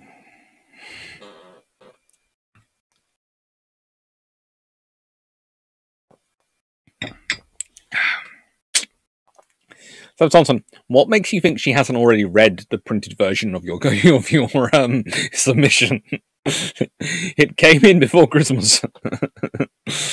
oh. Uh, uh, uh, Rapid Roseback. The was a carrier. Uh, then we need to reclassify the star, uh, classify stuff. The Kiev's about as close to carrier missile cruiser hybrid as you will find. Uh, probably. Eng- Engelbert forty two. Changing stuff always changes the timeline. Yep. Ticonderoga. At that time, I think the Type 82 production, as opposed to the Bristol prototype, just makes sense of us versus the Type 42. And as, uh, I'm sad that the lessons from the Falklands War was error to build any more uh, uh, error to build any more Type 42s. Type 42s was still in production at that point, I think. Um, it- they were still in production. That's the thing. So they just produced more of them, and they produced more Type 22s as well.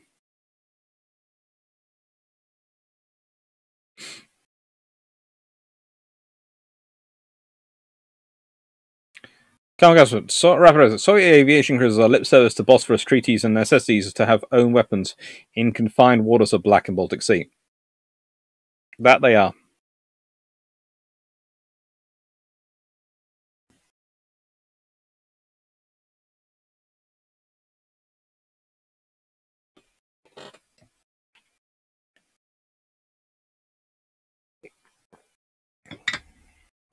Rapreza. Excessive Russian paranoia leads to bad decision making and purges. I know. Tends to be useful. Lesson of Napoleonic Wars. If you can get the enemy to kill off their own officer class and experienced per- operators in favor of people who are politically reliable, you win. it's brilliant. Let's be honest, half the trouble the Red Army has at the beginning of World War II, uh, when it starts fighting in World War II against the Germans, is the fact that their senior officer, quite a lot of their officer corps are um, have been killed in various Stalin's purges. Come, I still prayed Type 82 HMS Bristol is saved and made museum. I, I doubt it will be, but it's a nice dream.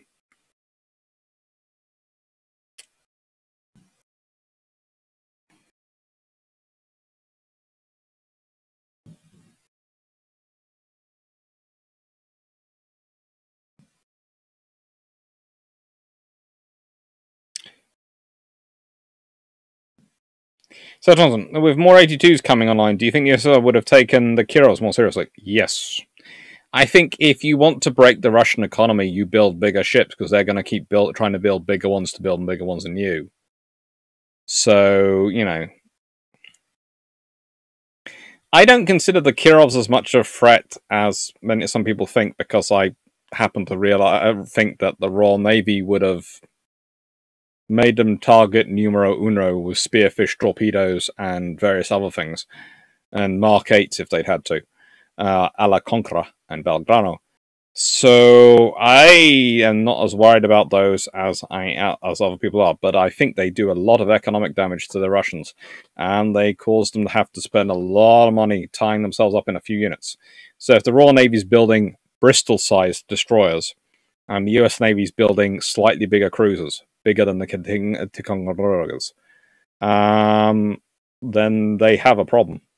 And it's a very big problem. About 10 more minutes, and I've got to go, well, actually have some tea.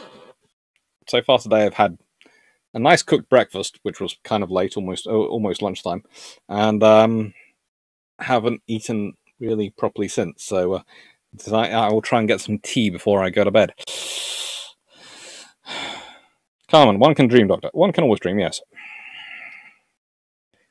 Dylan, uh, Dylan, uh, would you have made any changes to the UK ASW fleet in World War Two, i.e., bigger, smaller ships, more frigates, more corvettes? I'd love to. have you'd you'd love to have more of them, but honestly, the biggest change I would make if I could to the ASW fleet in World War Two is I would start the production or the mass production of sloops that they were planning in. They had planned to do 19 uh, to be ready for 1942 to 44 or 4 and hoping a war was going to be 1944 so they put off the production of sloops and uh, decided to call them corvettes at a certain point in mass production till about 19 well they started already in 1938 and they started production in 1939 I would have that if I'd have been in charge and had some foresight, or even if I'd just been in charge anyway, I would probably have pointed out that these ships do not trigger the treaties.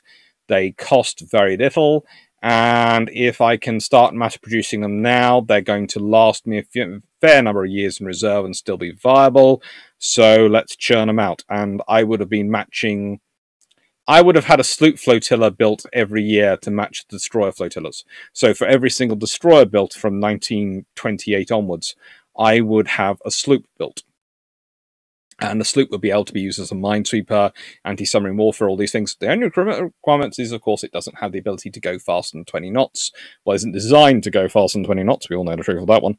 And doesn't carry a certain number of gu- certain guns and all these things. But that would have given me a very strong anti-submarine warfare escort force in place already. I would have done that, and I would have also probably made sure that there were several suitable um, merchant ships built, which I could rapidly convert into escort carriers.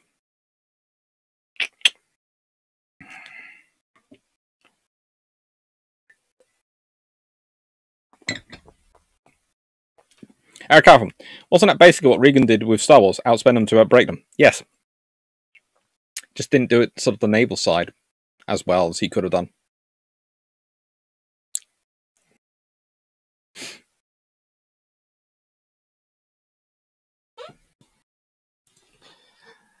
Raposa, if you want to build a ridiculous budget busting uh, warship, let's dust off the Tillman era, uh, Till, uh, the Tillman and give it missiles. Oh my god, no one would be that that insane. Although if the Americans did it, you could guarantee the Russians would have to build one bigger.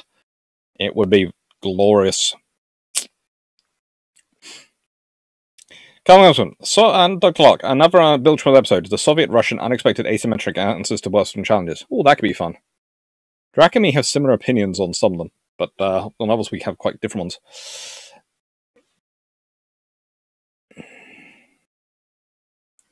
So one sausage with three coffees.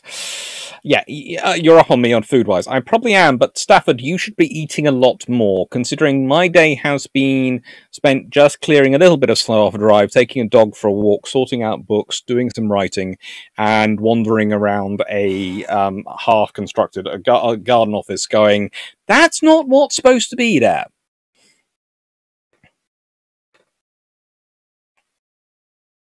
Hmm. Someone on Discord was looking for a good book on Empress Augustus Augusta Bain, World War II. Any ideas beside a, uh, beside a Burke biography? No, Burke biography is probably the best way to go. So, the merchant carriers, aren't they what the RN is kind of building now?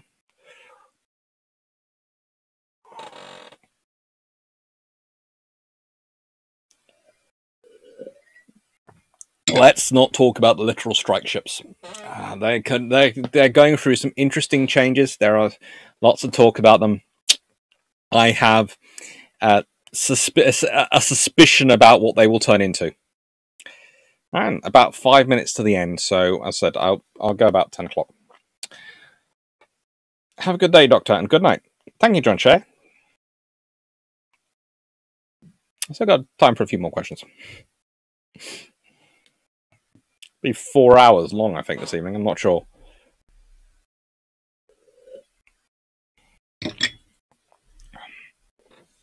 Hmm, roughly.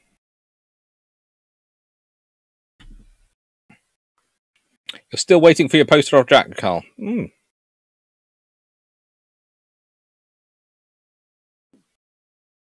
Who doesn't? If you want to outbuild the USSR, try HMS Havoc class.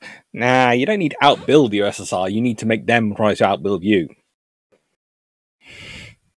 Good night, Carl, guys. Thank you. Carmen, on Wednesday I didn't eat till 3 p.m. That's not good. That's not sensible. And I this, and I'm, I, I, I'm pretty bad at forgetting to eat. And my poor girlfriend probably worries about me far more than she should be, considering she's focusing on other things now, remembering to eat. But, you know, it happens. Carmen, wait, the RN is building an LCS? Not an LCS. Littoral, uh, the littoral strike ships, um, LSS.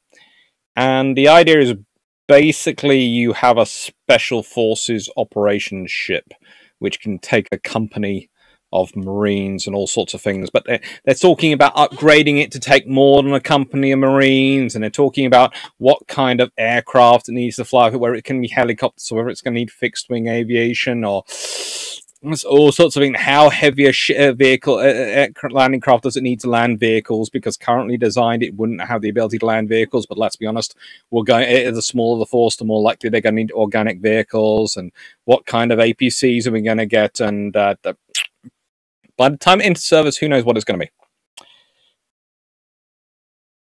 Then anyway, I keep working through lunch expecting to leave on time and then staying too late. You are a doctor, Dan. You are supposed to lead by example. You're a medical doctor. I'm a history doctor. I'm supposed to get lost in time. You're not.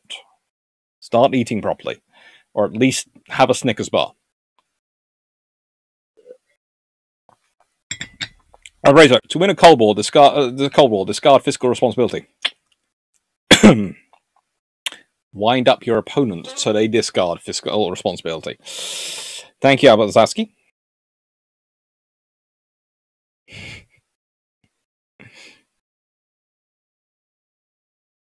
Carmen, what can I say? My nan passed. I had no appetite. I understand that. But still, your nan would want you to take care of yourself. It's one good thing I do. uh, One thing I do know about family. They do like to make sure they take care of themselves.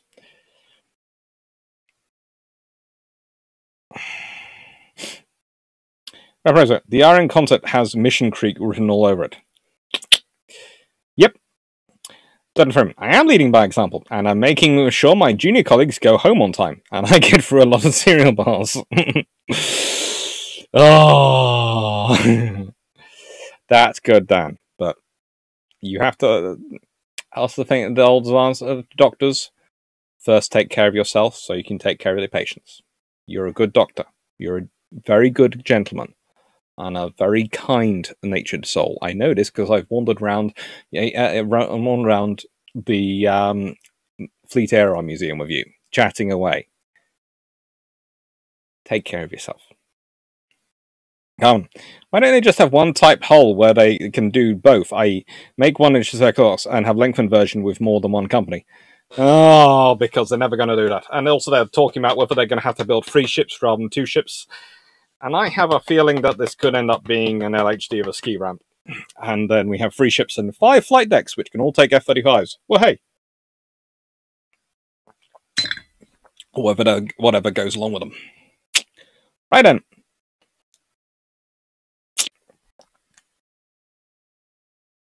And I'm guessing the LSS are for Marines, SAS, SBS, and Parachute Regiment. Uh, for Royal Marines, uh, SBS, and possibly SAS. I doubt the Parachute Regiment will want to get in on. Stefano, speaking of Snickers, your gift will be leaving on. Thank you.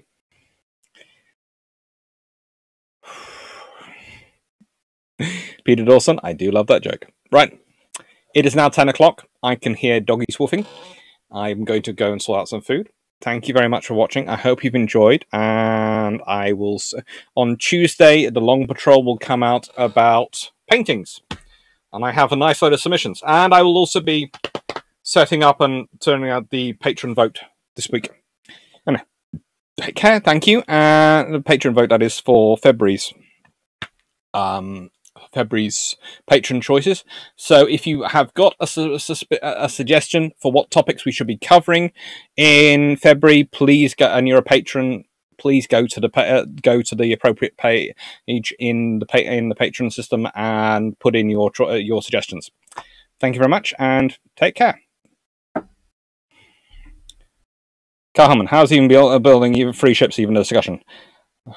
They built two aircraft carriers. Just don't get, just don't go.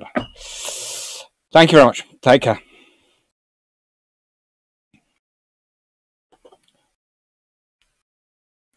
Thank you, Carl.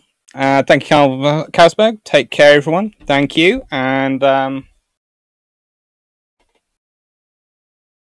no, I won't feed myself to doggy. Don't worry.